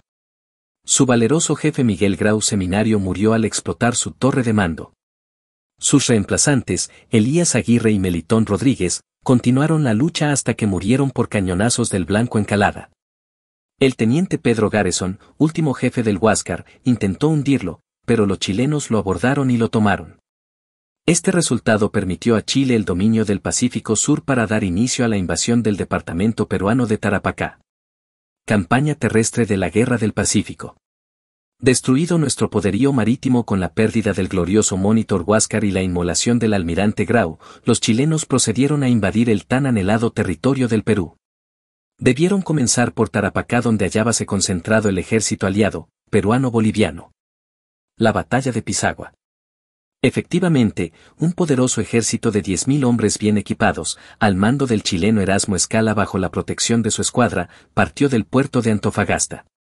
El día 2 de noviembre desembarcó en el puerto de Pisagua, cuya débil guarnición de mil hombres, bajo el mando del coronel Isaac Rickebaron, supo resistir el enemigo en una heroica lucha que, finalmente dio la victoria a los invasores. La artillería chilena bombardeó el puerto y provocó el incendio de los depósitos de salitre. La batalla de San Francisco. El 19 de noviembre, en medio de la confusión y el desorden del ejército boliviano por las noticias recibidas sobre su jefe y presidente, tuvo lugar la batalla de San Francisco. El ejército peruano-boliviano, comandado por el general Buendía, en su marcha hacia el norte, se encontró con el ejército chileno en los cerros de San Francisco. Sin orden para atacar, algunos jefes y tropas peruano-bolivianos iniciaron la batalla, escalando el cerro. Mientras tanto, las compañías de retaguardia, con sus descargas de fusiles, herían o mataban a sus propios compatriotas, sembrándose la confusión. En esta acción destacó la actuación del coronel Ladislao Espinar. Los chilenos pusieron en acción los poderosos y modernos cañones Krupp. Batalla de Tarapacá. Después del desastre de San Francisco el fatigado ejército peruano de 3.000 hombres, que no contaba ni con artillería ni con caballería, movilizándose rumbo a Arica, y luego de penosa marcha por los desiertos acantonó entonces cerca de Tarapacá. En tanto que los chilenos ocuparon las alturas que dominan dicho pueblo. La batalla de Tarapacá ocurrió en el marco de la Guerra del Pacífico entre 1879 a 1883. Fue un encuentro bélico entre los ejércitos chilenos, que pretendía tomar la ciudad de Tarapacá, y el ejército peruano que la defendía. En esta batalla combatieron los jefes peruanos Andrés Avelino Cáceres, Francisco Balagnesi y Alfonso Ugarte. Esta batalla ocurrió el 27 de noviembre de 1879 entre los ejércitos de Perú y Chile en el marco de la Guerra del Pacífico. Las tropas peruanas estaban por iniciar la marcha hacia Arica cuando fueron informados de la llegada de un ejército chileno por el oeste. Entonces los coroneles Andrés Avelino Cáceres y Manuel Suárez llevaron sus columnas hacia los cerros y sorprendieron a la vanguardia chilena, logrando ponerla en fuga. Paralelamente, en el sector de la quebrada el batallón de Francisco Balagnesi aplastó al segundo de línea y le arrebataron la bandera chilena. Un nuevo ataque chileno fue repelido por el batallón Cepita de Cáceres, reforzado por las columnas de Alfonso Ugarte, Mor, Meléndez y Somocurcio. El triunfo quedó asegurado cuando, desde Pachica, llegó la división de Justo Pastor Dávila. Los chilenos, derrotados, se batieron en retirada. Batalla de Arica. Los chilenos avanzaron hacia Arica con 40.000 hombres, apoyados por el acorazado almirante Cachren. Arica estaba a cargo de 17.000 hombres al mando del coronel Francisco Balagnesi. El día 5 de junio de 1880, el general Baquedano, supremo comandante del ejército chileno, envió al mayor Juan de la Cruz Salvo, como parlamentario, para solicitar a Balagnesi la rendición de la plaza y ofrecerle una honrosa capitulación, contestando tengo deberes sagrados y los cumpliré hasta quemar el último cartucho. El 7 de junio de 1880, los chilenos asaltaron Arica, realizándose las más importantes acciones militares en el Morro. Allí murieron combatiendo con singular valor el comandante de la plaza coronel Balagnesi, así como Mor, Blondet Inclán y otros bravos compatriotas nuestros. El intrépido coronel don Alfonso Ugarte, para impedir que la bandera de la patria cayese en manos del enemigo, se arrojó al mar desde la cima del morro, encontrando la muerte envuelto en nuestro sagrado emblema. Entre los sobrevivientes de esta acción memorable, destacase el caballeroso y heroico coronel argentino don Roque Sáenz Peña, quien, llevado de su gran amor al Perú, luchó en defensa de nuestra patria. El señor Sáenz Peña llegó a ser, años después, presidente de Argentina. La campaña de Lima. Ante la derrota en el sur, Nicolás de Piero organizó milicias urbanas para enfrentar al enemigo estableciendo dos líneas defensivas. La primera fue derrotada en la batalla de San Juan el 13 de enero, y precipitó la ocupación y destrucción de Chorrillos. Pese a la firma de un armisticio, el general chileno Baquedano atacó también la segunda línea el 15 de enero, en la batalla de Miraflores. La victoria para Chile fue definitiva y se produjo la ocupación de Lima. La campaña de la Sierra o de la Breña. La ocupación de Lima desplazó la lucha al interior ni el ejército peruano ni la población civil estaban dispuestas a rendirse y convirtieron a la sierra en el escenario donde se decidiría la suerte del país. Estrategias de la resistencia en la sierra. Los Andes centrales fueron una ventaja para los peruanos, que controlaron desde allí los accesos a la capital y la llegada de provisiones. El abrupto paisaje le ofreció múltiples escondites y permitió controlar el ascenso a los pueblos. La valiente participación de la población fue decisiva. Principales batallas de la campaña de la Sierra. El general Andrés Acáceres organizó la resistencia con mucha pericia y escasos recursos. Durante más de dos años se enfrentó a los chilenos que enviaron varias expediciones a la sierra. Tras el enfrentamiento en Huamachuco en 10 de julio de 1883, tuvo que abandonar la lucha por falta de pertrechos. La resistencia en el norte del Perú. Al mando del general Miguel Iglesias, el ejército de la Sierra Norte ganó la batalla de San Pablo en junio de 1882. Sin embargo, el propio general se dispuso a firmar la paz con Chile, convencido de la difícil situación del país. Esto originó un conflicto con Cáceres, que terminó con el Tratado de Ancón en 1883 y la pérdida de Tarapacá a favor de los chilenos. Tratado de paz y amistad entre Perú y Chile, Tratado de Ancón, firmado en Lima, el 20 de octubre de 1883, el Perú cedió a Chile el territorio de la provincia litoral de Tarapacá, que tenía como límite norte el río y quebrada de Camarones y, por el sur, la quebrada y río Loa. Además, las provincias de Tacna y Arica continuarían en poder de Chile durante diez años, y a su vencimiento, un plebiscito decidiría si dichas provincias retornaban al Perú o pasaban definitivamente a Chile. El plebiscito en mención nunca se realizó. Por el contrario, se habrían puesto en práctica una política de persecución a los peruanos que vivían en ellas y una chilenización de ambas provincias. El 3 de junio de 1929 se firmó en Lima el tratado y protocolo complementario para resolver la cuestión de Tacna y Arica, que sería el Tratado de Lima. En virtud de este tratado Tacna retornaba al Perú y Arica pasaba a integrar, en forma definitiva, el territorio chileno. La reconstrucción nacional. La reconstrucción nacional fue un periodo posterior a la Guerra del Pacífico entre las guerras civiles de 1884 a 1885 y 1894 a 1895, donde la República Peruana inicia su resurgimiento económico, político y social. La Guerra del Pacífico terminó completando la destrucción que se había iniciado con la crisis económica de la década de 1870. En 1879, el sistema bancario peruano estaba quebrado y la agricultura, la minería y el comercio apenas sobrevivían.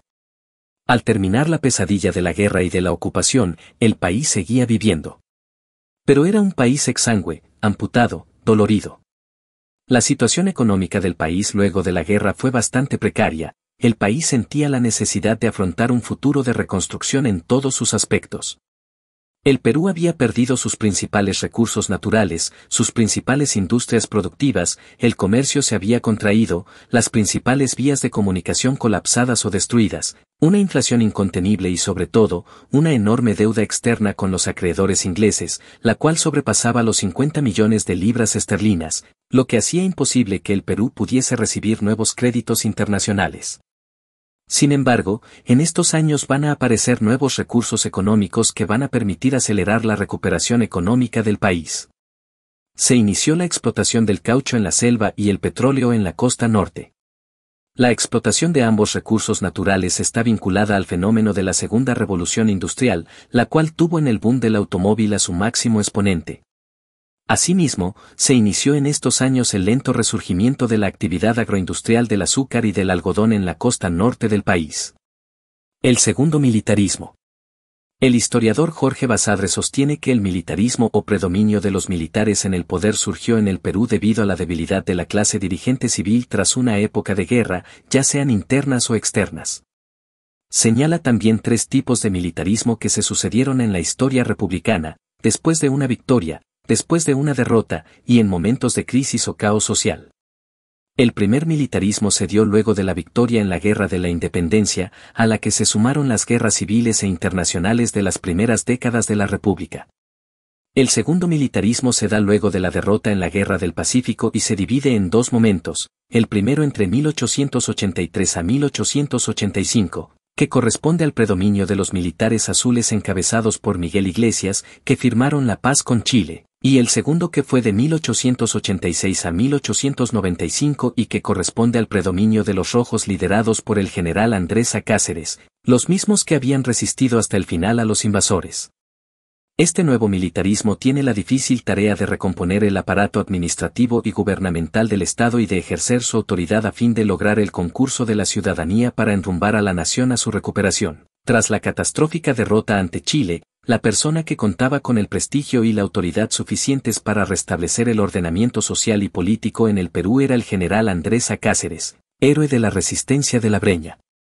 Cáceres enfrentó al entonces presidente Miguel Iglesias, quien había firmado el Tratado de Paz con Chile con cesión territorial y se había firmado en el poder con el apoyo de las armas chilenas. Se desató así una guerra civil.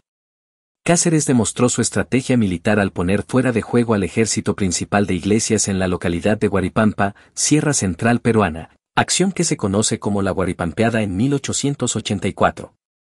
A continuación, atacó Lima, donde sus fuerzas cercaron en el Palacio de Gobierno a Iglesias. Este renunció a la presidencia en 1885, siendo sucedido por el gobierno provisional del Consejo de Ministros, encabezado por Antonio Arenas, el mismo que convocó elecciones en las que ganó abrumadoramente Cáceres.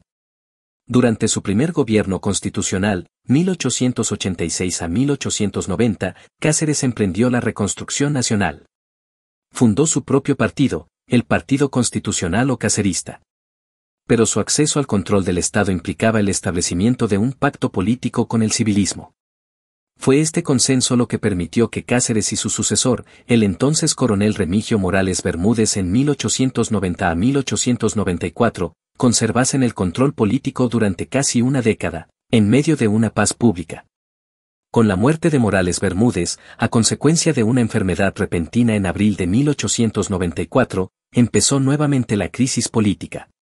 Tras un breve periodo de Justiniano Borgoño, Cáceres volvió a la presidencia en 1894, en unas cuestionadas elecciones que provocaron en su contra la formación de la coalición nacional, integrada por los demócratas y civilistas, encabezados por el caudillo Nicolás de Piérola, se desató una sangrienta guerra civil que culminó con el asalto de los coaligados a Lima, ante lo cual Cáceres renunció y partió al exilio, en 1895 se estableció el gobierno de una Junta Nacional presidida por Manuel Candamo, que convocó a elecciones en las que salió elegido Nicolás de Piérola. Este realizó importantes reformas económicas y logró una estabilidad política en el país, consolidando el sistema presidencialista. Piérola fue el que consolidó la reconstrucción nacional, inaugurando una nueva etapa llamada la República Aristocrática, ambos términos acuñados por Basadre, que se prolongaría durante las dos primeras décadas del siglo XX. Situación económica. Ya desde años antes de estallar la Guerra del Pacífico, la economía peruana estaba fuertemente golpeada. El guano había dejado de ser la fuente principal de recursos. El Perú se había declarado en bancarrota en 1876 y al no poder atender su cuantiosa deuda externa decretó la moratoria. Fue por ello que descuidó su defensa nacional y no pudo modernizar su escuadra, situación de la que precisamente Chile se aprovechó para desatar la guerra de 1879.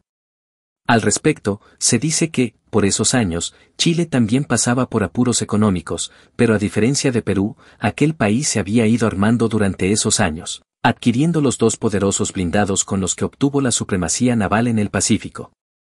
Si ya en los años previos al conflicto, la economía peruana se hallaba en situación crítica, con el desarrollo de la guerra quedó prácticamente destruida. Finalizada la guerra con Chile, el Perú debió encarar una serie de problemas que venían desde antes del estallido del conflicto. El principal de ellos era precisamente la deuda externa con los acreedores británicos. Estos, una vez firmada la paz de Ancón, exigieron al gobierno peruano la cancelación de la deuda. El Perú se hallaba en una encrucijada, no contaba con los recursos necesarios para hacer ese pago, y al mismo tiempo requería urgentemente de capitales para reactivar su economía de exportación, sin la cual era imposible cumplir con el pago de su deuda. Esta ascendía a cerca de 37 millones de libras esterlinas, cuya amortización anual exigía un pago de cerca de 2 millones y medio de libras, suma que para el país era entonces imposible de reunir. De modo que el arreglo de la deuda revestía un carácter de suma urgencia. Así lo entendió el primer gobierno de Andrés A. Cáceres, que se abocó de lleno en el asunto, hasta firmar el contrato Grace, en virtud del cual el Estado peruano cedía a sus acreedores ingleses el control y la administración de sus principales recursos productivos, ferrocarriles y guano, a cambio de la extinción completa de su deuda.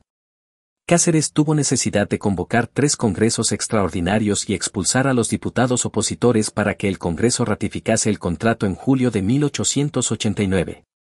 Para una mejor administración de los recursos que recibían, los acreedores ingleses convirtieron sus bonos de la deuda externa en acciones de la Peruvian Corporation, la más importante empresa británica que naciera para implementar los acuerdos de dicho contrato.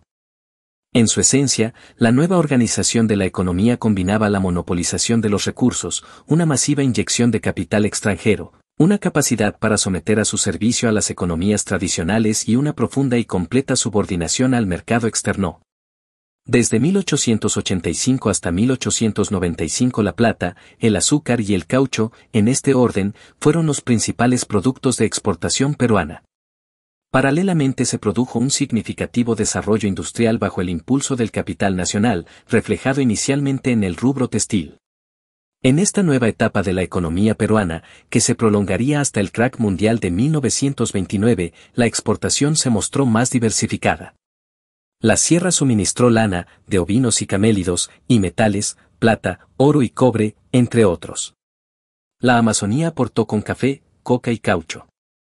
Y la costa con azúcar y algodón. Tema 10. La República Aristocrática al tercer militarismo. Se conoce como República Aristocrática de 1895 a 1919, a la época dentro de la historia del Perú caracterizada por el dominio político de una oligarquía dedicada a la agroexportación, minería y las finanzas, por medio del Partido Civil. El término fue acuñado por el historiador Jorge Basarre. Este periodo se inicia con el ascenso al poder del político del abogado arequipeño Nicolás de Pierola lo que marca el inicio de una sucesión de gobiernos elegidos democráticamente, hasta el golpe de Augusto B. Leguía en 1919. La única interrupción de esta sucesión se produce en 1914 cuando, debido a diferencias entre el Partido Civil y Guillermo Billinghurst, el general Óscar R. Benavides da un golpe de Estado para convocar a elecciones generales. Es el periodo más largo de sucesión democrática en la historia del Perú e inicia la historia republicana de este país en el siglo XX. A grandes rasgos, las características de este periodo son las siguientes. 1. Dependencia económica hacia el capitalismo inglés. 2. Desarrollo de nuevas actividades económicas, agroexportación, azúcar y algodón, extracción cauchera y la extracción petrolera. 3. Predominio político del Partido Civil en el poder ejecutivo y legislativo. El Partido Demócrata o Pierolista se constituyó en la oposición, aunque progresivamente fue mermando su presencia en la escena política. El civilismo sufrió, sin embargo, un cisma, dividiéndose en el civilismo clásico y en el leguismo. 4. Surgimiento de los movimientos obreros organizados, anarcosindicalismo. Ideología de la República Aristocrática. El modo de pensamiento y las ideas en este periodo estaban marcadas por la perspectiva elitista del gobierno y por un marcado desprecio hacia las clases populares. Se pensaba que el gobierno debía ser de una élite exclusiva, poderosa, represiva y aristocrática, su visión era europeizante tratando en lo posible de establecer parámetros de creación, de gobierno, de educación, de moda y de estilos de vida y giros lingüísticos ingleses y franceses principalmente, se sentían de este modo más cerca de Europa que del mismo interior del Perú, pues vivían en las zonas más exclusivas de Lima centro de contacto del Perú con el exterior, con escaso o nulo conocimiento de los padecimientos de los trabajadores y obreros de sus fábricas, minas y haciendas de la costa y sierra del país. Además, este periodo de la historia fue marcado por una poderosa imagen racista y despreciativa hacia el elemento humano y cultural autóctono, a los que consideraban bárbaros. De este modo la aristocracia peruana vivía de espaldas a los sectores populares y culturales del país. Los conflictos políticos, sociales y rurales. La república aristocrática no fue estable, pues existieron pugnas de poder debido a las rivalidades individuales y entre los distintos clanes. Estas facciones se agrupaban en torno a los caudillos, dentro del partido civil estaban Leguía, Villanueva y Pardo. En el Congreso igual había grupos de seguidores de Pierola, Leguía y Pardo. Este faccionalismo y pugnas de poder llegó a su clímax con la escisión de parte importante del civilismo cuando Leguía estaba en el poder, llevando al debilitamiento del partido civilista. La clase obrera no era homogénea, en el Perú estaba dividida por su extracción social y además por la geografía. Los trabajadores más organizados eran los que estaban en Lima y fundamentalmente los ligados al sector exportador eran los que podían conseguir mejoras a sus reclamos. El mutualismo que asoció a los trabajadores durante muchos años, se dio paso al anarquismo que fue la forma que vieron los trabajadores para reclamar por sus bajos salarios y terribles condiciones laborales. Con el apoyo de los obreros se elige al primer presidente populista del Perú, el cual es luego derrocado por la élite a través de las Fuerzas Armadas. Con el inicio de la Primera Guerra Mundial tanto las importaciones como las exportaciones se vieron afectadas, pero una vez que la demanda extranjera se reinició produjo ganancias inesperadas con la subida de precios de los productos. Es en este periodo que la minería y el petróleo pasan completamente a manos de un monopolio de empresas extranjeras. Y es aquí cuando los estadounidenses empiezan a tener más preponderancia en la economía del país. Esta época de bonanza hizo que las élites se dedicaran intensamente a la exportación basada meramente en la acumulación de riquezas descuidando la producción de manufacturas nacionales para el consumo interno, lo que sería una de las causas del posterior empeoramiento de las condiciones económicas de los trabajadores y de conflictos sociales. Gobernantes de la República Aristocrática. Nicolás de Pierola, 1895 a 1899. Establece la libra peruana de oro y el estanco de la sal. Se da gran apoyo a la fundación de instituciones crediticias y financieras. Se funda la Escuela Militar de Chorrillos y se establece el servicio militar obligatorio. López de Romaña, 1899-1903. Se estimuló de inversión norteamericana en minería con el Cerro de Pasco Men Company. Se promulgaron los códigos de minería, comercio y aguas. Se inició la construcción del ferrocarril La Oroya, Cerro de Pasco y se rompió relaciones diplomáticas con Chile.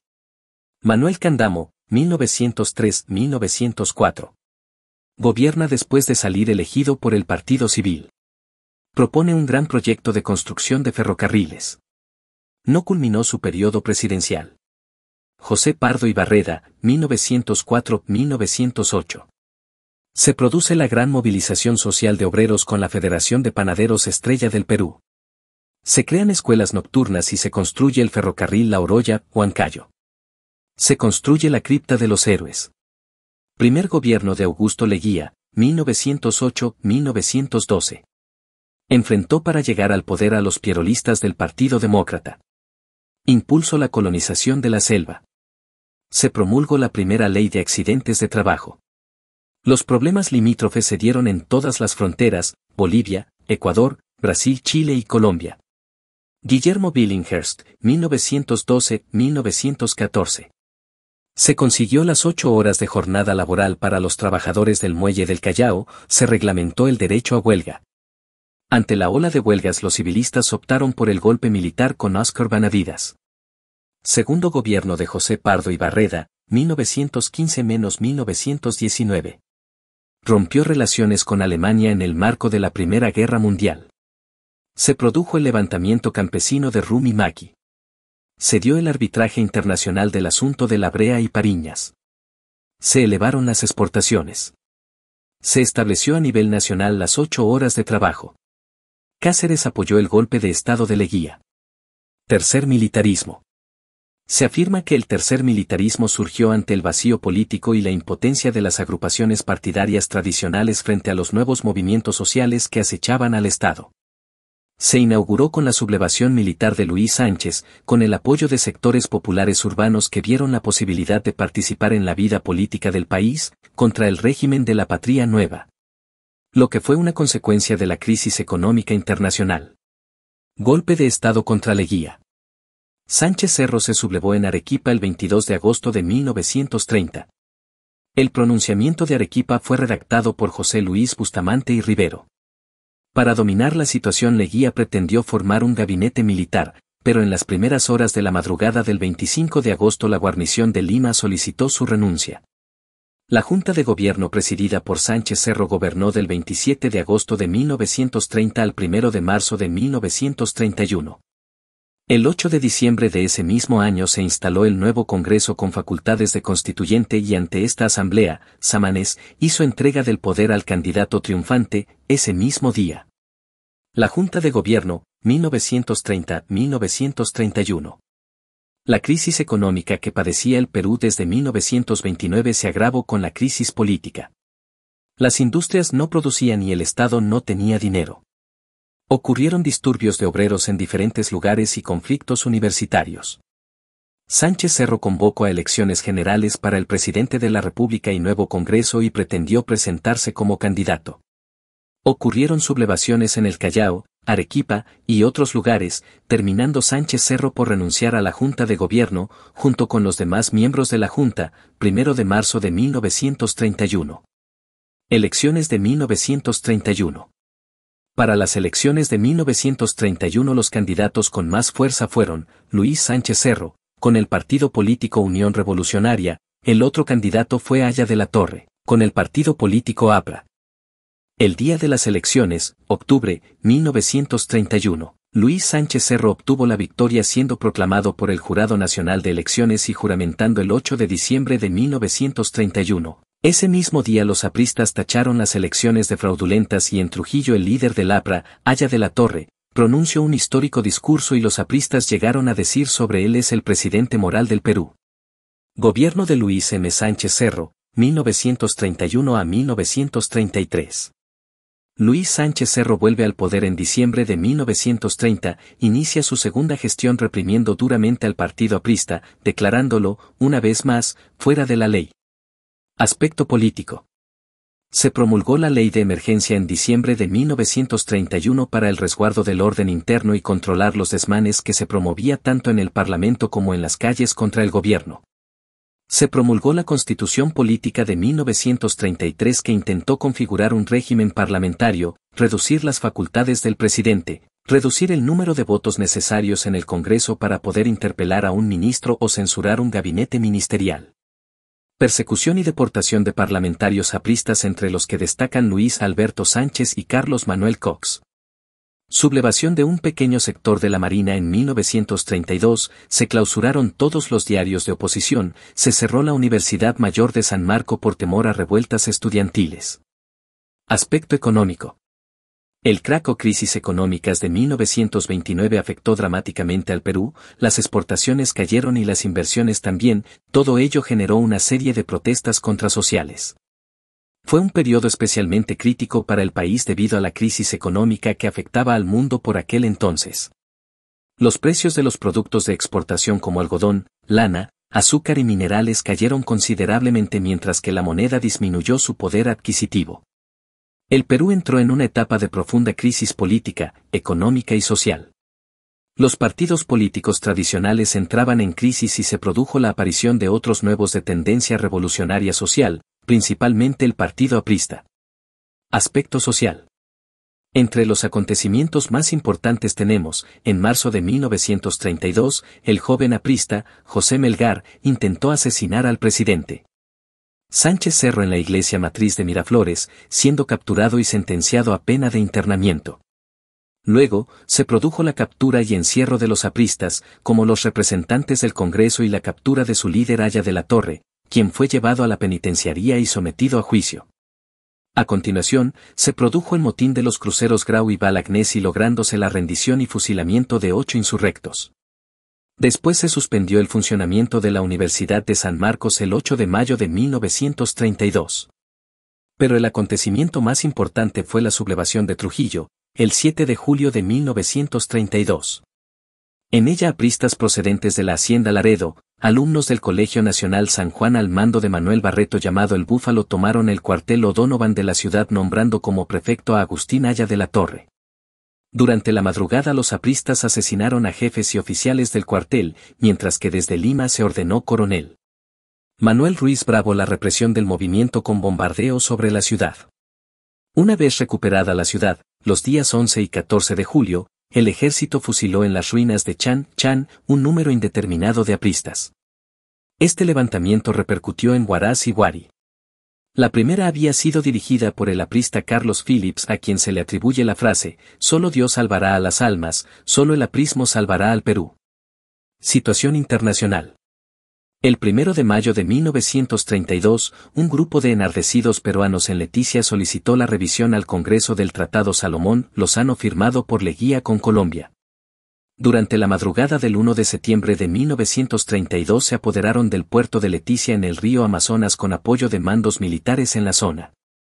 El gobierno de Sánchez Cerro decidió apoyar la acción de la población de Leticia encargando al general Óscar R. Benavides la dirección de las tropas. Decidido el presidente en intensificar la guerra convocó a los reservistas que irían a la zona de conflicto, estos desfilaron por el hipódromo de Santa Beatriz en Lima.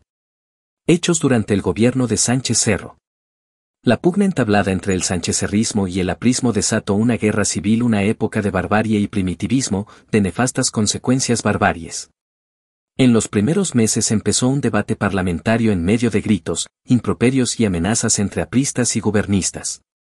Se promulga la política de 1933, se da la ley de emergencia para combatir directamente al APRA. La fuerza pública aprendió en sus domicilios a 22 representantes apristas y los expulsó del país, declarando vacantes sus puestos. Igual ocurrió con Gustavo Jiménez y algunos periodistas. El 6 de marzo de 1932 Aya de la Torre fue apresada, sometido a juicio por delito de incitación a la acción revolucionaria y encerrada en el panóptico. El domingo 23 de marzo de 1932 cuando el presidente Sánchez Cerro entraba a oír misa en la iglesia matriz de Miraflores un joven aprista le disparó a quemarropa, salvándose de milagro.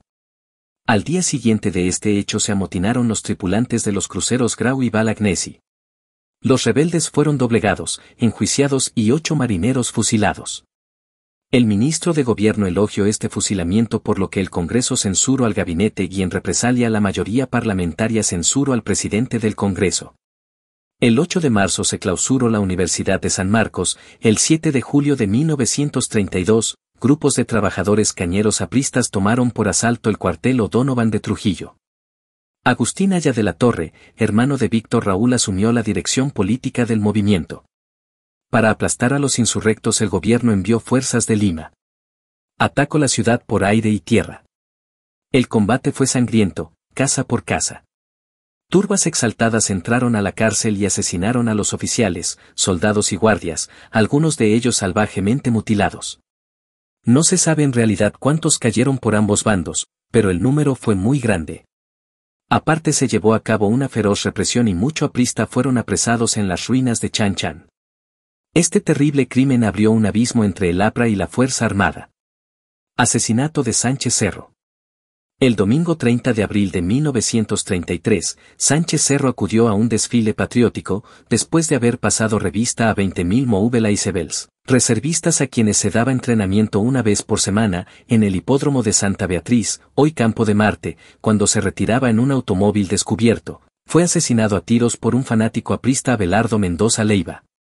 El asesino fue ultimado en el mismo lugar de los hechos.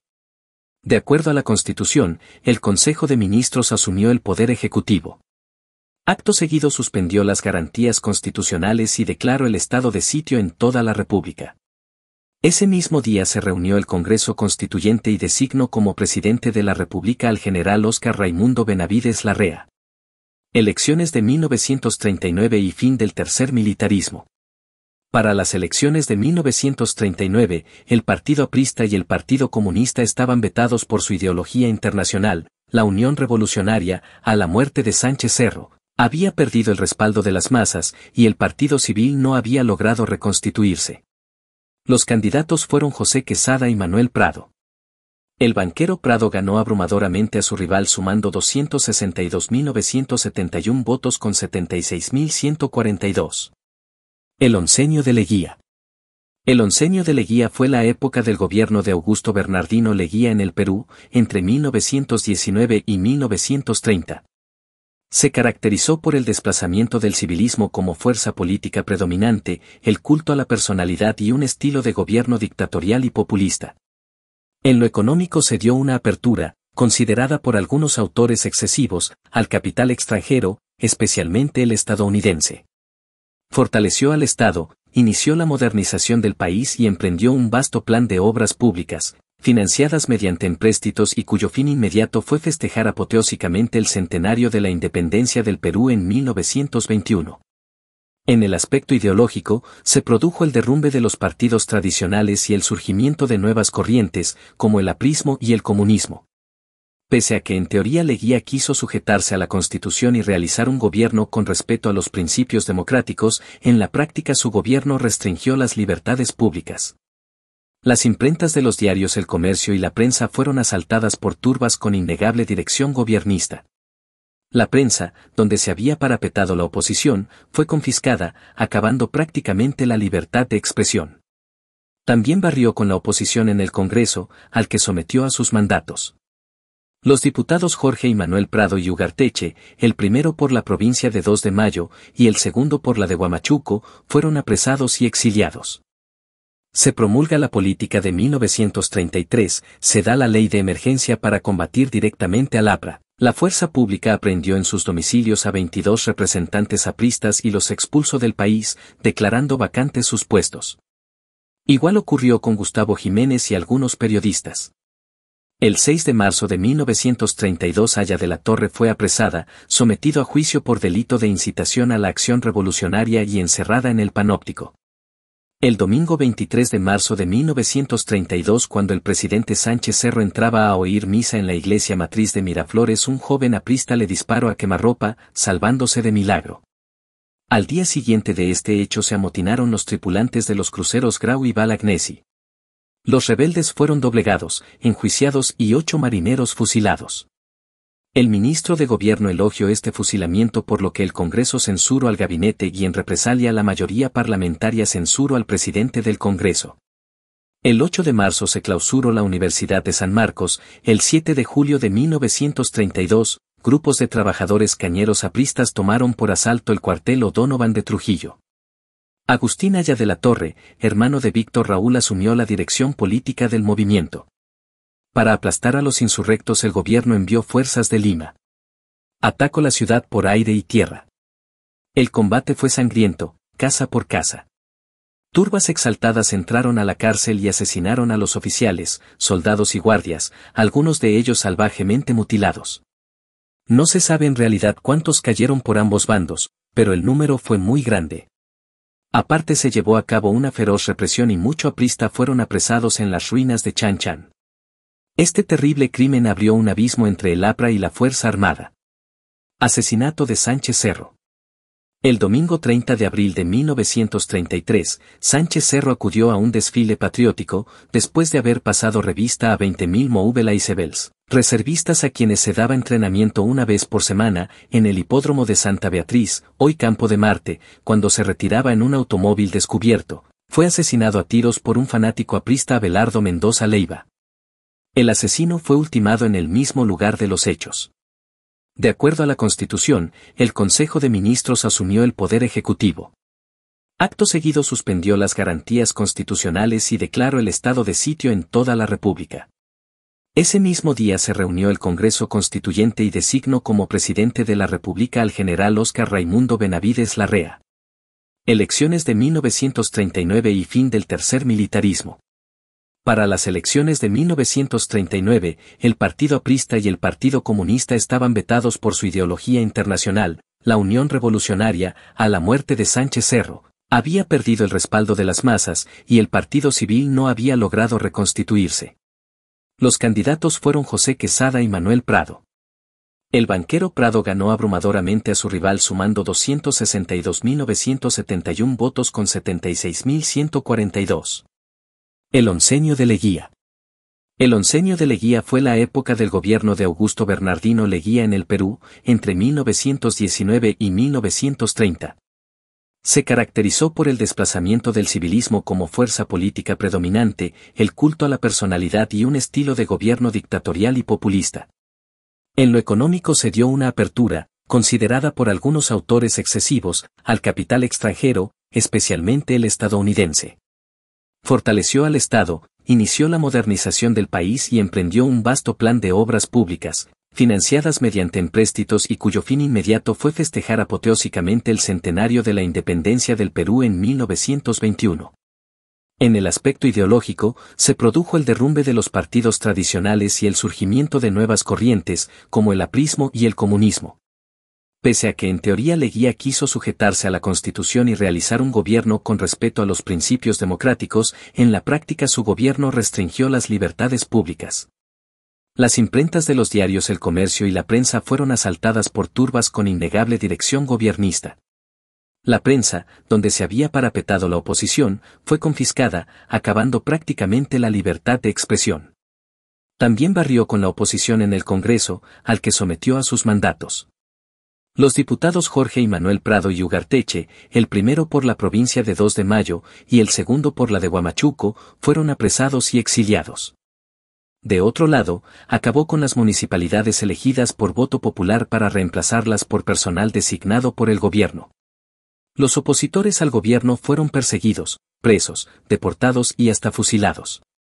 Destacan entre los desterrados el entonces joven líder estudiantil Víctor Raúl Aya de la Torre, que encabezó la célebre protesta en Lima contra la consagración al gobierno del Sagrado Corazón de Jesús del 23 de mayo de 1923, en la que fallecieron un obrero y un estudiante. En el exilio, Haya fundó el APRA, partido de proyección continental inicialmente de ideario antiimperialista y antioligárquico. Otros opositores al gobierno, como los jóvenes periodistas José Carlos Mariátegui y César Falcón, fueron enviados a Europa en calidad de becados. Mariátegui, de regreso al Perú, ya imbuido de marxismo-leninismo, fundó el Partido Socialista Peruano. Otros exiliados fueron el coronel Óscar R. Benavides, expresidente del Perú, Arturo Osores, Luis Fernán Cisneros y Víctor Andrés Belaunde. La isla de San Lorenzo, frente al Callao, fue habilitada como prisión pública donde se confinó a los opositores, sean estos profesionales civiles, militares o estudiantes. La isla de Taquile, en el lago Titicaca, cumplió el mismo fin. La modernización del país ya había sido tanteada por gobiernos anteriores, pero bajo el oncenio de Leguía se dio su impulso definitivo. Las principales bases de este salto modernizador fueron el Estado, que se convirtió en el motor del desarrollo. Leguía consideró que el Estado debía fortalecerse e intervenir de una manera más dinámica y dominante, para promover la prosperidad del país. Se distanció así del modelo de Estado del civilismo, el mismo que se había apoyado en las teorías liberales. De esa manera el presupuesto de la República creció enormemente, es decir, el Estado amplió radicalmente sus gastos, con el fin de implementar un vasto programa de obras públicas. El retorno de la política de los grandes empréstitos, algo que no ocurría en el Perú desde las décadas de 1860 y 1870. El mal recuerdo de estos últimos empréstitos, que habían provocado la bancarrota previa a la guerra con Chile, quedó superado y el gobierno concertó enormes empréstitos con la banca estadounidense, con los que financió su vasto plan de obras públicas. Se inició así la dependencia del Perú al capitalismo norteamericano que inevitablemente le obligaría a subordinarse a todo interés de dicha potencia. Ejemplo de esto último fue el laudo de París y la solución del conflicto con Colombia, como veremos más adelante.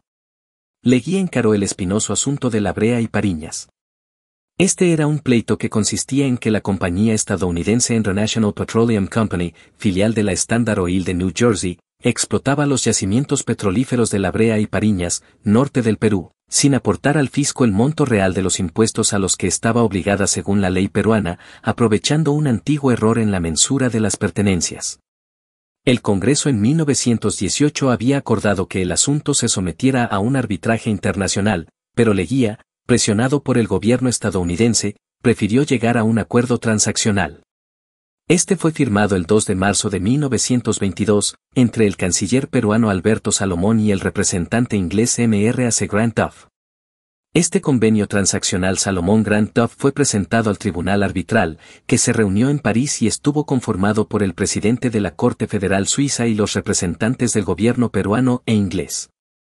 El 24 de abril de dicho año de 1922, sin mayor discusión, aprobaron el convenio transaccional al que otorgaron el carácter de laudo cuyas condiciones obligaban a las altas partes contratantes como solución a la controversia surgida. Los acuerdos del llamado laudo de París eran los siguientes. La propiedad de la Brea y Pariñas comprendía una extensión de 41.614 pertenencias y abarcaba el suelo y subsuelo o zona mineralizada.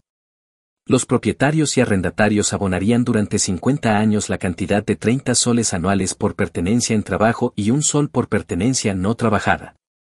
Las pertenencias que dejaran de ser explotadas pagarían un sol y las que fueran abandonadas pasarían a poder del gobierno.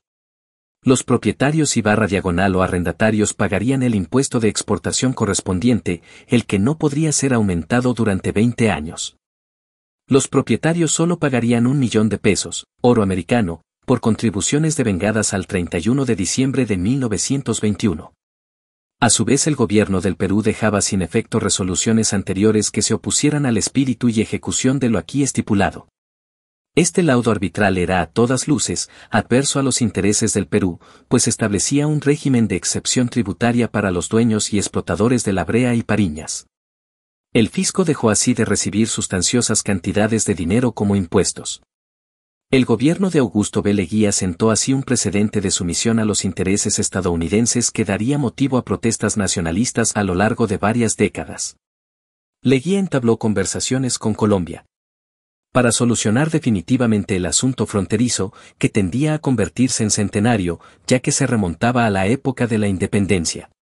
Colombia aspiraba a legitimar su frontera desde el río Caquetá hasta el río de Putumayo, franja territorial que el Perú ocupaba de hecho, gracias al accionar de los caucheros peruanos, así como obtener acceso al río Amazonas.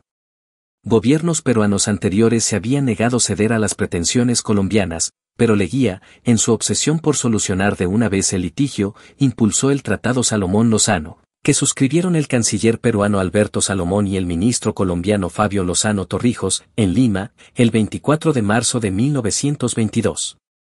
Ello significó ceder a Colombia una extensa porción territorial comprendida entre los ríos Caquetá y Putumayo y el llamado trapecio amazónico, donde se hallaba la población peruana de Leticia, ribereña al río Amazonas. De esa manera Colombia lograba acceso a este río, que hasta entonces solo lo compartían Perú y Brasil.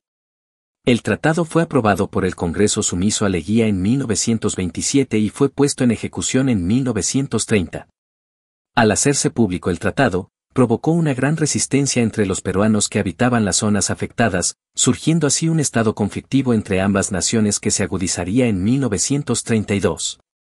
Se dijo que Leguía firmó este tratado con Colombia bajo presión de los Estados Unidos, que quería de alguna manera compensar a Colombia por la independencia de Panamá. Pero también debió primar en Leguía cálculos geopolíticos, con el tratado se ganaba como aliado a Colombia, que hasta entonces se había mostrado cercano al Ecuador en su reclamo de territorios amazónicos peruanos. De hecho, al enterarse de la firma del tratado, Ecuador rompió relaciones con Colombia. Y es que una alianza colombiana-ecuatoriana contra el Perú habría tenido consecuencias desastrosas para este último, sin lugar a dudas. Fin del oncenio de Augusto Bernardino Leguía. La caída se produjo rápidamente como consecuencia de la crisis mundial del capitalismo, especialmente el norteamericano que se evidenció con la quiebra de la Bolsa de Valores de Nueva York, 24 de octubre de 1929, en el Jueves Negro. La caída de las acciones y la liquidación de importantes transnacionales arrastró a sus sucursales en Latinoamérica. No se vendían más nuestras materias primas o los precios cayeron estrepitosamente. En la caída del oncenio también se paralizaron las obras públicas y las actividades en los enclaves de provincias, generándose un desempleo inmenso, minería, migraciones a Lima, protestas, actividades subversivas, etc. La dictadura proestadounidense en Latinoamérica cayeron en serie, Hernando Siles en Bolivia, Carlos Ibáñez en Chile, Washington Luis en Brasil, Hipólito Yrigoyen en Argentina, etc. Y en el Perú Leguía. El 22 de agosto de 1930 se sublevó el comandante Luis Miguel Sánchez Cerro, antiguo defensor del civilismo en Arequipa. Leguía fue apresado y conducido a la prisión de San Lorenzo y luego a la clínica naval de Bellavista, donde escribió sus memorias Yo tirano, yo ladrón y murió el 6 de febrero de 1932. Tenía 69 años. Fundador de la Alianza Popular Revolucionaria Americana. Víctor Raúl Aya de la Torre. Víctor Raúl Aya de la Torre, nacido en Trujillo el 22 de febrero de 1895 y falleció en Lima el 2 de agosto de 1979, fue un pensador y político peruano. Fundador de la Alianza Popular Revolucionaria Americana y líder histórico del Partido Aprista Peruano, APRA, el más longevo y el de mayor consistencia orgánica de la política del Perú. Es reconocido como uno de los más importantes ideólogos políticos de Latinoamérica y figura clave para la política peruana y americana. El Partido Aprista Peruano es un partido político peruano inicialmente proyectado a escala continental, APRA, de postura afín a la centroizquierda y miembro de la Internacional Socialista. Las siglas APRA provienen del nombre de la Alianza Popular Revolucionaria Americana, propuesta inicial de su fundador Víctor Raúl Aya de la Torre de formar una red de movimientos sociales y políticos antiimperialistas en América Latina. Sus militantes son llamados compañeros debido a la fraternidad creada por Aya de la Torre. Está dentro de los partidos políticos más antiguos de América. Entre los partidos políticos peruanos en actividades el más longevo, caracterizado por haber sido despojado de victorias electorales por golpes militares o gobiernos militares luego de haber triunfado en las urnas, también pasó por dos largos periodos de ilegalidad, tanto bajo gobiernos militares como civiles, habiendo sido perseguido por Luis Miguel Sánchez Cerro y Manuel Odría. El Partido Aprista peruano ha llegado al poder democráticamente en dos oportunidades, en 1985 y en 2006, ambas bajo la candidatura de Alan García. Partido Socialista Peruano. El Partido Socialista Peruano, PSP, fue un partido político peruano de orientación socialista. El 7 de octubre de 1928, José Carlos Mariátegui, junto con Julio Portocarrero, Abelino Navarro, César Hinojosa, Fernando Borja, Ricardo Martínez Latorre y Bernardo Reckman fundan el Partido Socialista Peruano, partido marxista, antifeudal y antiimperialista, que tuvo en sus inicios una clara influencia de Mariátegui que proponía construir en América Latina un socialismo sin calco ni copia que sea aplicada a la realidad concreta de cada país, aunque sin dejar de ser clasista y marxista, otra particularidad era que tenía como principales actores no solo al proletariado sino también al campesinado. El PSP sentaría las bases para la creación de la Confederación General de Trabajadores del Perú y tendría gran influencia en el movimiento obrero. En 1929 los delegados del Partido Socialista Peruano, Hugo Pese y Julio Portocarrero exponen el problema de las razas planteado por Mariátegui, en Buenos Aires y Montevideo en el Congreso de la Facción Latinoamericana de la Tercera Internacional, sin embargo, la Tercera Internacional terminó por descartar las tesis de Mariátegui, las mismas que caerían en el olvido en el seno del Partido Socialista Peruano luego de la muerte de Mariátegui. José Carlos Mariátegui. El libro Siete ensayos de interpretación de la realidad peruana o simplemente Los siete ensayos es considerado la obra cumbre del escritor y sociólogo peruano José Carlos Mariátegui. Publicado en Lima, en 1928, convirtió a su autor en una de las voces marxistas más difundidas de Latinoamérica. Es una obra que ha sido reeditada decenas de veces, además de traducida al ruso, francés, inglés, italiano, portugués y húngaro. El 16 de abril de 1930, Mariátegui falleció en vísperas a un viaje a Buenos Aires para hacerse tratar su antigua lesión. El Partido Socialista pasó a convertirse en Partido Comunista del Perú. Gobierno de Fernando Belaúnde de Charre. Fernando Belón Charre fue presidente de la República del Perú en dos periodos, de 1963 a 1968 y el siguiente fue de 1980 a 1985. Nació en Lima el 7 de octubre de 1912. Hijo de Rafael Belaúnde Díez Canseco y de Lucila Charre García. Cursó sus estudios primarios en el Colegio de la Recoleta y los secundarios en París porque su padre fue desterrado. En esa ciudad inició los correspondientes a electricidad y mecánica industrial. En Estados Unidos estudió en la Universidad de Miami y en la de Austin en Texas, donde obtuvo el título de arquitecto en 1935. Regresó al Perú y en 1937 fundó la revista El Arquitecto Peruano. En 1947 fue incorporado como catedrático de urbanismo en la Pontificia Universidad Católica de Lima. Ese año funda el Instituto de Urbanismo del Perú que después fue integrado a la Escuela de Ingenieros. Inicios en la política de Fernando Belaúnde Charre.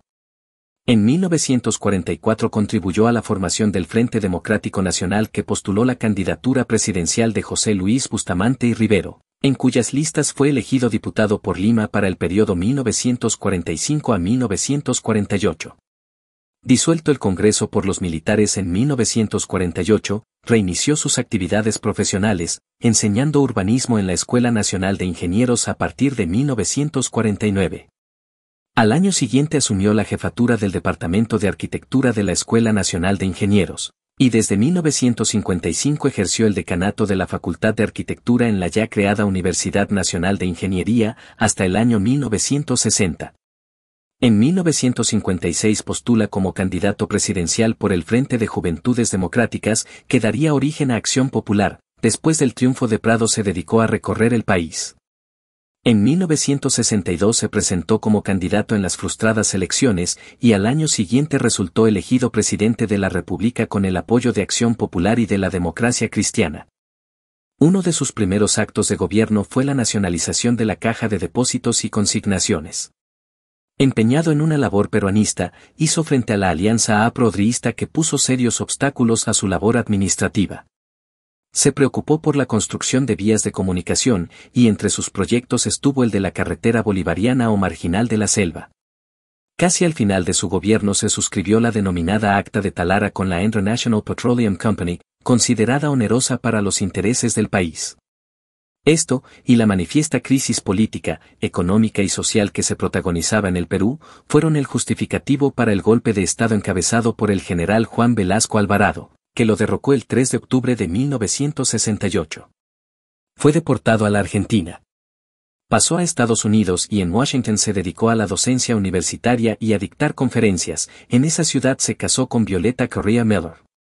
En 1977 regresó al Perú y se abstuvo de participar en las elecciones a la Asamblea Constituyente de los años 1978 a 1979. El 18 de mayo de 1980 salió elegido presidente de la República por segunda vez, con el 43% de los sufragios válidos y con una mayoría absoluta en ambas cámaras. De inmediato convocó a elecciones municipales y restituyó a sus propietarios los diarios expropiados por el gobierno de Juan Velasco Alvarado. En su segundo gobierno se produjeron sequías en el sur y graves inundaciones a raíz de las lluvias causadas por el fenómeno del niño en 1983 en la zona norte, creció el terrorismo y hubo una escalada de huelgas y paros. Mandó edificar los complejos residenciales de las Torres de San Borja y de Limatambo entre otras obras. Al final de su mandato conservó su lugar como senador vitalicio de acuerdo a leyes vigentes. Belaún de Charre es autor de los libros La conquista del Perú por los peruanos, Pueblo por Pueblo, que tiene el ideario de su partido, y La carretera marginal de la selva. Sus trabajos revelan a un gran conocedor del país, sabe del Perú como pocos peruanos, cuyo recorrido le ha significado años de viajes, llegando a los lugares más apartados de su territorio. Actualmente vive en Lima con su segunda esposa, de su primer matrimonio con Carola Aubry tiene tres hijos, Rafael, Fernando y Carola, el primero es geólogo, el segundo se dedica a actividades vinculadas a la minería, y la tercera trabaja para las Naciones Unidas. Fernando Belonterre fallece el 5 de junio del 2002 a los 89 años de edad, después de haber sufrido derrame cerebral. Fin del gobierno. El acta de Talara y el escándalo de la página 11. La ciudad de Talara en 1945. Al asumir la presidencia Belaúnde ofreció resolver el problema de la brea y Pariñas en 90 días. Este era un pleito vergonzoso para la nación y que tenía ya varias décadas sin resolverse, consistía en que la compañía transnacional estadounidense International Petroleum Company, IPC, venía explotando ilegalmente los yacimientos petrolíferos de La Brea y Pariñas, situados en el norte del Perú, sin aportar al fisco el monto adeudado, que se había venido acumulando al pasar los años.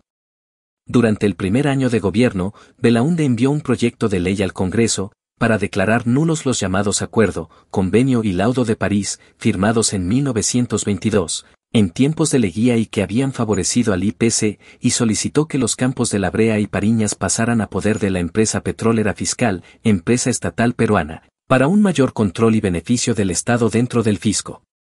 En respuesta, el Congreso dio la ley número 14.696, que declaraba nulo el laudo, pero no se pronunció sobre el traspaso de La Brea y Pariñas a la empresa petrolera fiscal. El Poder Ejecutivo promulgó la ley el 4 de noviembre de 1963, quedando así autorizado para solucionar al viejo problema.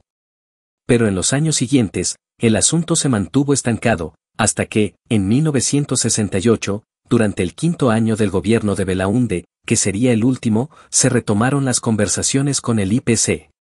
Al parecer, la idea de Belaunde no solo fue tratar de resolver el problema económico-político con la empresa, sino que estaba convencido que la solución del problema podría generar la ayuda económica extranjera necesaria para resolver los problemas financieros, que había comenzado a mostrar grandes fallas en el sistema y en el fortalecimiento del Estado.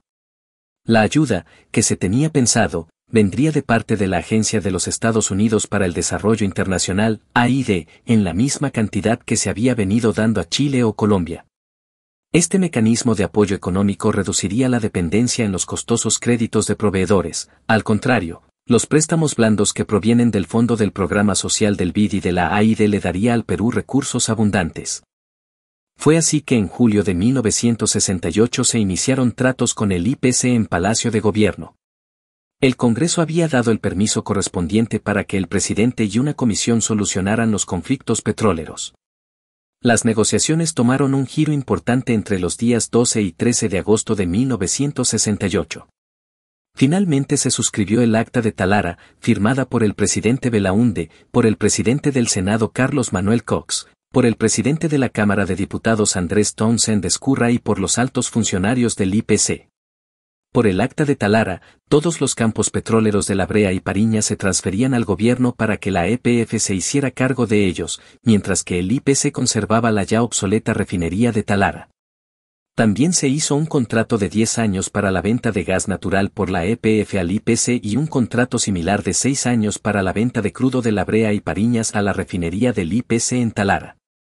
El ATC tendría a su cargo la distribución nacional del combustible y las llamadas concesiones Lima.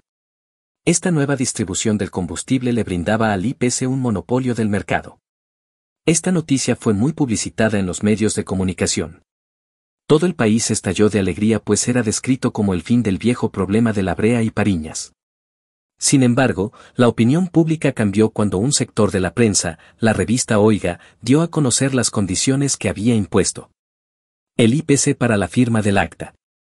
El momento cumbre del escándalo llegó el 10 de septiembre, cuando el renunciante presidente de la EPF, ingeniero Carlos Lorete Mola, denunció en televisión que faltaba una página en el contrato que fijaba las condiciones de la compra-venta del petróleo crudo entre la EPF y el IPC. Esa página era la última de tres juegos de cuatro caras, dos en total, de un papel llamado sello sexto, que era un papel numerado emitido por el Estado peruano de manera oficial y se usaba para realizar transacciones comerciales y contratos en general. Loret de Mola dio a entender que la página había sido deliberadamente extraviada y que contenía una parte importante del acuerdo general con el IPC, particularmente la sumilla que explicaba el precio mínimo de un dólar con ocho centavos por cada barril de crudo, que el IPC le cobraría a la EPF. Estalló así el escándalo de la página 11, que sería el detonante para el fin del ya debilitado gobierno de Belaunde.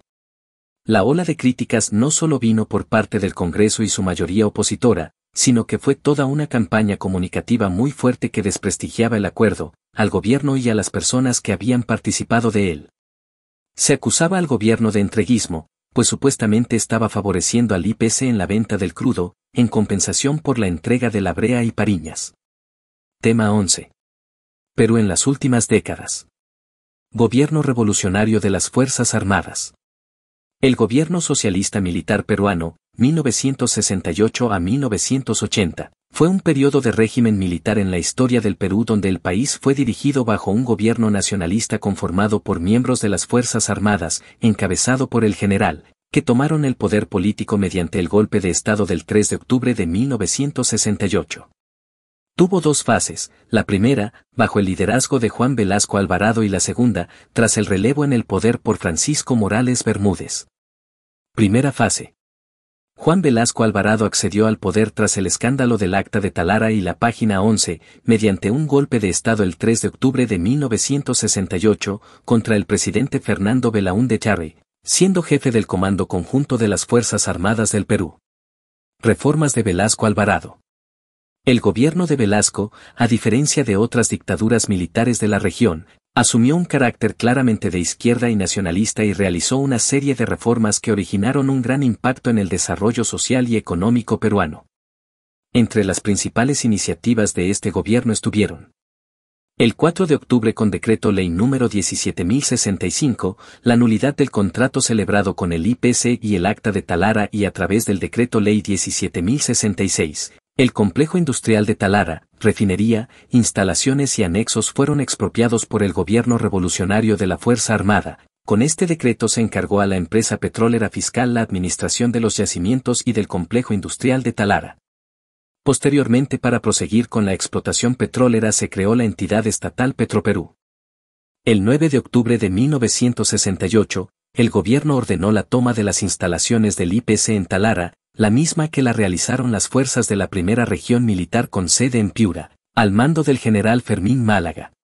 La reforma agraria en 29 de junio de 1969, con el lema campesino, el patrón no comerá más de tu pobreza que tuvo como objetivo liquidar las prácticas del latifundismo en el Perú. Para administrar las propiedades expropiadas se establecieron sistemas de propiedad cooperativa y asociativa, como las cooperativas agrarias de producción social, CAPS, y las sociedades agrícolas de interés social, SAIS, que estaban integradas por los trabajadores de los latifundios y las comunidades dedicadas a la agricultura y ganadería.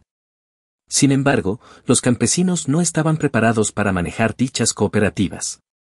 Los malos manejos y el endeudamiento provocaron la crisis de la agricultura. Estatizó la industria pesquera en junio de 1973, creando Pesca Perú. La nacionalización de las minas de la empresa Estados Unidos Cerro de Pasco Cooper Corporation creando Centromin Perú y Minero Perú Comercial o Minpeco. El incremento de los derechos laborales, se consolidaron los sindicatos y se les asignó a los trabajadores acciones de los negocios sin estar preparados para desempeñar esa función. La confiscación de los medios de comunicación en 1974, medida que a pesar de ser anunciada como una manera de entregar los medios de prensa a las fuerzas vivas del país solo devino en una manera de violentar y suprimir el derecho a la libertad de prensa. La Reforma Educativa 1972, dirigida por el general Alfredo Carpio Becerra. Esta reforma cuestionó la enseñanza oficial, basada en la imposición de los puntos de vista de la élite y la rigidez del sistema escolar imperante, se pretendía la reducción de las diferencias sociales en la educación, contribuyendo en cambio, a largo plazo, a la disminución de las calificaciones de los maestros, que en los años siguientes exigirían crecientes privilegios al organizarse en sindicatos. Por otro lado, esta reforma creó en el Perú la educación inicial y especial, así como también el bachillerato público y la enseñanza bilingüe para los quechua hablante, promoviendo la construcción de escuelas en varias zonas del país. Los planteamientos de la reforma educativa fueron premiados en su oportunidad por la UNESCO. Otro aspecto importante de estas reformas fue la dignificación de la población humilde e indígena, que comenzó a tener mayor participación en la vida política y social mediante las reformas realizadas. En el campo económico, el régimen militar, además de imponer un mayor control estatal sobre las actividades productivas, Alentó el desarrollo de la industria nacional mediante la restricción de las importaciones de manufacturas, lo cual produjo que en el país se crearan fábricas y se ensamblara autos de distintas y prestigiosas marcas. El 5 de febrero de 1975 tuvieron lugar revueltas y saqueos en el centro histórico de Lima, desatados por una sangrienta huelga de policías. El saqueo fue una de las acciones más radicales, las cuales, junto con la dura represión de las Fuerzas Armadas ocurrida a continuación y la imposición de un estricto toque de queda, llevaron al reemplazo de Juan Velasco Alvarado por el general Francisco Morales Bermúdez el 29 de agosto de 1975 con el cual se da inicio a la segunda etapa del gobierno. Revolucionario en el Perú. Segunda fase. El 29 de agosto de 1975, el general de división EP Francisco Morales Bermúdez Cerruti, entonces presidente del Consejo de Ministros, lideró un golpe de Estado desde la ciudad de Tacna y derrocó a Velasco en una acción que se conoció como el Tacnazo, alegando la mala situación económica y la deteriorada salud de Velasco, a quien en 1973 se le debió amputar una pierna, falleció el 24 de diciembre de 1977 y su sepelio fue multitudinario. Fruto del descontento social fueron dos paros generales convocados por sindicatos como la CGTP. El primer paro se realizó el 19 de julio de 1977, reclamando una mejora de la situación laboral y salarial, y el segundo en mayo del año siguiente, con un pliego de reclamos algo más amplio. El Plan Tupac Amaro. El Plan Tupac Amaro anunciaba el retorno a la democracia, el fomento de la inversión externa y la transferencia de la prensa a sus legítimos dueños. Todo debía hacerse progresivamente. Tránsito a la democracia. Ante esta presión es convocada una asamblea constituyente en 1978, presidida por Víctor Raúl Aya de la Torre, líder histórico del APRA, la cual elaboró la Constitución de 1979, que fue el punto culminante y el reflejo de las reformas y procesos de cambio ocurridos a lo largo de estos años, instaurando, entre otras cosas. El régimen militar finalizó con la convocatoria de las elecciones generales de 1980, en las que salió vencedor Fernando Belaúnde Charri, quien asumió el mando, recuperando la presidencia, el 28 de julio de ese año, con lo que se concretó el regreso de la democracia y el fin de este periodo. A fines del gobierno militar los crecientes problemas con el pago de la deuda externa y la ineficacia de la administración del Estado llevaron a la aparición de síntomas de crisis económica y a incubar problemas sociales, que en años posteriores irían en aumento. El segundo gobierno de Fernando Belaúnde gobernó entre 1980 y 1985. Apenas tomó el poder, firmó la restitución de los diarios a sus antiguos propietarios, con todo ello se estableció otra vez en el Perú la vigencia de la libertad de expresión. Se realizaron las elecciones municipales de 1980. En aquella elección el partido de turno Acción Popular avasalló los comicios con un 90% de los municipios.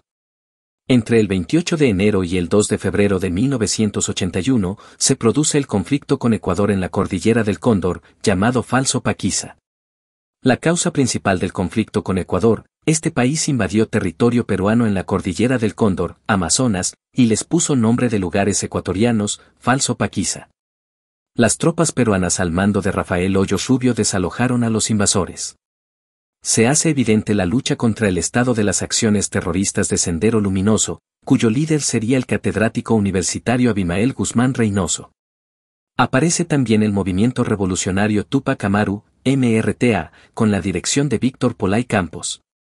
En el plano externo, en 1982, se produce la Guerra de las Malvinas que enfrentó a Argentina con Inglaterra.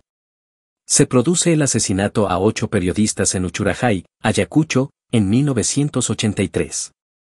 Por primera vez un papa visita el país, Juan Pablo II, lo realizó entre el 1 y el 5 de abril de 1985. En 1984 sale ganador de las elecciones municipales Alfonso Barrantes, así él se convirtió en el primer alcalde marxista de la historia del Perú. Se lleva a cabo el censo de 1981. Principales obras. 1. Se reformó el Código Civil. 2. Se instaló el Tribunal de Garantías Constitucionales en Arequipa. 3. Para contrarrestar la excesiva inflación se crea una nueva unidad monetaria, el INTI. 4. Se extienden varias centrales hidroeléctricas, Cañón del Pato, Ancas, Machu Picchu, Cusco. 5. Se da impulso a los proyectos agroenergéticos de Majes, Chira, Piura, Tineyan y Chavimochic. 6. Se fomenta la construcción de viviendas para más de 300.000 familias en Lima, Arequipa y Piura, a través del FONAVI. 7. En su quinquenio se construyó cerca de 23.000 aulas escolares. 8. Se edificaron en Lima los penales de Canto Grande y San Jorge. 9. Entró en funcionamiento el Ministerio Público.